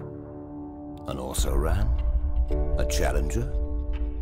Or a master in its field? In every walk of life, every endeavor, every industry, one brand always stands out. In truth, if it's not your name on everyone's mind, it's your competitors. This is why FX Pro is the leading light in online trading. A brokerage specializing in technological innovation with fully automated trading systems and state-of-the-art data centers processing over 300,000 trades per day for clients in over 150 countries. Our traders are welcomed with award-winning platforms, a range of exclusive FX tools, competitively priced, professional gateways to the trading world, top-tier liquidity. Does this mean our project is complete? Not a chance. This is when the real work begins. Workflows, brainstorming, client support, code. Our teams always demand more. Smart, punctual, diverse individuals, true gentlemen, formidable women, robots. You must also make your brand known. You can air a TV commercial, work on your online presence, basic, tried and tested marketing, or you can do this. Invest over a hundred million dollars to project your logo across the entire planet on the metal and fabric of the biggest sports teams out there. This is how a brand is born. But the question remains, are we there yet? It's a rhetorical one. We're only getting started.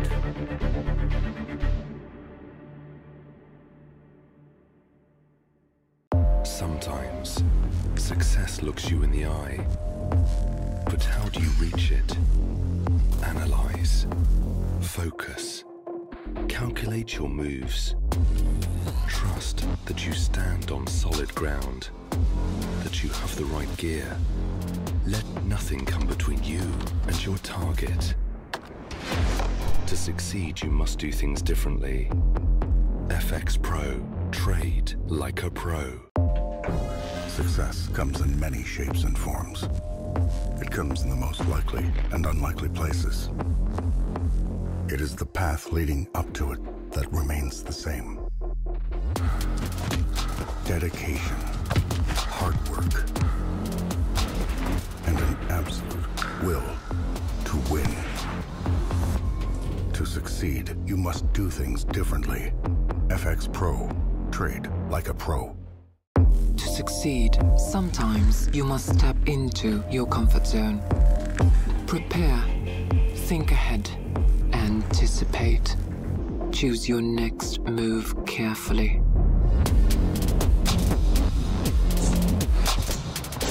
Time it to the millisecond and execute with precision.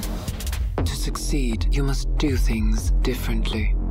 FX Pro. Trade like a pro.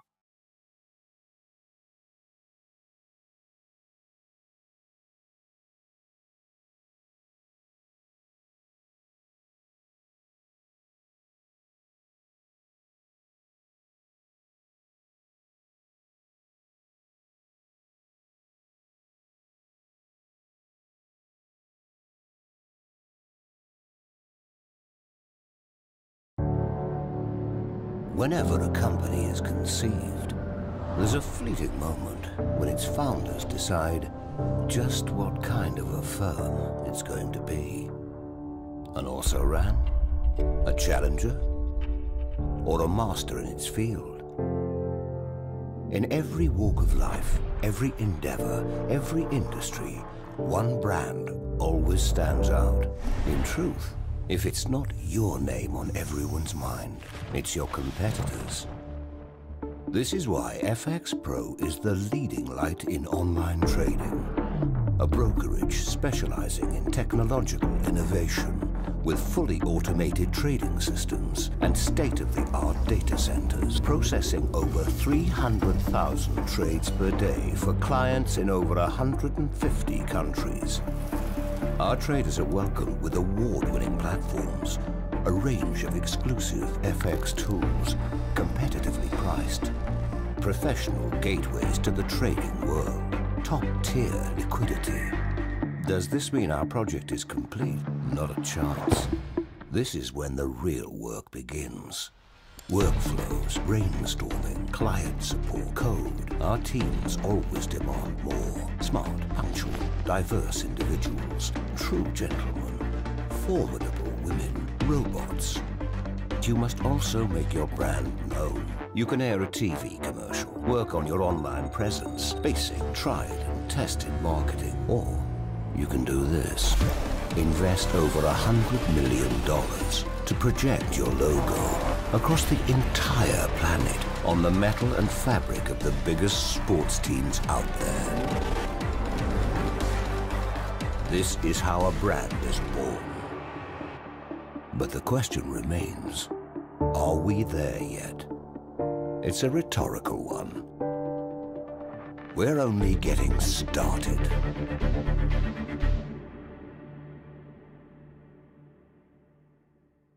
Sometimes success looks you in the eye. But how do you reach it? Analyze, focus, calculate your moves. Trust that you stand on solid ground, that you have the right gear. Let nothing come between you and your target. To succeed, you must do things differently. FX Pro. Trade like a pro. Success comes in many shapes and forms. It comes in the most likely and unlikely places. It is the path leading up to it that remains the same. Dedication, hard work, and an absolute will to win. To succeed, you must do things differently. FX Pro. Trade like a pro. To succeed, sometimes you must step into your comfort zone. Prepare, think ahead, anticipate. Choose your next move carefully.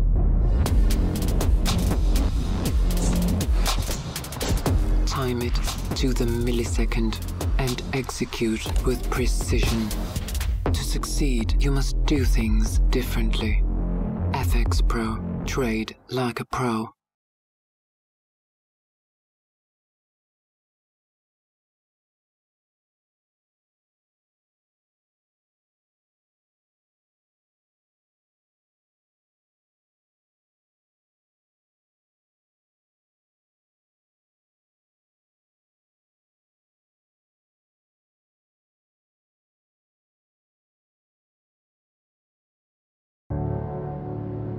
Whenever a company is conceived, there's a fleeting moment when its founders decide just what kind of a firm it's going to be.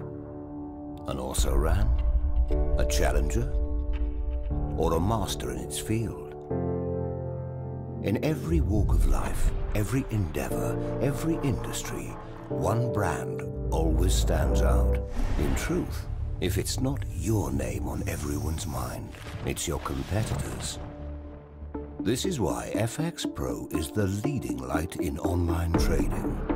A brokerage specializing in technological innovation with fully automated trading systems and state-of-the-art data centers processing over 300,000 trades per day for clients in over 150 countries.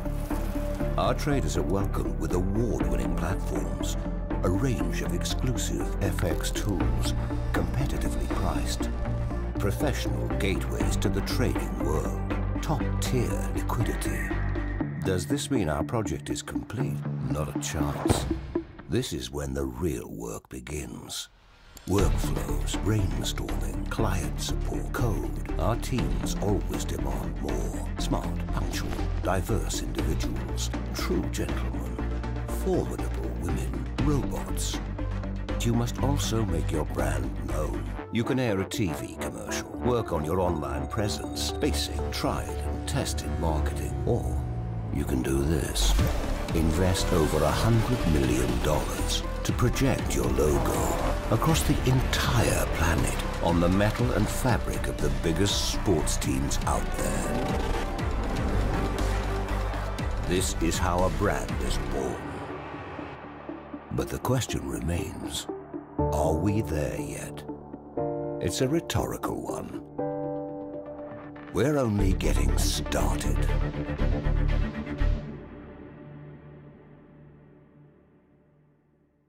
Sometimes success looks you in the eye. But how do you reach it? Analyze, focus, calculate your moves. Trust that you stand on solid ground, that you have the right gear. Let nothing come between you and your target. To succeed, you must do things differently. FX Pro. Trade like a pro. Success comes in many shapes and forms. It comes in the most likely and unlikely places. It is the path leading up to it that remains the same. Dedication, hard work, and an absolute will to win. To succeed, you must do things differently. FX Pro. Trade like a pro. To succeed, sometimes you must step into your comfort zone. Prepare, think ahead, anticipate. Choose your next move carefully.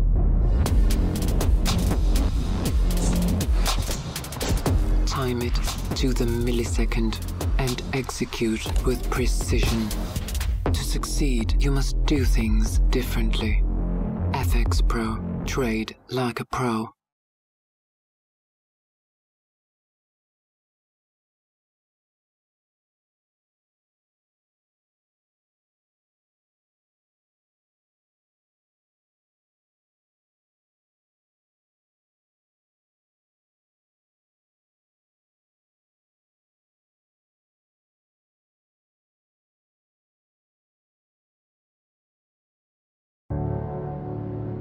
Whenever a company is conceived, there's a fleeting moment when its founders decide just what kind of a firm it's going to be.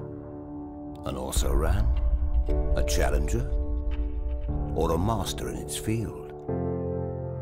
In every walk of life, every endeavor, every industry, one brand always stands out.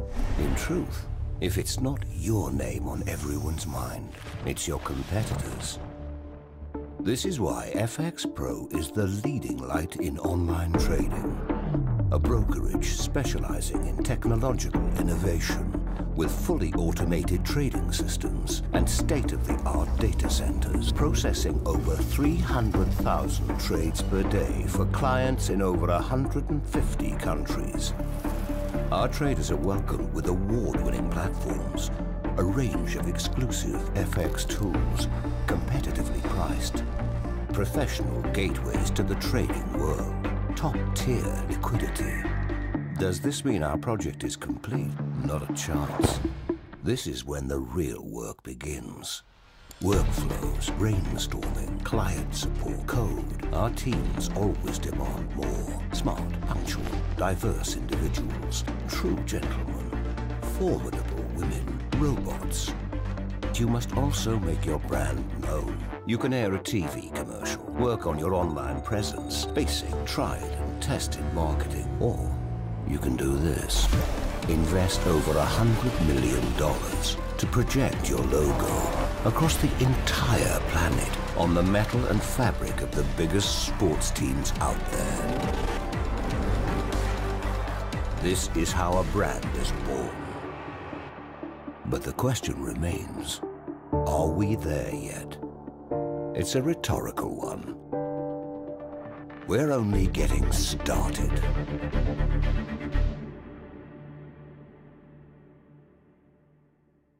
Sometimes success looks you in the eye.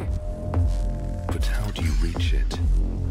Analyze, focus, calculate your moves. Trust that you stand on solid ground, that you have the right gear. Let nothing come between you and your target. To succeed, you must do things differently. FX Pro. Trade like a pro. Success comes in many shapes and forms. It comes in the most likely and unlikely places. It is the path leading up to it that remains the same. Dedication, hard work, and an absolute will to win. To succeed, you must do things differently. FX Pro. Trade like a pro. To succeed, sometimes you must step into your comfort zone. Prepare, think ahead, anticipate. Choose your next move carefully. Alex, you are, I'm going to get the name right, the founder and managing director, director of Trader Training and Development. Currently, yes. And you work with institutional traders and you also work with retail traders that are looking to make the switch, professionalize their trading as well. Um, we're very glad that you're here. We want to welcome back everybody that's online. So we're broadcasting online, so you can Oh, say good. hello to everybody out there. And uh, without further introduction, I'll turn the time over to you for about the next hour. Thank you very much, Rob. Thank you very much. Um, thank you very much for having invited me to this uh, event. and also thank you to FX Pro. And of course, a bigger thank you to all of you who have taken your, uh, the time to come to this event.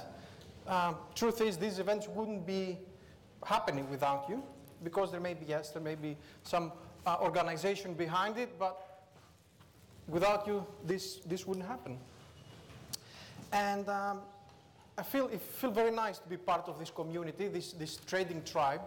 And I say trading tribe and community um, because all of us here are different than the people outside of this room. And we are different in the sense that we are risk takers. We are proactive with our uh, finances. And I think that's very good in a sense. And let me show you exactly in which way we are different from the people outside. Most people in the, um, in the world outside, you know, they leave their house, you know, they commute, go to work, spend time with their colleagues for about eight hours. Then they have a boss to report to, they have customers, clients, and then they uh, have to return back home. And then they have to do the same thing over and over and over again. You know, it's commonly recalled, called as, uh, referred to as the, the rat race.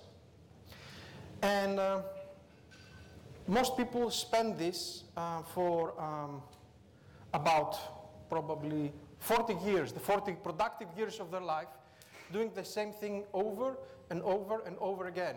So the big picture is that these 40 years, these 40 working productive years are actually not actually 40 years. It's just one year relived 40 times over and over again. And okay, someone may argue that you know some people within this domain, within this space, have a career and they make some money, which is quite true. But as Lily Tomlin said, um, even if you win the rat race, you're still a rat. So what does this leave us? Retirement. Most people looking to retire look forward to retirement. This is the proverbial rule of 40. You know, you work for 40 hours per week for 40 years to retire on 40% of what you were making. Roughly, I think. At least that's the, the theoretical part of it. But what do I say theoretical?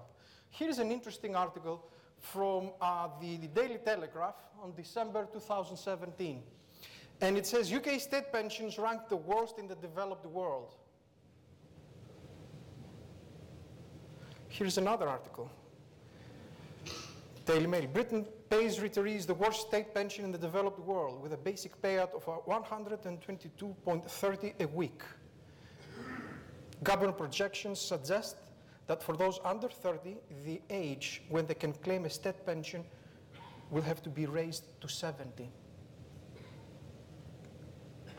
Here's comparatively to, still, to here where we stand.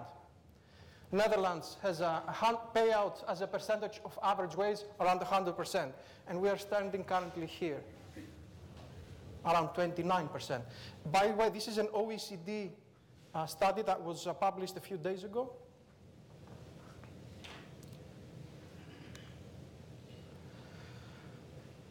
Okay, someone may ask, all right, this is how things are now. I mean, the UK is a, is a very, very well-developed economy, thriving one.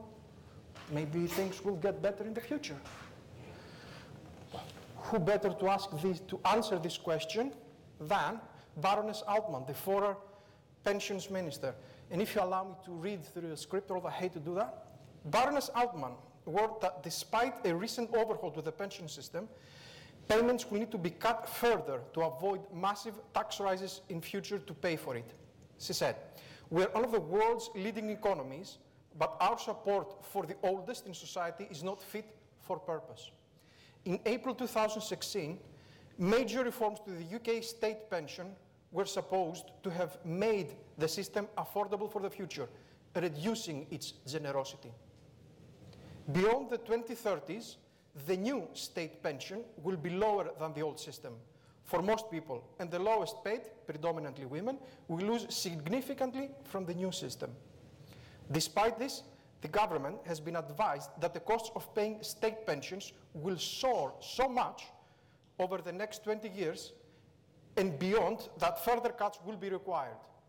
Again, Baroness Altmann, former pensions minister, this was published in Daily Mail 20th, 12th of February, a few days ago basically.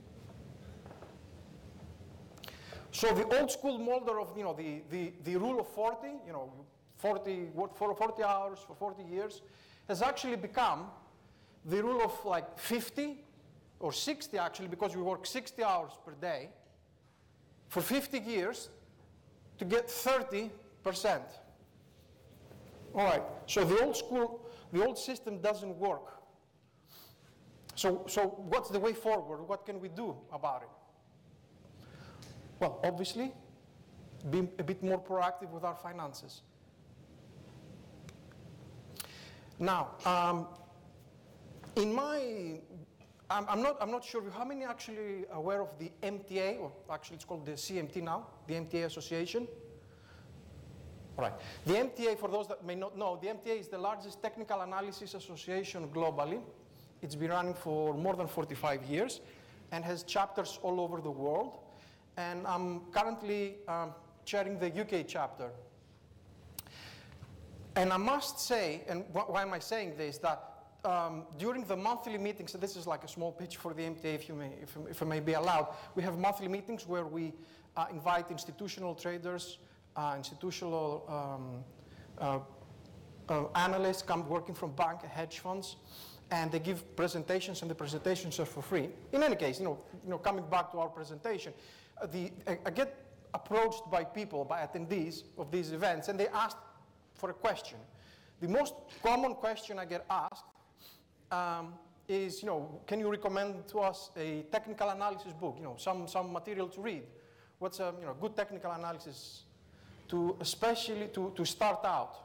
And this is what I usually um, advise them to read. It's not a book, it's an academic paper.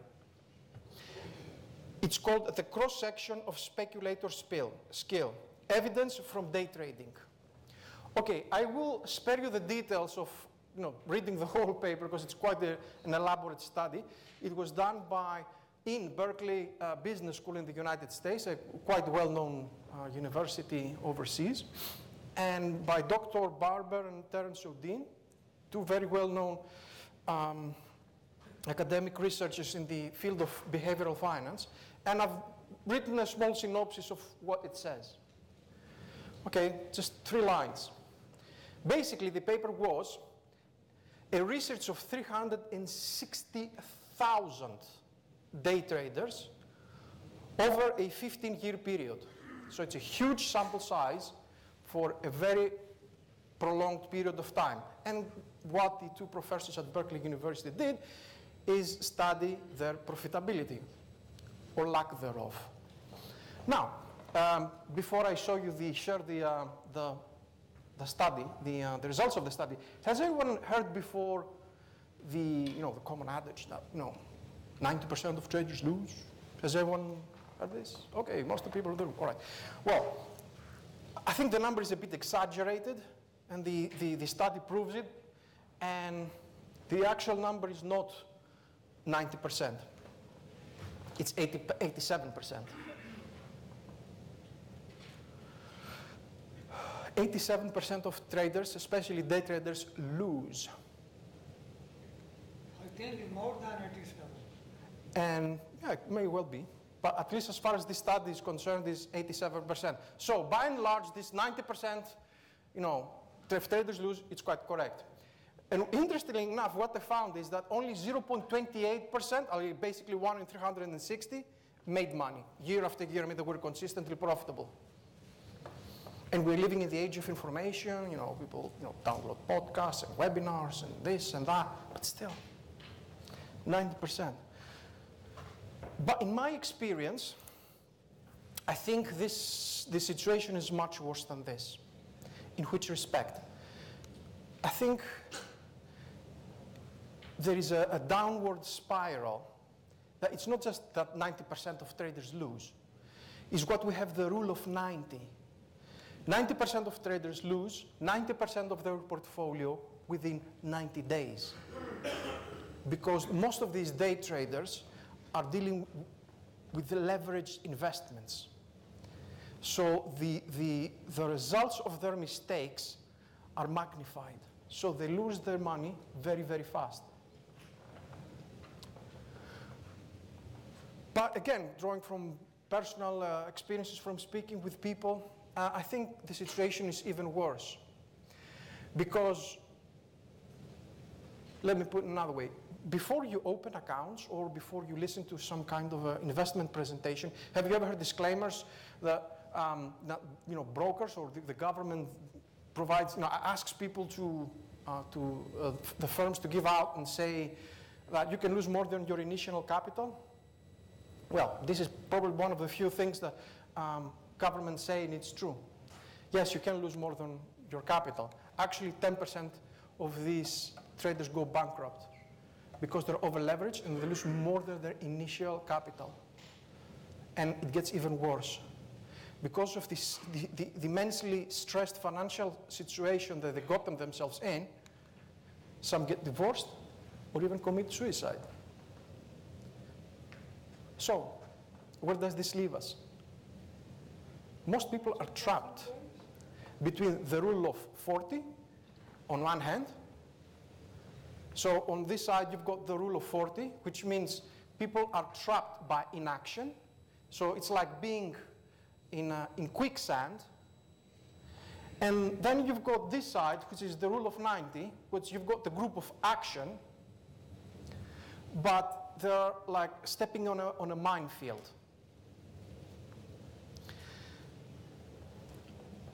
So where does this relate to us?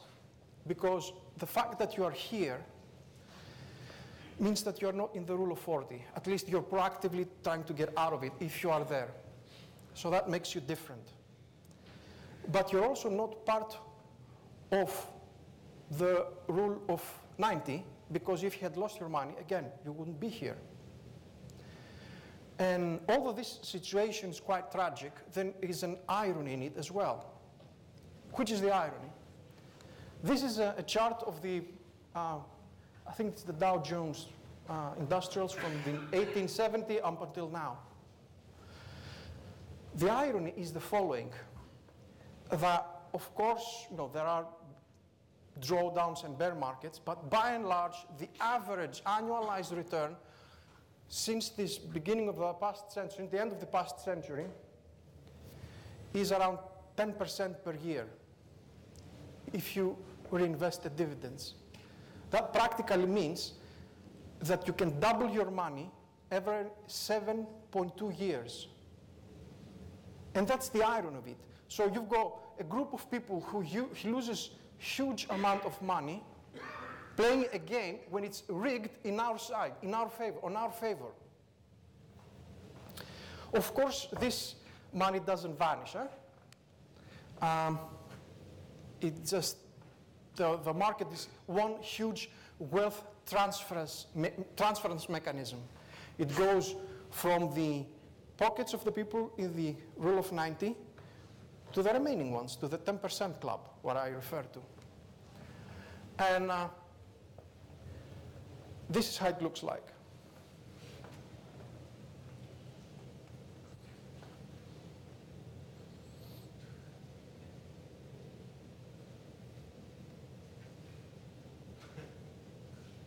And in this sense, Hollywood and Wall Street are exactly the same.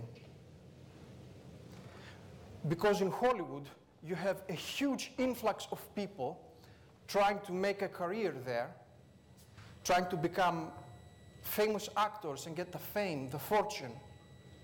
And in the meantime, they work like part time jobs to help themselves financially, support themselves during this effort. But by and large, most of them don't make it. And then you have a few right at the top, like you know, the Brad Pitts and the Angelina Jolies and all the rest of them, who make millions and millions and millions. So there is this 90% rule of 90 in Hollywood as well, which is shared both across uh, markets. I mean, acting and, and acting and trading. So the real question is, why does this happen? So on one hand, you've got the rule of 40 people, say this part of the room, where they are basically trapped by their own fear and their own inaction. They fear to take action, their fear of failure, their fear to be proactive. But the, the truth is that the real failure is realizing that there is no failure, there's only feedback. You fail only if you quit. And that's, in that respect, that's why we said this room is different than the people outside, because we are risk takers. So, this side of the room, the rule of 90, if you will, the, the, the people that uh, loses a, a large part of their portfolio in trading is not that uniform. Actually, there are two types of traders in this group. The first one is the ones that don't want to run the mile, that just come in totally unprepared. And to them, markets is like one huge slot machine. And then you have another group. These people do want to run the mile, but they just don't know in which direction to run to. And I think this is where it's relevant to, to people trying to have a proactive um, stance toward their finances. Irrespective of why you're doing it, some maybe do not want to give up their job and you know, just have a you know, trade for, for growth. Others may want to be trading for income. But the thing is, in which direction do you run to? We live in a digital age when you've got bombarded by information. But we forget that information is not knowledge. We're actually drowning on it.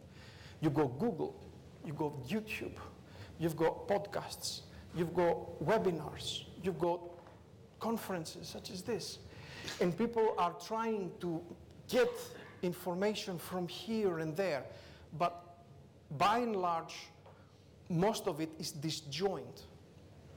So it's like trying to create a puzzle without having the original photo, but it's even worse because the box that you're getting actually the pieces out from are actually the pieces from two or three different puzzles.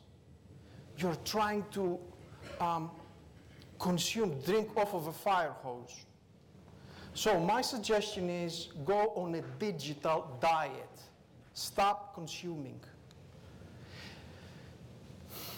And to a certain extent, to tell you the truth, I, I, I don't blame people in this category um, because there is no blueprint on how to learn how to trade. If you know, I mean, if you want to do it professionally, professionally, I don't mean doing it full time, but professional in terms of your mindset.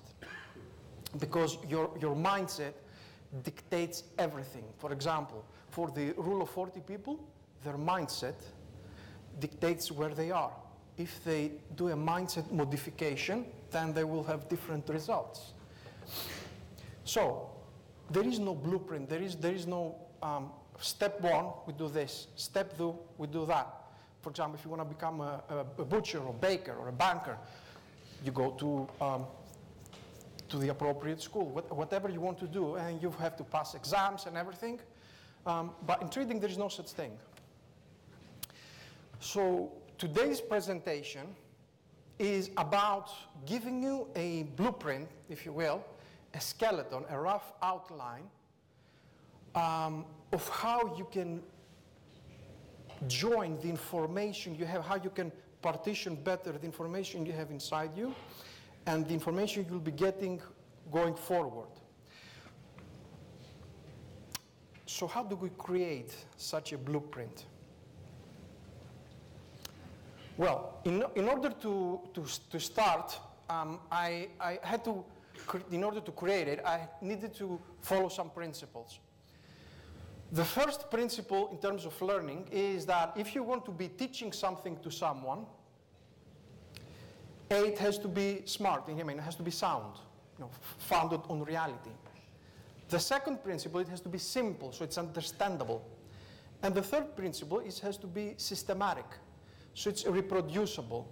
So there are quantified guidelines, so each and every one, if can, every person can, fo uh, can, can follow them. If they're taught to 50 different people, 50 different people will give the same answer. So we strive for consistency. That's the, the, the, general framework. But let's try to be more specific. Step one. The step one I followed, have, uh, there is a, a, gentleman called Noel Burch in the States. I mean, he uh, created these stages of learning. You may have heard of it. I mean, I think probably did about 20, 25 years ago. In any case, it doesn't matter uh, what domain you're trying to be an expert or knowledgeable in, you go through four levels of knowledge.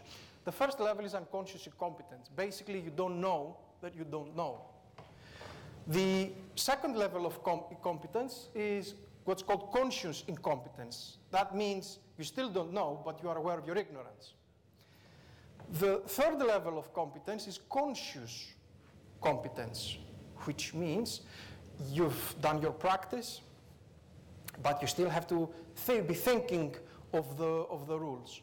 And the third level of mastery, if you will, is unconscious competence, which means you have, uh, through repeated practice, you have internalized the whole uh, procedures and strategies so well that they have become second nature. I mean, example would be like, um, uh, I don't know, Michael Jordan, you know, taking a, a shot at the, uh, one of these uh, famous buzzer beaters right at the last seconds of a game. He doesn't have time to think, actually, when he was actually playing, still playing the game.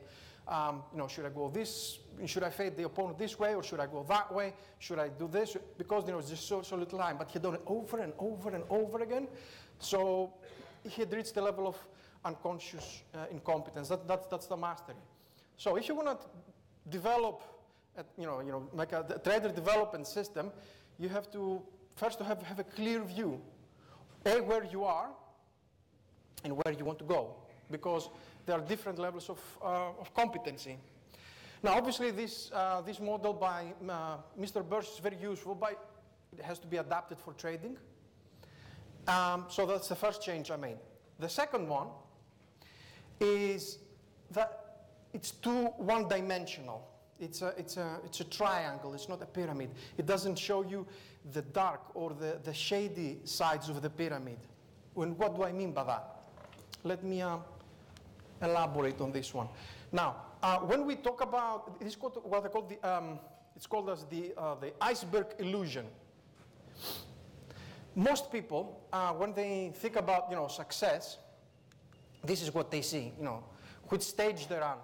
Um, and I'm referring back to the uh, level of competencies model of someone who's reached uh, unconscious, uh, unconscious competence.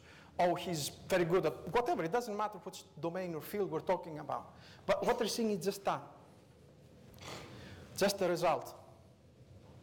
So what lies behind the, uh, just the tip of the iceberg? Well, obviously, the uh, stage below, it's the skills that they have. Oh, he's a very good um, free throw shooter. Or he's very good at uh, three-point shots or um, whichever sport or music or you know whatever domain uh, you want to, to apply. So these are the skills. And of course, the associated strategies he has used or she has used to acquire those skills. Of course, is you know it's, you're going a bit deeper, but I think there is something deeper below that. Is the mindset.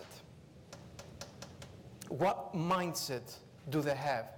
I don't know how many of you have studied uh, or you know, heard about psychology. It's called the TEAR model, T-E-A-R. Basically, T stands for thoughts. What we think um, is responsible for what our emotions are. What you think is what you feel. A comes from actions. What you think is what you do. And R is results. What you do is you know, what, what results you get. So mindset is of critical importance. Think of it of another way.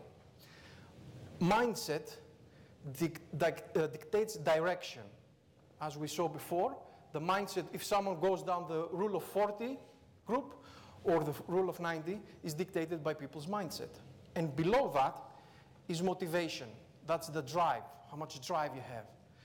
So the, the iceberg illusion, I wanted to include that into uh, Noel's uh, model and create something of my own. And this is how it looks like. You have, I wanted to see what's motivation, gives, creates a certain mindset, and that brings people to a certain stage of competency, of, of knowledge, what skills they have to acquire, and what's the symptoms, the results they get, whether it's monetary or otherwise. And I say it's symptom because it's just the tip of the iceberg. Of course, everyone, like I mentioned before, everyone is concentrating on that, but there is, you know, the, the iceberg, the, the, the rabbit hole goes much deeper than that. So let's um, begin to examine this a bit more detail. The skills that are needed form the acronym SMART, coming from the bottom down, because obviously you ascend in, in different um, stages, what I call the core four stages of trader competency. And the skills that we have, again, going from bottom up, form the acronym SMART. And there are five of them, although, because, although the stages of competency are four, because the second one needs two. Now, the top of the um, pyramid is blue because that's where profitability lies. The bottom is gray because then, you know, rule of 90 stands there. So let's begin. So what happens? Um, Again, someone may be motivated to, you know, is tired of being in the rule of 40 and want to be more proactive with their finances. So they, what do they do? Open up a brokerage account. So how much motivation do they have for trading? Zero. But why is it zero? It is zero because they're at that stage, they're not interested in trading. They're interested in getting rich quick, to make a quick buck. They're interested in having the Ferrari fantasy, the tropical island syndrome, as I call it. So they open up a brokerage account, they put a small amount in, uh, and uh, actually, let's see it in more detail. These are the most classic mistakes and mindset. So when people start, they are very, very confident. They want to be putting uh, 1,000 pounds in their brokerage account and make 1 million pounds trading the five minute chart for 30 minutes. But of course, we all know it takes at least a couple of hours to do that. Actually, the, if, you, if you check on the ECB website, there is, um, uh, I forgot to attach it to the presentation. Um, Citibank has made a very interesting study. It's, you, can, you can find it on the ECB website the European Central Bank, on the profitability and motives of uh, private investors. And it says that they did a survey and they found that when they just start out, 84% of them be believe that they will be profitable. It reminds me of the, the other statistic that we have when in Harvard first year uh, um, students, when they were asked how many do, uh, thought that they would be top percent of the class, and 80% of them said they believed that they would be. So, they begin with a huge amount of overconfidence, they put some money in their account, and they begin trading. Now, at this stage, I don't think that these are trades. This is what I call charity, charity trading. Because basically, with each trade you make, you're donating your money to the other counterparty. Now, of course, there are some people in between, like brokers, exchanges, who um, keep part of the action via commissions and exchange fees and, and so forth. And believe me, each time you trade, they, they have a party. So this is the stage of charity trading. So each trade is a donation. The second part is what we call to revenge trading. Now, this is when you know people get really angry with the market. You know, they feel angry at the mistakes they have made. Now, of course, there is a switch, there, there is a, a, slight change of modification. The, the, the modification from trading to uh, make millions, return off capital, they focus on the return on capital. Sorry, return on capital becomes a nightmare of um, return off capital. Now they start focusing, how can I get my money back? And then as the charity trading continues on and on, and they reach a terminal point, um, the start with the conspiracy theories. It's always them, them, they got my money. Who is they? It's someone else's fault. It's the government's fault. It's the broker's fault. It's hedge fund traders' fault. Uh, it's someone else's fault. It's always someone else's fault. But fun, isn't it? Uh, it's always someone else's fault when it comes to losing trades. It's never someone else's fault when, it, when you have a, a profitable trade. Have you ever heard someone say, oh, you know, I uh, had a very stupid position, but the market moved my way, uh, and I accidentally made money out of it? I don't think you will ever hear that. So these are the mistakes that people do in stage one. What's the mindset behind it? Get rich quick. So uh, this is the first stage that people reach, of a gambler. People here are not traders, they're gamblers. So what's the first skill we need to acquire? S for self-awareness. We have to create a blueprint, a roadmap to set our targets and answer some various, some very important questions. The first, the first important question is, what kind of a trader do I want to be? The second is, why do I want to, why am I making these mistakes? And how can I correct them? Of course, I have um, created some steps more concrete, but I'm just giving you the, the, the general outline of, um, um, of what self-awareness is. Actually, it's been systematized via what's called the GROW model. G for goals, R for realities, O for obstacles, what's standing in my way, and then W for will to win. Um, you know, basically being an, an action plan. So what's the result? Anger, and of course, losses. At this stage, people have lost, uh, I think probably, I don't know, safe to say around 50% of their portfolio. And they're at the, what I call the drawdown death spiral. They are at the controls, but they're not in control. 60% of the market um, is, uh, finishes at this stage. And if you consider that as a trader you have four types of um, results you can achieve, you know, win big, win small, lose small, lose big. At this stage, people have lost small. And they lose small because they've taken their losses and they said it's their fault and they get angry and they jump onto another get rich quick scheme. It might be property, it might be, I don't know, internet marketing or whatever is in, in, in fashion these days. Um, so that's it, trading is on for them. So they take a small loss, small comparatively, and they run off. At this stage, you have to make a conscious decision. Do I stay in the game or do I quit? So some people's motivation elevates a bit from zero to being interested. They're interested in markets. Now the, their motivation is to learn more. So what are the usual mistakes that people make here? And of course, what's the underlying mindset? The first thing they do is go to a forum. And they start, you know, opening up an account, you know, my name is trader, I don't know, 666, and, or super trader, and we're talking to galactic trader number 888, and they start exchanging heated views about market direction, and I think this will do this, I think this will do that. And the discussions get so um, heated, it's like um, discussing uh, politics or religion. But, and the reason that happens, because at this stage here, people are not interested in profits. They're interested in becoming a prophet. They're interested in being right, not making money. And of course, it's a classic game of, you know, the blind leading the blind. So what's the usual next mistake that people do? They switch time frames. Obviously, since you can't make money on the 30-minute uh, charts, they say, okay, I'll try to spin the wheel more often and you know, trade on the five-minute chart. Maybe you know, that will make me more profitable.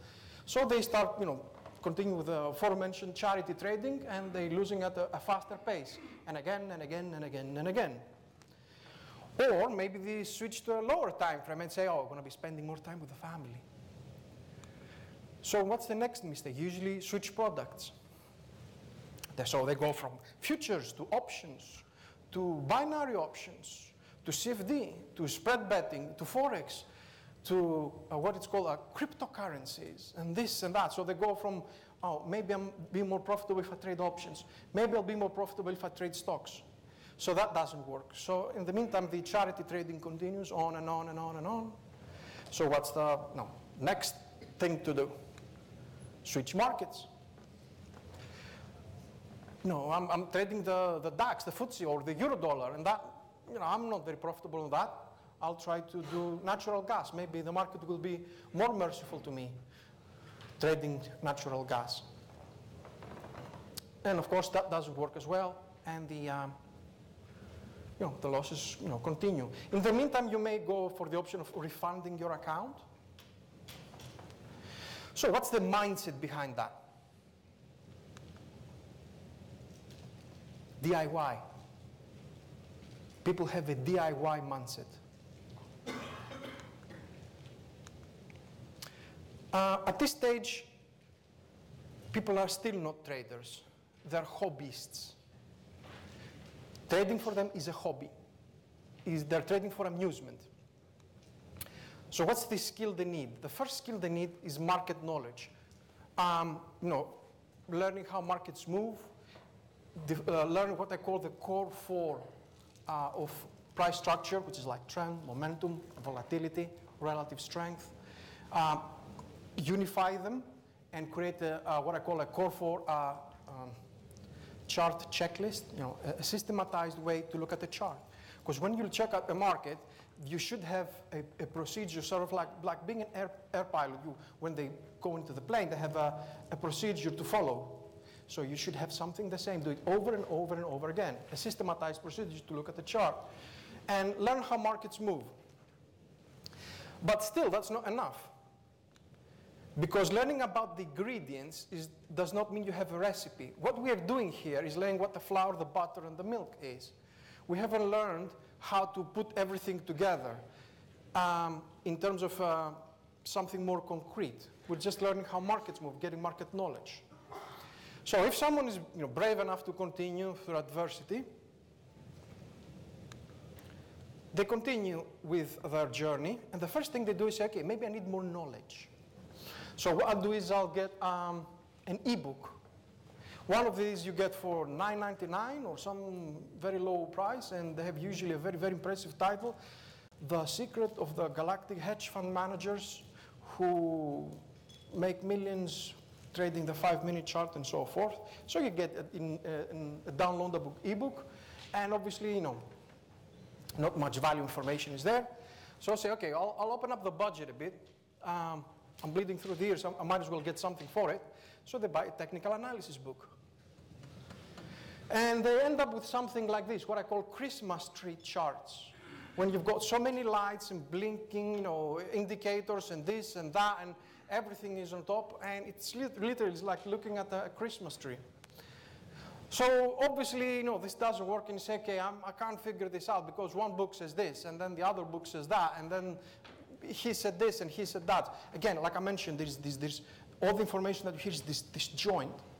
Um, so what do you do? Ah, okay, I'll go to a, a, a, magic pill seminar when you, I'll solve the keys to the kingdom. And you get analysis sort of something like that. Oh, the GBP is approaching significant area of resistance the lower end of blah, blah, blah, you get an inverse head and shoulders and long-term bearish trend line and Fibonacci retracement and candlesticks and blah, blah. These are the keywords that you usually sort in these sort of magic pill seminars. Support, resistance, head and shoulders, trend lines, retracements, and candlesticks. And then obviously since it doesn't work, they go for the solution of EAs and signals, you know, uh, current competence.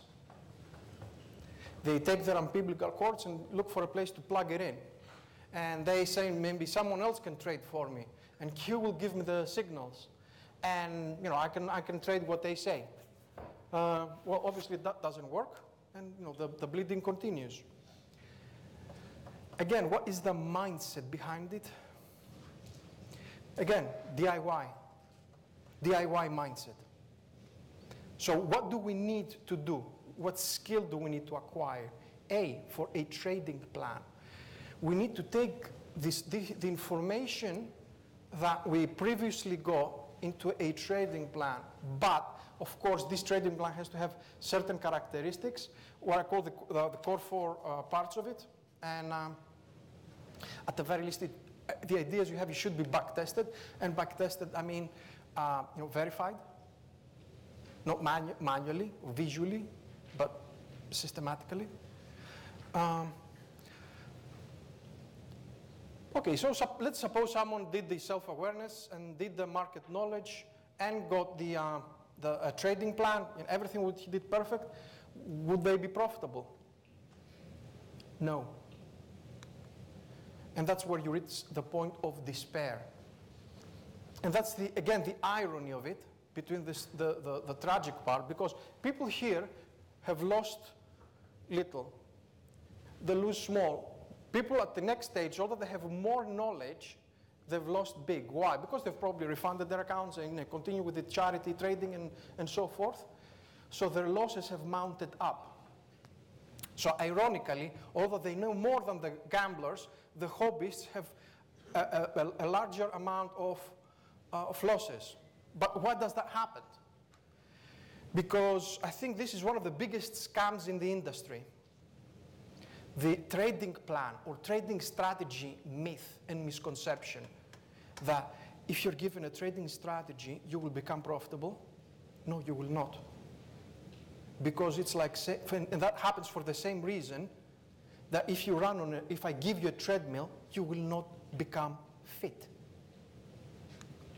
Having a recipe does not make you a cook. Or as the trading truth by Tyson, as I go to say, everybody has a plan until they get punched in the face. Having a trading plan and education and execution skills are two completely different worlds. And you're being sold this dream that if you get the trading strategy, the perfect trading plan, you will become profitable. No, you will not. It takes a lot more than that. And what is it that is more that is needed? Well, at the first stage, you need to increase your motivation from interested to committed. But what does commitment practically mean? It means seeing your losing trades, learning from them, and being prepared to work.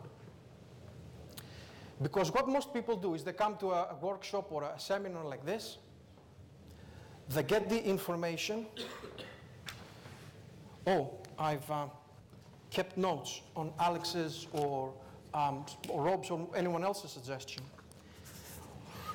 Yeah, that's, that's, that's, that's very good. And they take the information and they put it on the shelf of, the, of their bookcase. But that's not self-development, that's shelf development. and they go back and they say, that was a good conference.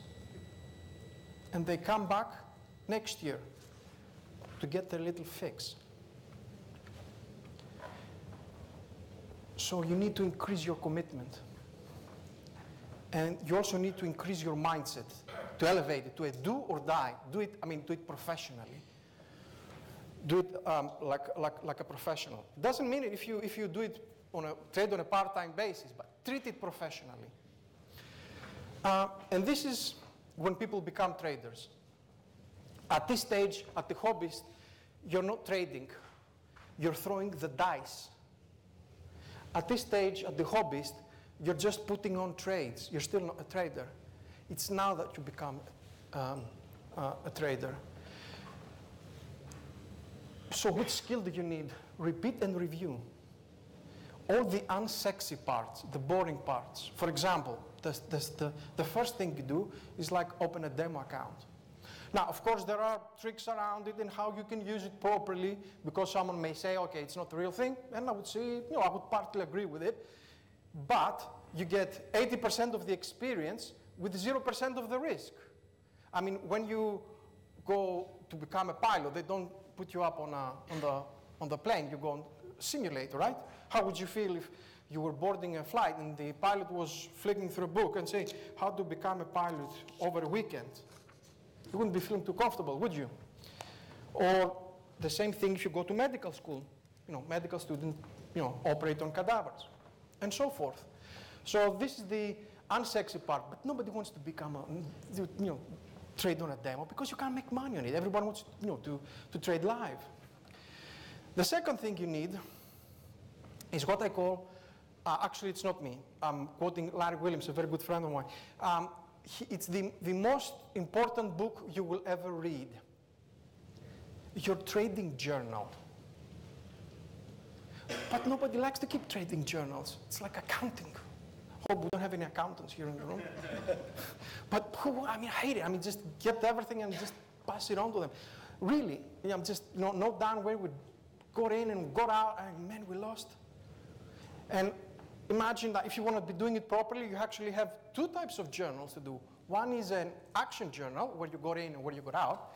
And then you have an, a thoughts and emotions journal, um, trying to explain and write where you got in and why and so forth, what we were thinking in the process. So it's double the work. So what's the third thing you got to do in order to you know, consider, take the skills at this level? Um, the third thing is psychology. The difference, the mathematical difference between your trading plan, if you, if you put it in math ter terms, your trading journal minus your trading plan, the differences between these, what you were supposed to do and what you actually did, the residue is psychology. A lot of people um, think that, oh, I lost because of my psychology here. No, you did not. You, you lost because you didn't know what you were supposed to be doing. All right? And that affected your psychology. Two minutes, all right. At, at a later stage, you lose because uh, you know what you do and then you um, simply don't do it. So then it's a matter of psychology. In any case, let me speed through because I got carried away. And that's how you build discipline. What is called repetition-based discipline because you do the same thing over and over and over and over again and you do repetition-based discipline. So the fourth level is passion because we have two minutes. And you have to increase your passion. Now, at the third stage, people trade for uh, part-time and then your mindset here becomes you, you know, the you know, lifestyle by my own design. I won't be following the rule of 40. Now you become a professional. And what's the skill you need here? Transformation. Uh, you go out from becoming a pure techie, a pure chartist, look at the fundamentals and so forth, a lot of data you can look at. And the result is confidence, experience-based confidence. Um, so as we can see, your learning curve is the same as your earning curve, and that affects your psychology curve. Psychology called the, the Dunning-Kruger effect. So basically what you know affects how much you have, and that affects your psychology. Um, and with that, I would like to part, because uh, it's time for me. And this is my small advice to you. Change your mindset, change your trading, and then change your lifestyle. Thank you very much. Thank you very much. All right, uh, don't move uh, because we're going to plug in a different computer while we're getting that ready. Uh, we have time for a couple of questions for Alex. If you've got a question, um, let it rip while we're getting set up. But Daniel, I think we're going to. Some of you have seen this presentation that Daniel's about to do before, but we're going to put a little twist on it. Um, thank you, Alex, so much. Really appreciate it. Thank you. Um, and uh, Daniel, I think we're going to put you on the wireless mic. And we may have Scott, if you come up and maybe take chair number one, we may invite you to, you know, comment or heckle or, uh, you know, heckling is at certain parts of the day is encouraged. All right. Uh, yeah, it off my because now we're going to get serious. Uh, does anybody want to see some uh, charts? You want to see some charts? You want to see some? You want to see some equity curves? You want to see some? You want to see me lose some money? yeah, that's all right. I, lo- I love it when someone stands up, Alex, and says, "This is really difficult," and most people fail because you know the the easiest way to see a sales pitch coming a mile, you know, a million miles away is someone telling you how much money you can make. And with that, we're going to show you how much money you can make. we're going to do that right now. Yeah, uh, some of you saw this presentation last year, but it, it sparks a conversation that I don't think that we have often enough. And it, it's going to, I just love it because it, it just really says it like it is. Now, some, how many here have never met Daniel before? He's a complete stranger to so many of you. All right, um, I'll just briefly introduce Daniel while he's setting up. Uh, Daniel is, is uh, the finest programmer that I've ever worked with. Um, Daniel has programmed and reprogrammed uh, many of the robotic systems that I trade with and many of the indicators that I use. Many of the dashboards that I, that I run in MT4, we collaborate on together to build those. Uh, someone asked if Daniel works for me. No, we all, um, we're just partners in, in developing certain things at certain times. He's the founding managing partner, one of the managing partners of tradingindicators.com. You don't have a jingle yet, otherwise I would sing your jingle. Um, and, uh, but we could come up with that. Anybody here play the piano? All right, not one. All right, we're not going to get you a jingle today. Uh, all right, this, I'm going to turn it over to you, Daniel, but I'm going to inter- interrupt you like 700 times. We're going to, we just want to mic you up somehow so you can move around. This is Scott Haywood. It, that microphone is on. Um, Scott is uh, one of my best friends and a robotic trader and uh, we've lost enormous amounts of money together. Um, full disclosure, trading involves substantial risk of loss.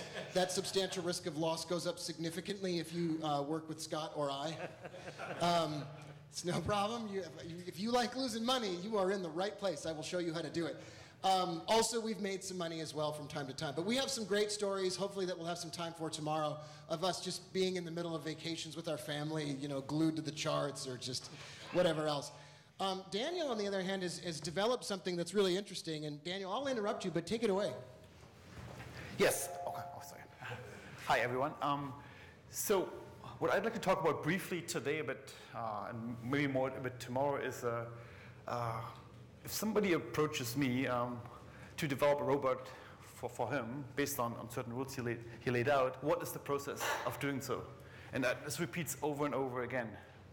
And um, so I'm going to talk a little bit about this briefly, and then I'm going to show you uh, one robot I've built um, last year. So the way it works usually is um, a client has an idea, and he sends me an email.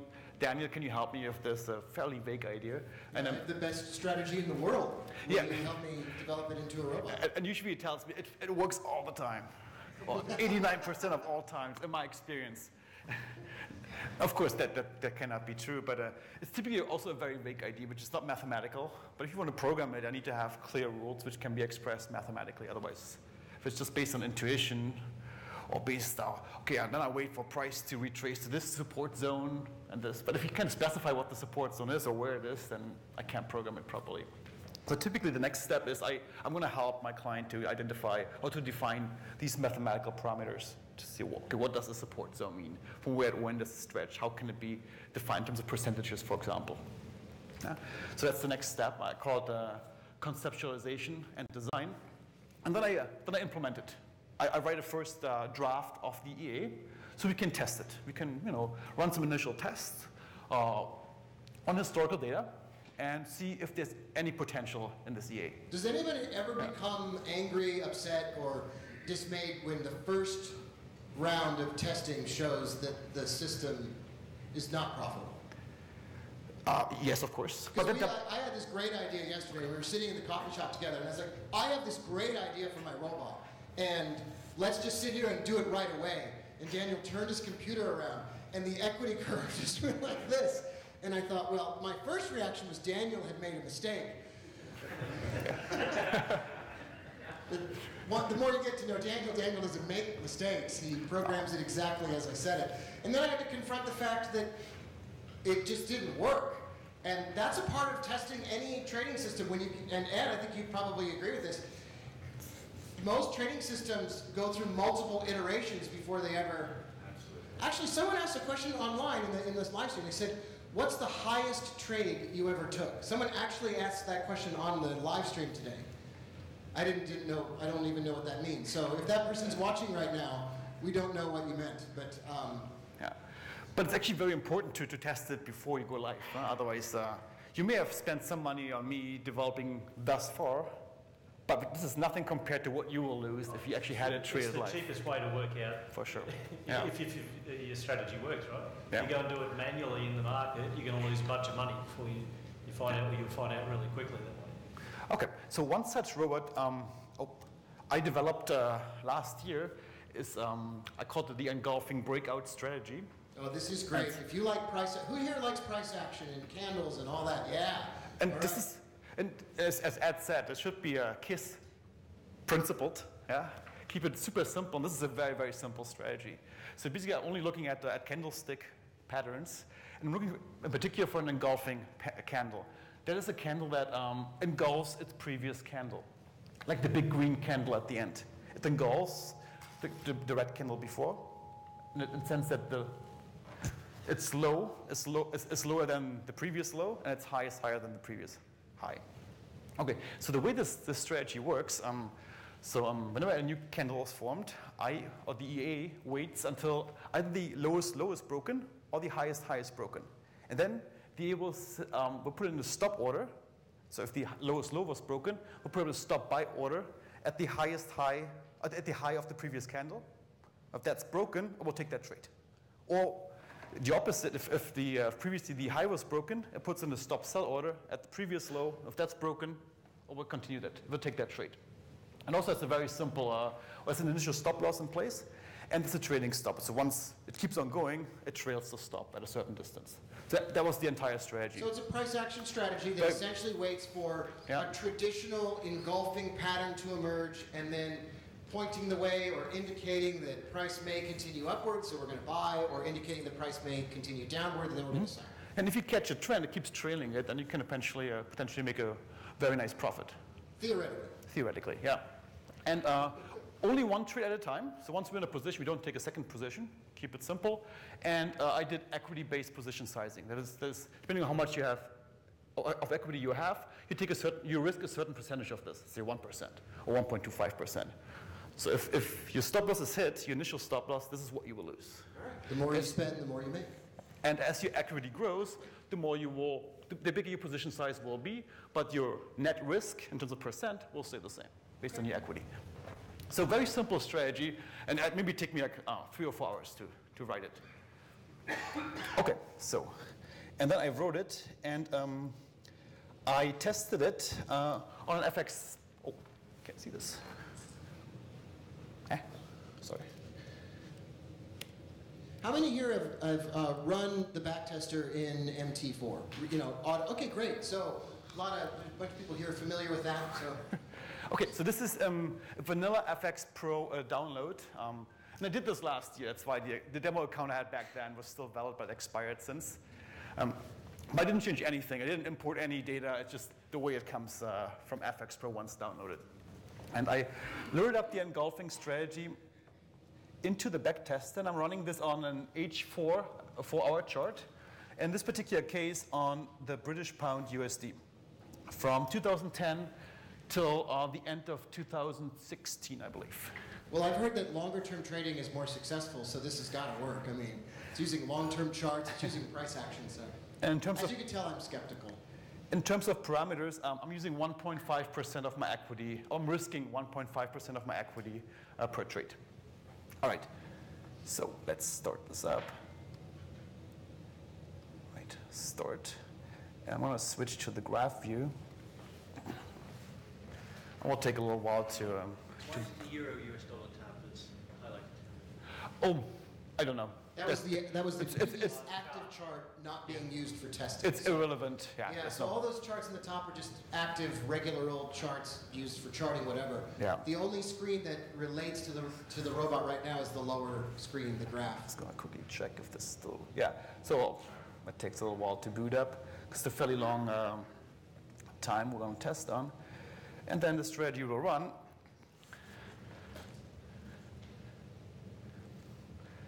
So it's a very simple uh, strategy.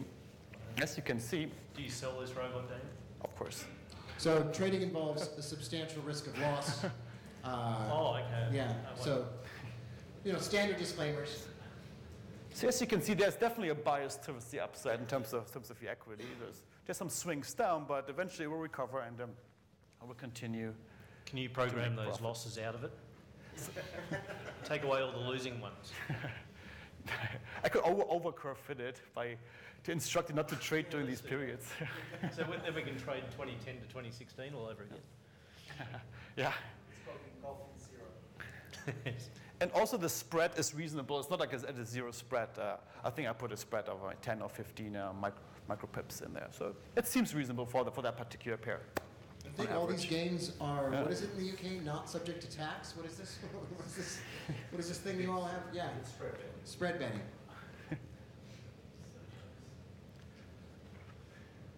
So this will just uh, continue. And I did the same test uh, on other pairs, uh, uh, on the Euro USD, or even on the yen pairs, which Rob doesn't like. Uh, it, and you get similar, similar No, results. they don't like Rob. They don't like me. Yeah. So yeah, we'll just, um, we're just gonna wait another minute. Can you sing, Rob? As you can see, the, the swings are getting bigger. As my equity increases, also the lot size will increase. So a winner will be a bigger winner relative to the ones before, but also losers will be How bigger. big That's are why. the trade sizes getting over here in the Well, results side? They're probably Uh, we could pretty see. large. Yeah, they, they will be big. Okay, I think that's done. Oh, Uh, nice. if, if you look through the results, initially the trade sizes were about 0.4 lots. Okay.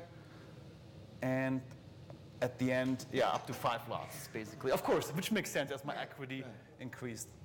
And if you look at the report, uh, well, a very nice profit factor of 1.42. Um, The drawdown is 20% because I'm risking quite a bit. I'm 1.5% of my equity for every single trade. If you catch a couple of losing trades in a row, that's where you get your 20% drawdown. Um, but of course, my profit also was very handsome. So from off a $10,000 account, it, um, it went all the way to $100,000. So um, that's this. Uh, having this said, let me go back to my slides. And uh, I'd like to point out that uh, if you want to buy this, if you want to buy it, stepped in right there. yeah, That's great. $999, uh, cash only, of course, and no refunds. So if someone Um. shows you an equity curve or claims to have some kind of performance and then sort of, you know, says, I want you to come to the back of the room with your credit card in hand, ready to whatever. What is likely to happen when you actually turn this on in your FX Pro account? Straight down, and that's the broker's fault. We know that. It's- because the broker's trading against you, or all these crazy conspiracy theories about brokers. But not really. All testing is not created equal.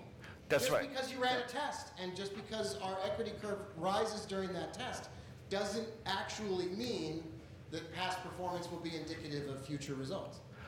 That's correct. So, and in order to understand or better interpret these test results, one has to understand how MetaTrader or how the backtester in MT4 actually works. So, um, so let's look at this installation again. And again, I didn't change anything in here. But the first thing we should see is we testing this on, oh, sorry. Sorry. So, we're testing this on the four-hour time frame. And uh, our start date is 2010 all the way until now. Now, for sure, um, there are enough for our bars preloaded all the way back to 2010. That's a fact. But do you think there's also a sufficient amount of one minute bars or 50 minute bars or intra Definitely period not. bars loaded? No way. By default up up until this, until 2000, well, up to 2010? Definitely not. Yeah? I think we only have one minute bars by default, maybe for three months, if, if even maybe two months in there by default. Now, does this strategy actually require intra-bar data to, uh, to be evaluated properly? Well, if it's taking profit, it has to know that it reasonably reached that level, not at the end of four hours, but at, at any time during the creation of any four-hour candle, it could have taken profit. For the, for the profit, well, I had a trading stop in place, so the stop would be adjusted, and you can evaluate without having intra-bar data whether the stop was triggered or not, just by looking at the low, let's say if you're long, whether the low is lower than the stop, then it would stop out. So that, that's, not a, that's not a problem. What about the entry? Okay, let's, let's go back to my initial uh, specification. Okay, so the way it works, whenever the price drop below the lowest low, for example, I put a stop buy order at the previous high. But if I don't have intra-bar data available, I don't know which occurred first. The high of the bar or the low? Could be anything. Because I only know what the low and the high is, and I know it's an engulfing bar, but I didn't know whether the low was first, and then the high came, or vice versa. But that's actually very, very crucial for the strategy to work. now, okay, so we don't have we don't have this information. There's already a big, uh, well, a big, big lack of information is already there. And uh, do you know what MT4 does if it doesn't have sufficient intra-bar data? It makes it up. Yeah, it generates it randomly. Uh, So a significant amount of backtesting done with the standard data that's provided inside of MT4 is literally making, it's randomly creating what it doesn't have. And it's not like randomly create, it's like randomly creating dinosaur DNA from frogs. Yeah. It doesn't really work. Like it works in the movies, yeah. but it doesn't really work. So if your strategy requires intra-bar data, not all strategies d- do, but this one does, for example, then you must make sure to have proper intra-bar data loaded all the way to, to the start of your backtest, uh, until the end. Yeah? So let's rerun this test with, uh, with proper data imported into MT4 and see what the performance is. And you're welcome to raise your hand during the presentation, and we may, um, you may Daniel, can spark you- a very interesting conversation. Daniel, can you just run through your refund policy on your road? It said no refunds, uh, sorry. Which part of no Which part of no refund didn't you understand? All right. So now this test is going to run, however, you do have downloaded, accurate, more reliable intrabar data. Yes, that's right. Okay. So, um, so you can obtain uh, historical data, and um, which you can then import into MT4. Of course, there are a couple of steps that uh, need to be considered. You have to make sure that, well, if your EA is time zone sensitive, make sure that the time zone of the import data matches the one of your broker. Otherwise, there, will be issues. Make sure that it doesn't include pre-market data, which you cannot trade in your historical set, because then you would get fills or get stopped out on pre-market data early on for which you would never get stopped out before because you can't place trades at the time. So you have to sanitize your, your data. And um, but once this is done, and this is loaded in, let me just um, rerun the same test. Just going to change this one value because I said I, I'm risking 1.5% of my equity. And we need to change the dates in the, inside the testers. Oh, yes. That's a good point. Uh, what did I have before? I had 2010 to, to 2018. 2016. Yeah. Oh, 20, yeah. Okay, so uh, 2010. Yes. So the so one interesting thing about MT4 is that you cannot like there's no way to enlarge the bottom window, but you can walk to the front and you will be shocked. It will get larger and larger as you walk to the front. and I don't know what the I don't know what the keystroke. Co- yeah, it's, unfortunately, it's difficult to do that. Um, and I, I always ask people just come straight up there to, and don't worry about it. Well, then, see, it got bigger already. You've got a lot closer. There we go. You did it. You did it. It's your. You did it. Okay, so let's start. I see what you're asking now. Thanks. So this data is sanitized, and that's your word. That means the data has been scrubbed and checked so that you're not trading on pre-market data that would not be possible, and you do have accurate intra-bar One minute data. One so minute data. what I did, I imported one minute data um, into MT4, made sure it's, uh, it's in the proper format that MT4 requires it. Because if you buy from a third source, uh, third-party source, it may not be in the format that uh, MT4 requires it. So I, I converted it, uh, made sure the time zones match, and then um, I scrubbed off the first two or three trading hours of Sunday, which are untradable for us. Now you know why I work with Daniel. When I develop a new robot, this is why I work with Daniel. Because, you know, I would rather, I would love to just run a robot and say that it works, but Daniel helps scrub it out and oh, what's going on? clean it up. Oh, I, Oh, I think that's a different. wrong set of data, Yeah, that's not the right. unsanitized. Oh no, I think it's just the settings are not the same. Okay, one second. That was 10, I think, wasn't it? I'm gonna double check real quick. Sorry for this. Uh, yeah, that was the 10. Just make sure. Yeah, it was 10 under Trailing distance to previous. entry. Yeah, that's right. Sorry, one second. So that's zero. Nope, that's zero. Oh, that and the zero. entry one was 10. There oh, this go. one. Okay. Okay, let's go down. Uh, that was previous one. Yeah. Profit had none. Okay.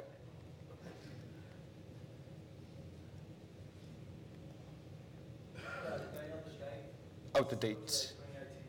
Yeah, so you can go all the way to 2018, or we can just stop the bleeding at 2016. It probably won't matter.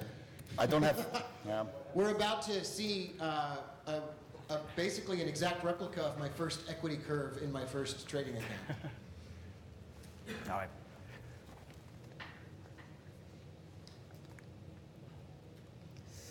Uh, And it's not taking trades. so did it not find it again? Um, I, I, it doesn't matter what's going on, but if you if you trust me, I can show it tomorrow maybe. Uh, Yeah. The proper one. The equity graph does not at all look the same as the previous one. So it's, it's So, all, all, but in all other over the words, place. There's more to it. So Yeah. we can even switch over to testing what we talked about in the coffee shop. And you, Daniel's been running a portfolio test. So all that's to say, um, and just like all the other speakers here, I'm not here to sell you anything, and I, I don't care if you buy anything from me or whatever. I just love the heck out of all of you. So that's not what we're that's not why we're saying this. But um, if you want to pull up the, can you pull up the other one that we were testing? Just the, Yes, yeah. So we've been testing a, a together, series and series and tons of robots together, almost every single time Raghee or I or any other speaker invents a trading program or a trading system, the original version of that is going to fail. And it's not going to work originally. And the eventual version that works, it only works in quotation marks. Every trading system that works, Daniel will remind us, every trading system that works is going to have problems associated with it. And every time you say, I want to do one thing so that the bad stuff doesn't happen anymore, then a whole bunch of other bad stuff happens that you didn't know about. And so this process of building systems or building your trading program that you do or your routine is naturally going to have these periods of I'm so excited and then holy shizballs that's the worst. I can't understand why it doesn't work the way that I expected it to work. But that's not a reason to stop. You know, we have disclaimers and we have warnings and whatever else, but it's not a reason to stop doing it. For example, behind us on the screen up here is Daniel's portfolio tester. Now, this allows MT4 to Uh, this, well, this is a tool for automating the task, tests in MT4. So instead of starting them all by hand, one by one, especially if you have to run them across 18 different symbols, like for the Finch or for Scott's case, um, and start them each one by one. Each, test takes maybe 15, 20 minutes. They have to revisit MT4, restart it manually. So this is a tool that automates this testing. So what, what Daniel built that helps us test stuff is we get a bigger view of the whole picture. Now that looks like the matrix, I understand that. But line by line, you will see up here on the screen, you'll see uh, currency pairs. You know, I don't think anybody's tall enough to reach those, but you'll see line by line, it spits out each individual currency pair's results. And so sometimes I'll backtest a system and I'll get, say, for instance, the result that's really good on the Euro New Zealand. It's you know three quarters of the way down the list, and it made a profit of $286 over the period of time that we traded it. Um, and, and, it, and it went really nicely. Is that the top button? Yeah. So that's it right there, um, $286. But then you'll look at something like the Swiss yen, and it lost $446. Most of, a lot of the trading systems that you learn or that you test or that you experiment with, they may have a really negative result on one set of currency pairs and then a really great result on another set of currency pairs. But imagine the amount of time that it takes to go through this, this process of like heartbreak and euphoria and heartbreak and euphoria and whatever. And what I wanted to say here, as you know, we kind of kind of wrapped up, and Daniel and I are going to continue this tomorrow, is we spend a huge amount of time trying to break our trading systems. And anybody who's ever traded with Scott or I before, we pay a price for trading the way that we do. And everyone pays an emotional price. You could do all 10 steps that Ed recommends, and they're all really important. And you can still have a disappointing experience as a trader. And what I find, Alex mentioned a good point, is that it's not that most traders fail, it's that most traders quit. Most of them are quitting when they run out of money. But um, I don't think that all trading ends in divorce or death. You know, I loved what Alex said, but I, I, you know, it also can end in just plain heartbreak, which is neither divorce or death. But, but there's also all kinds of wonderful stuff that can happen here. When you look at the whole picture, when you look at a system, not just in terms of what it did over one currency pair over one year, but you face head on the consequences of choosing a trading strategy or whatever, you the, best part is you come out on the other side of difficulty and, and experience and loss and drawdown. You come out of it on the other side a better person. There is no one in the room, and will never be anyone in the room, that can take away the difficulty or remove the losing trades or with a four-step program that only costs 11,000 quid. Like there's never going to be anybody that makes this easy. Every single time I turn the robot back on after a holiday or whatever, I think, what am I doing? And I'm sure, Raghee, when you had your big Euro trade, it, it feels a lot different to talk about it now than it did to actually press the buttons on it. And you could have taken trade sizes that were bigger, but two things probably kept you from it. One, rules, but two, you aren't really sure in the moment. Someone asked me the other day, how do you become a confident trader? Does anybody, does anybody know how to do that? I don't know how to do it. I don't know how to do it at all. I'm, I wouldn't call myself a confident trader. I would, I, I would say confidence is so close to arrogance that you almost never want to have it. It's just too close. The moment you think you figured it out is the moment that everything falls apart. So um, one other point about this, Daniel, we, th- we try to think of things in terms of portfolios rather than individual financial instruments. And what does that mean exactly? Yeah, so for, for the Finch, for example, the idea is that, um, you know, Finch may work well for one pair, but not so well on the other pair. But in the sum, if you run on a, a set of uh, symbols, like in Scott's case, 18 different symbols, you should come out at, at a net profit. But the only way to really figure this out, um, well, it's the case is to have to run each pair individually. That's what this tool does. It automates the process. But when it comes to portfolio performance, it's not just the end result that matters. You also want to see what was my overall drawdown of the portfolio over time. You won't get this information from empty from the backtester because when you run a backtest on one symbol, you have no idea what the other symbol at that point, where they would have been. Yeah. So what I'm doing for the Finch is um, at the end of each day, I'm logging the equity to an Excel file, like for every single symbol, and then later on manually in Excel, I'm combining them all uh, for each day. What, what's the overall equity? And this allows me to evaluate what's the overall drawdown of the portfolio at that, at that particular day. And this will help you to set your expectations right. Because because uh, the, Finch or, or, or the Plutus, these, these are EAs that are in constant drawdown Yeah. until eventually they will go into profit. But this may take a long time. And you may have to withstand uh, significant periods of drawdown. And what we can figure out by testing this is how big this drawdown can possibly be. Yeah, Yeah, I mean, to you- set you- your expectations only by right. Doing, only by doing the portfolio test will you work out whether, well, firstly, whether your account's going to survive, but you've got to survive it in real life, right? And so you, you can't get drawn down on multiple pairs to a huge extent. You won't be able to handle that emotionally when you're trading, because that, that's all hidden when you're just doing the back test. So we're, uh, Daniel's been referring to a robot called Finch. That's just a robot that I run, or a robot called Plutus, which is a version of the Finch that Scott runs. Um, Raghee, what do some of your favorite traders or your students or whatever, what do they do when they have multiple strings of losses? I mean, I know this is a leading question, but I mean, please give me the answer I'm hoping that you give me. But no, really, I mean, what do most people do when they go through a string of bad trades? Okay, yeah, they blame you. Like first thing, look for someone external. That actually, yeah, that's that's common. A lot of people get frustrated. Like it's um, we say we're ready for trading, but when we have, there's only two ways that things go bad with trading. There's only two ways. I mean, I'm sure there's others. I've probably done them all. But there's really the two big ones where you have a stop loss, just like you were told to do. And so you take 100 trades, and at the end of the 100, after everything's been working great, you have like 15 losing trades in a row. And you want to light your computer on fire and riot through the streets and, you know, like start doing drugs or whatever it is. But you feel terrible, and it makes you tentative and suspicious of the trading system, and you don't want to take the next trade. And I remember I lost, I don't know, it was like $30,000 on the dollar franc in 2010. And I thought, I'm never trading that pair again. And then like two weeks later, I was in that pair again. And it's, I just knew that just because I had a bad experience doesn't invalidate the entire system. But it's so easy. Like if you're like, all right, I got a stop loss. My stop loss is smaller than my profit target, and I'm still, I'm still losing money. And, I, and I'm like, what is going on? And that's one way.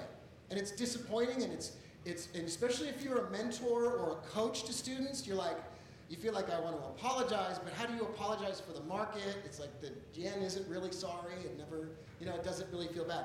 The other way is, what do some people do? Someone here is going to know this. What do some people do when they've gone through a string of losses and they're using a stop loss? They remove their stop loss.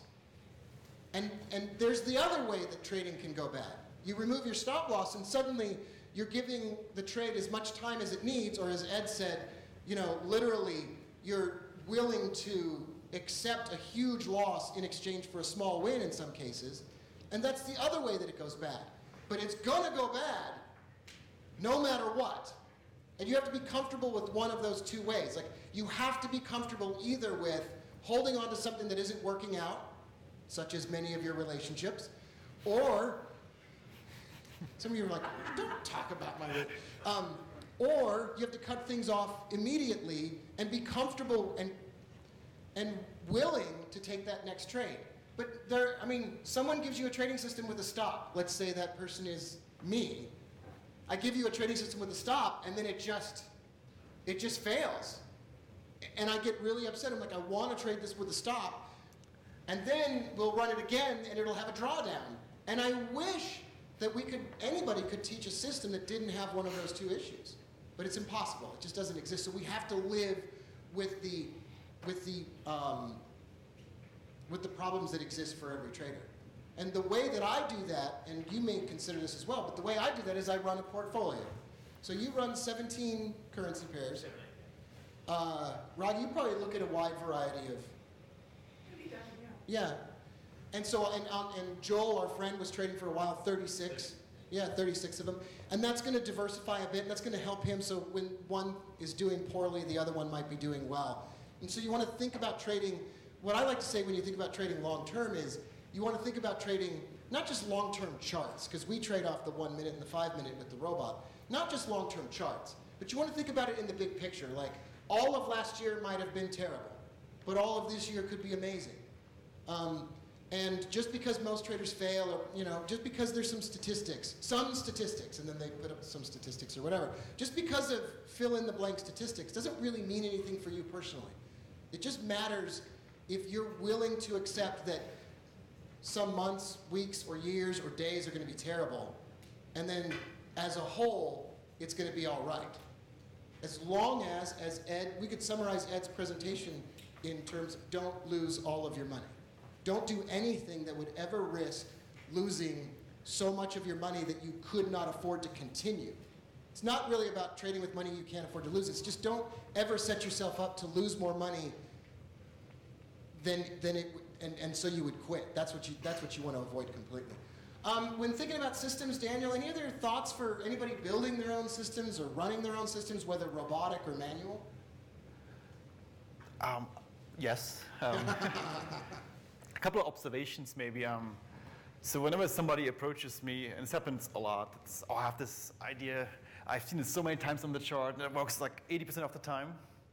I'm of course skeptical because you know I've programmed so many now, and um, it, it, it, almost never works out. And it, that's really the case. But and the only way to, to verify this is to actually implement it in in an automated in an automated system and then have the system take every single setup, and then really see how many of those are actually winners or losers. Yeah. Yeah. So that's that's a very common phenomenon, unfortunately. I, I ran a robot next to somebody sitting in my office, and it had to pass through the Swiss National Bank crisis. And their version of their robot lost significantly during the Swiss National Bank crisis. And I said, well, what would we, you know, how are we going to deal with the fact that that could happen? Say, oh, well, we're running it forward, so, you know, we don't have to worry about that. well, something like that's going to happen again, and we don't really know what it is. But something terrible is always going to happen. I mean, it's just, it's going to happen eventually. It's just, can you, can you survive through it? So that's what makes it a big difference. Uh, does anybody have any questions about what we talked about today? Other things? Yes, I'm going to hand you the microphone so you can ask a question. Um, say you've done the first round of tests. And it turned out to be unsatisfactory, well, not to your expectations. Yeah. So, what would you do next? Do you optimize the data? Do you use different parameters? Do you use different um, criteria for your um, initial point of entry? What would you do? So, so if the test doesn't show any promise, then I, we'll just forget about it. But oftentimes there are, there are times in, of the year where it seems to work, and other times it doesn't. And that makes me think, oh, maybe the market, market conditions have changed. Maybe there's a way to detect what is the current market condition and only trade during these favorable conditions. So I'm trying to see what's going on. And what really helps me there is I'm, I'm doing extensive logging. Now, I'm an Excel guy. I used to be a business analyst for Morgan Stanley, so I, I use Excel for everything. So I log with every single trade that the EA is uh, taking something in Excel of course, the, the, entry price, what the lot size was, but also other conditions. What was the ADX at the time? Where was that particular moving average? What was this indicator like? Where was my pivot at the time? And then, then I try to filter in Excel, because it's, it's, very easy, to, see, to find out certain patterns about this trading system. See when it works best or when it doesn't work best. Another way to play around with it is the time of day, for example. Right. Some trading systems only work in the off hours. Some maybe only during high volatility hours. And with Excel, for me, that, that's the easiest way to do it. I just filter the rows, then it gives me a different result. And I continue in that direction. Um, once I have something that I like, uh, the next step is to make sure you didn't curve fit it to these particular conditions. So what I do then, I, I take the configuration, which seemed to work properly, and I run it on data on which I haven't tested it yet. That's called a forward test. It's also done on historical data, but it's, it's in a period of time separate from where the, so a robot is theoretically profitable, and then you take it into a completely out of sample or a different set of data, and you run it again. Yeah, and, and the, the thesis is that it should perform similarly in that, on that piece of data on which I didn't optimize it on. Yeah. Yeah, what I look for are, um, so all robots and trading systems have settings, and someone will say, well, I use the 34 moving average, or I use the, you know, the 1072 Fibonacci magic spiral of death, or whatever. And so there's all these indicators. And what I like to do is I like to ask the robot to trade with lots of varieties of those settings so that I know that even if I didn't pick the magical settings by luck, that the robot or the system could still theoretically make money. And I call that a robust system, but I don't know what the real term is. I just want to know that I didn't just find one set of parameters that work, and then there's a whole bunch of other parameters that if they were just barely changed, that everything would fail. And that's why I love what Raghee does because Raghee, and I don't mean this as a criticism, I mean it as a compliment. You look at ge- you look at generalities. You, you think of this fundamental scenario is here. This technical scenario is here. Now I can't be exact, but this generally leads me to the conclusion that we need to buy. But it's never like the specific blue line cross the specific red line, and that's a magical promise that profits will come spiraling out of my computer. That's never the case. Maybe a third, right? It's like a third here, a third here, a third here, or a quarter, Yeah. quarter, quarter. Sure. So, and Scott and I, like I said, I'm, I'm going to repeat this a hundred times. Trading involves a substantial risk of loss and gets ex- exponentially more substantial if you do what Scott and I do. But what Scott and I do is we accept the fact that we are going to go through periods of time where our drawdown is extraordinary relative to the amount of money that the account is throwing off. And what we've done is this trade off where we say, generally or over time, this ends well even though I'm going through a difficult period right now. And it will, the robot will do things that you and I would never be willing to do if it were manual.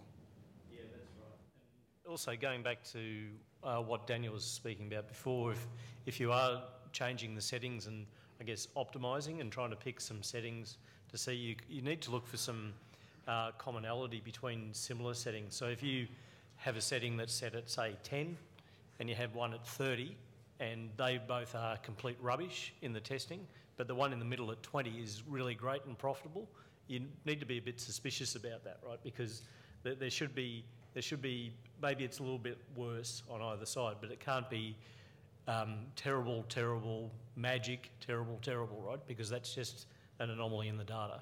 You've got to be cautious And of that. maybe just to give an example of this. Um, it- so in the Finch, when the Finch draws a really big drawdown, Okay. uh, it's, probably, it's usually because of one trade Right. for some reason which did not end the profit and just kept going in the wrong direction for a long time. So So when we run a test with the robot, you will come to the conclusion of the test, and one specific currency pair has just exploded into flames and never come back from the, the dark abyss of, of trading hell. Um, and that will be responsible for a significant part of the drawdown. This is a bit hard to see, but this is the Excel log I'm, I'm logging of every single trade. And one thing I'm logging with, with the trade is what was the maximum drawdown before the trade closed, like unrealized drawdown. Right. And so um, even if it closed profitably, you want to know the, How far the- did it go how bad it got before. Yeah. So I'm just going to pick the worst one out of this test, um, which I ran recently. And actually, this is a test which did not close into profit because the, the test ended, the back test ended, and then we're closing out all trades. So this, and this is on a very small lot size, on 0.01 lots, one micro lot. So it lost 4,000 pips. 4,000, yeah. And in your back testing, you could optimize your settings that by chance this bad trade is not taken. Maybe you don't trade on that particular day, for whatever reason. You put a setting in, or um, you figure out an, RSI setting or whatever that this exactly this trade is being avoided. And therefore, this will never occur, and you get much better results. But that's not a good way to do it because But that's just that's just painting over. you over op- yeah. you're curve fitting your back test results so you get the best performance. But this is not realistic to repeat itself in the future because you don't know. Right. That such a trade will not reoccur with the new settings that you've chosen. Yeah. Uh, that's a good point. Um, other questions, comments, or jokes? We're going to go another few minutes here and, and give everybody time to set up upstairs. Connor asked us to go a little bit over so that they'd have time to set up upstairs and whatnot. Other questions, comments before we continue here? All right. Um, I want to ask you a question, and, and I, I, I want to engage in this conversation. Are there indicators that are better than others? Having backtested probably hundreds of robots for clients and whatever else, is this idea that certain indicators are better than others, does that carry any weight? Ah, I don't think that that's, it's as simple as this, just to pick the right indicator, because it's, as Justin once said a while back, uh, you know, you have two traders and one goes long, one goes short, and at the end of the day, both end up in profit, because it's the way they managed the trade which made the difference in the end. And it's the same with, with, uh, with your trade entry. If you base it on one indicator, but your trade management is terrible, the indicator doesn't matter in the end. So Right. it's, um, no, it's the whole package that matters. I mean, you could actually, theoretically, you could run a test on a robot and it's unprofitable. And theoretically, you could turn it on and it would be fine. It's theoretically possible that your back test just showed negative. It's theoretically, po- I mean, anything is theoretically possible. But it's better to, it's better to have done the test That's- and that's get right. specific answers Because past performance is not indicative of future Yeah. performance. Is it possible to take a robot that loses money and simply reverse the settings from sell to buy and buy to sell and Oh. turn it into a profitable robot? I've tried this many times because I've seen really bad equity curves. So, and I thought, just let's just do the opposite. Right. But it's not as simple as this because you can't reverse the spread and the, the cost of trading. So that's that's going to be a fixed cost, especially if you um, take many many trades, which all have that uh, the cost of trading on, on a short time. Uh, just reversing the trading rules will still, in the end, uh, give you a negative system because of the spread. Have you ever built a robot that takes uh, completely random trades? I think the one that Joel is running, Yeah. he's just taking a, whenever he's, well, Joel's a, Yeah. a friend of Rob's. Right. And he asked me to, to build a system for him, for him that uh, no matter of the market conditions, he doesn't use any indicators. Um, whenever he, so he just goes along at the market, no matter what. Whenever the EA is switched on, it goes long or, or short. He picks the direction. But he runs it on two different accounts because of the US FIFO rules. But he runs them both simultaneously. He doesn't care about market conditions at all. But what he does is he has a grid of orders stacked up, and as they're being filled, he trails the stop and then he just let, lets it run. And he looks at both accounts at the same time, and whenever they come into a net profit together, like 10 bucks or 20 bucks, he closes out everything. Yeah. And then he restarts the whole system from the beginning again, independent of the market conditions. In 2008, my friend Josh sat across from me at the office. We ran one of our accounts together, and in the morning we would we would go sit in the Catholic Church for no particular reason, and we would just sort of meditate and sit there quietly. And then we would go to the office together, and Josh would buy and I would sell, or I would sell and Josh would buy. It was a collect, you know, basically we ran out of a pool of money, and then we would use the profit from the winning trade to pay off the losing one. So whoever was a loser, we'd spend the whole day giving him a hard time, and the winner would have to build onto the winning trade. And that was one of the most effective strategies I ever did, was become more less specific about the market direction and become directionally ambivalent. So much of what we learn in the world of trading is listening to an expert who says they've found the way to determine when the market's going up or when the market's going down. And I don't have anything to say negative about any of that. It's just those people are smarter than I am. I like these kinds of ideas where you are given the chance to make money, where you learn how to deal with whichever way the market is going. I like that kind of thing where you learn to accept that no matter how much time you put into education and indicators and identifying trends, that you're going to pick it wrong eventually and you're going to have to do something about it. So I like what Joel does. He's got a robot that basically does that. It buys on this side, it sells on this side, same currency pair, same time frame chart, and then the win goes, and then hopefully one is able to cut off the losing trades before the you've ex, you know expended all the money that the winning side made. Sounds crazy, but a lot of the stuff that uh, a lot of the reality of trading is that you're you're sometimes given a situation that you didn't want or wish you didn't have. Well, the idea there is that eventually the market is going to move into one direction more substantially, Right. and this is where you're going to make your profit. Because then you keep on adding to that position, on and on and on. You drill your Yeah. existing positions, and eventually you're going to close out, uh, stop out. Hopefully, before you have entered all the short positions, the opposite, opposite direction. So you hope that it swings a bit, and eventually it breaks out to whatever it is, and then this is how you make money. That's All right, tomorrow we have a whole bunch of great presentations. Uh, Philip is going to start the day off tomorrow morning uh, at 10 a.m. Come here a little bit early and we can chat, we can talk, we can look at some charts together. If you're here on the live stream, tune in tomorrow, 10 a.m. London time, we'll be here. Uh, and then we'll have a panel tomorrow. Part of that panel is cryptocurrencies, part of that panel is uh, new regulations coming out. Um, and I can't remember what the rest of that panel. You can ask questions and you can just grill the panel.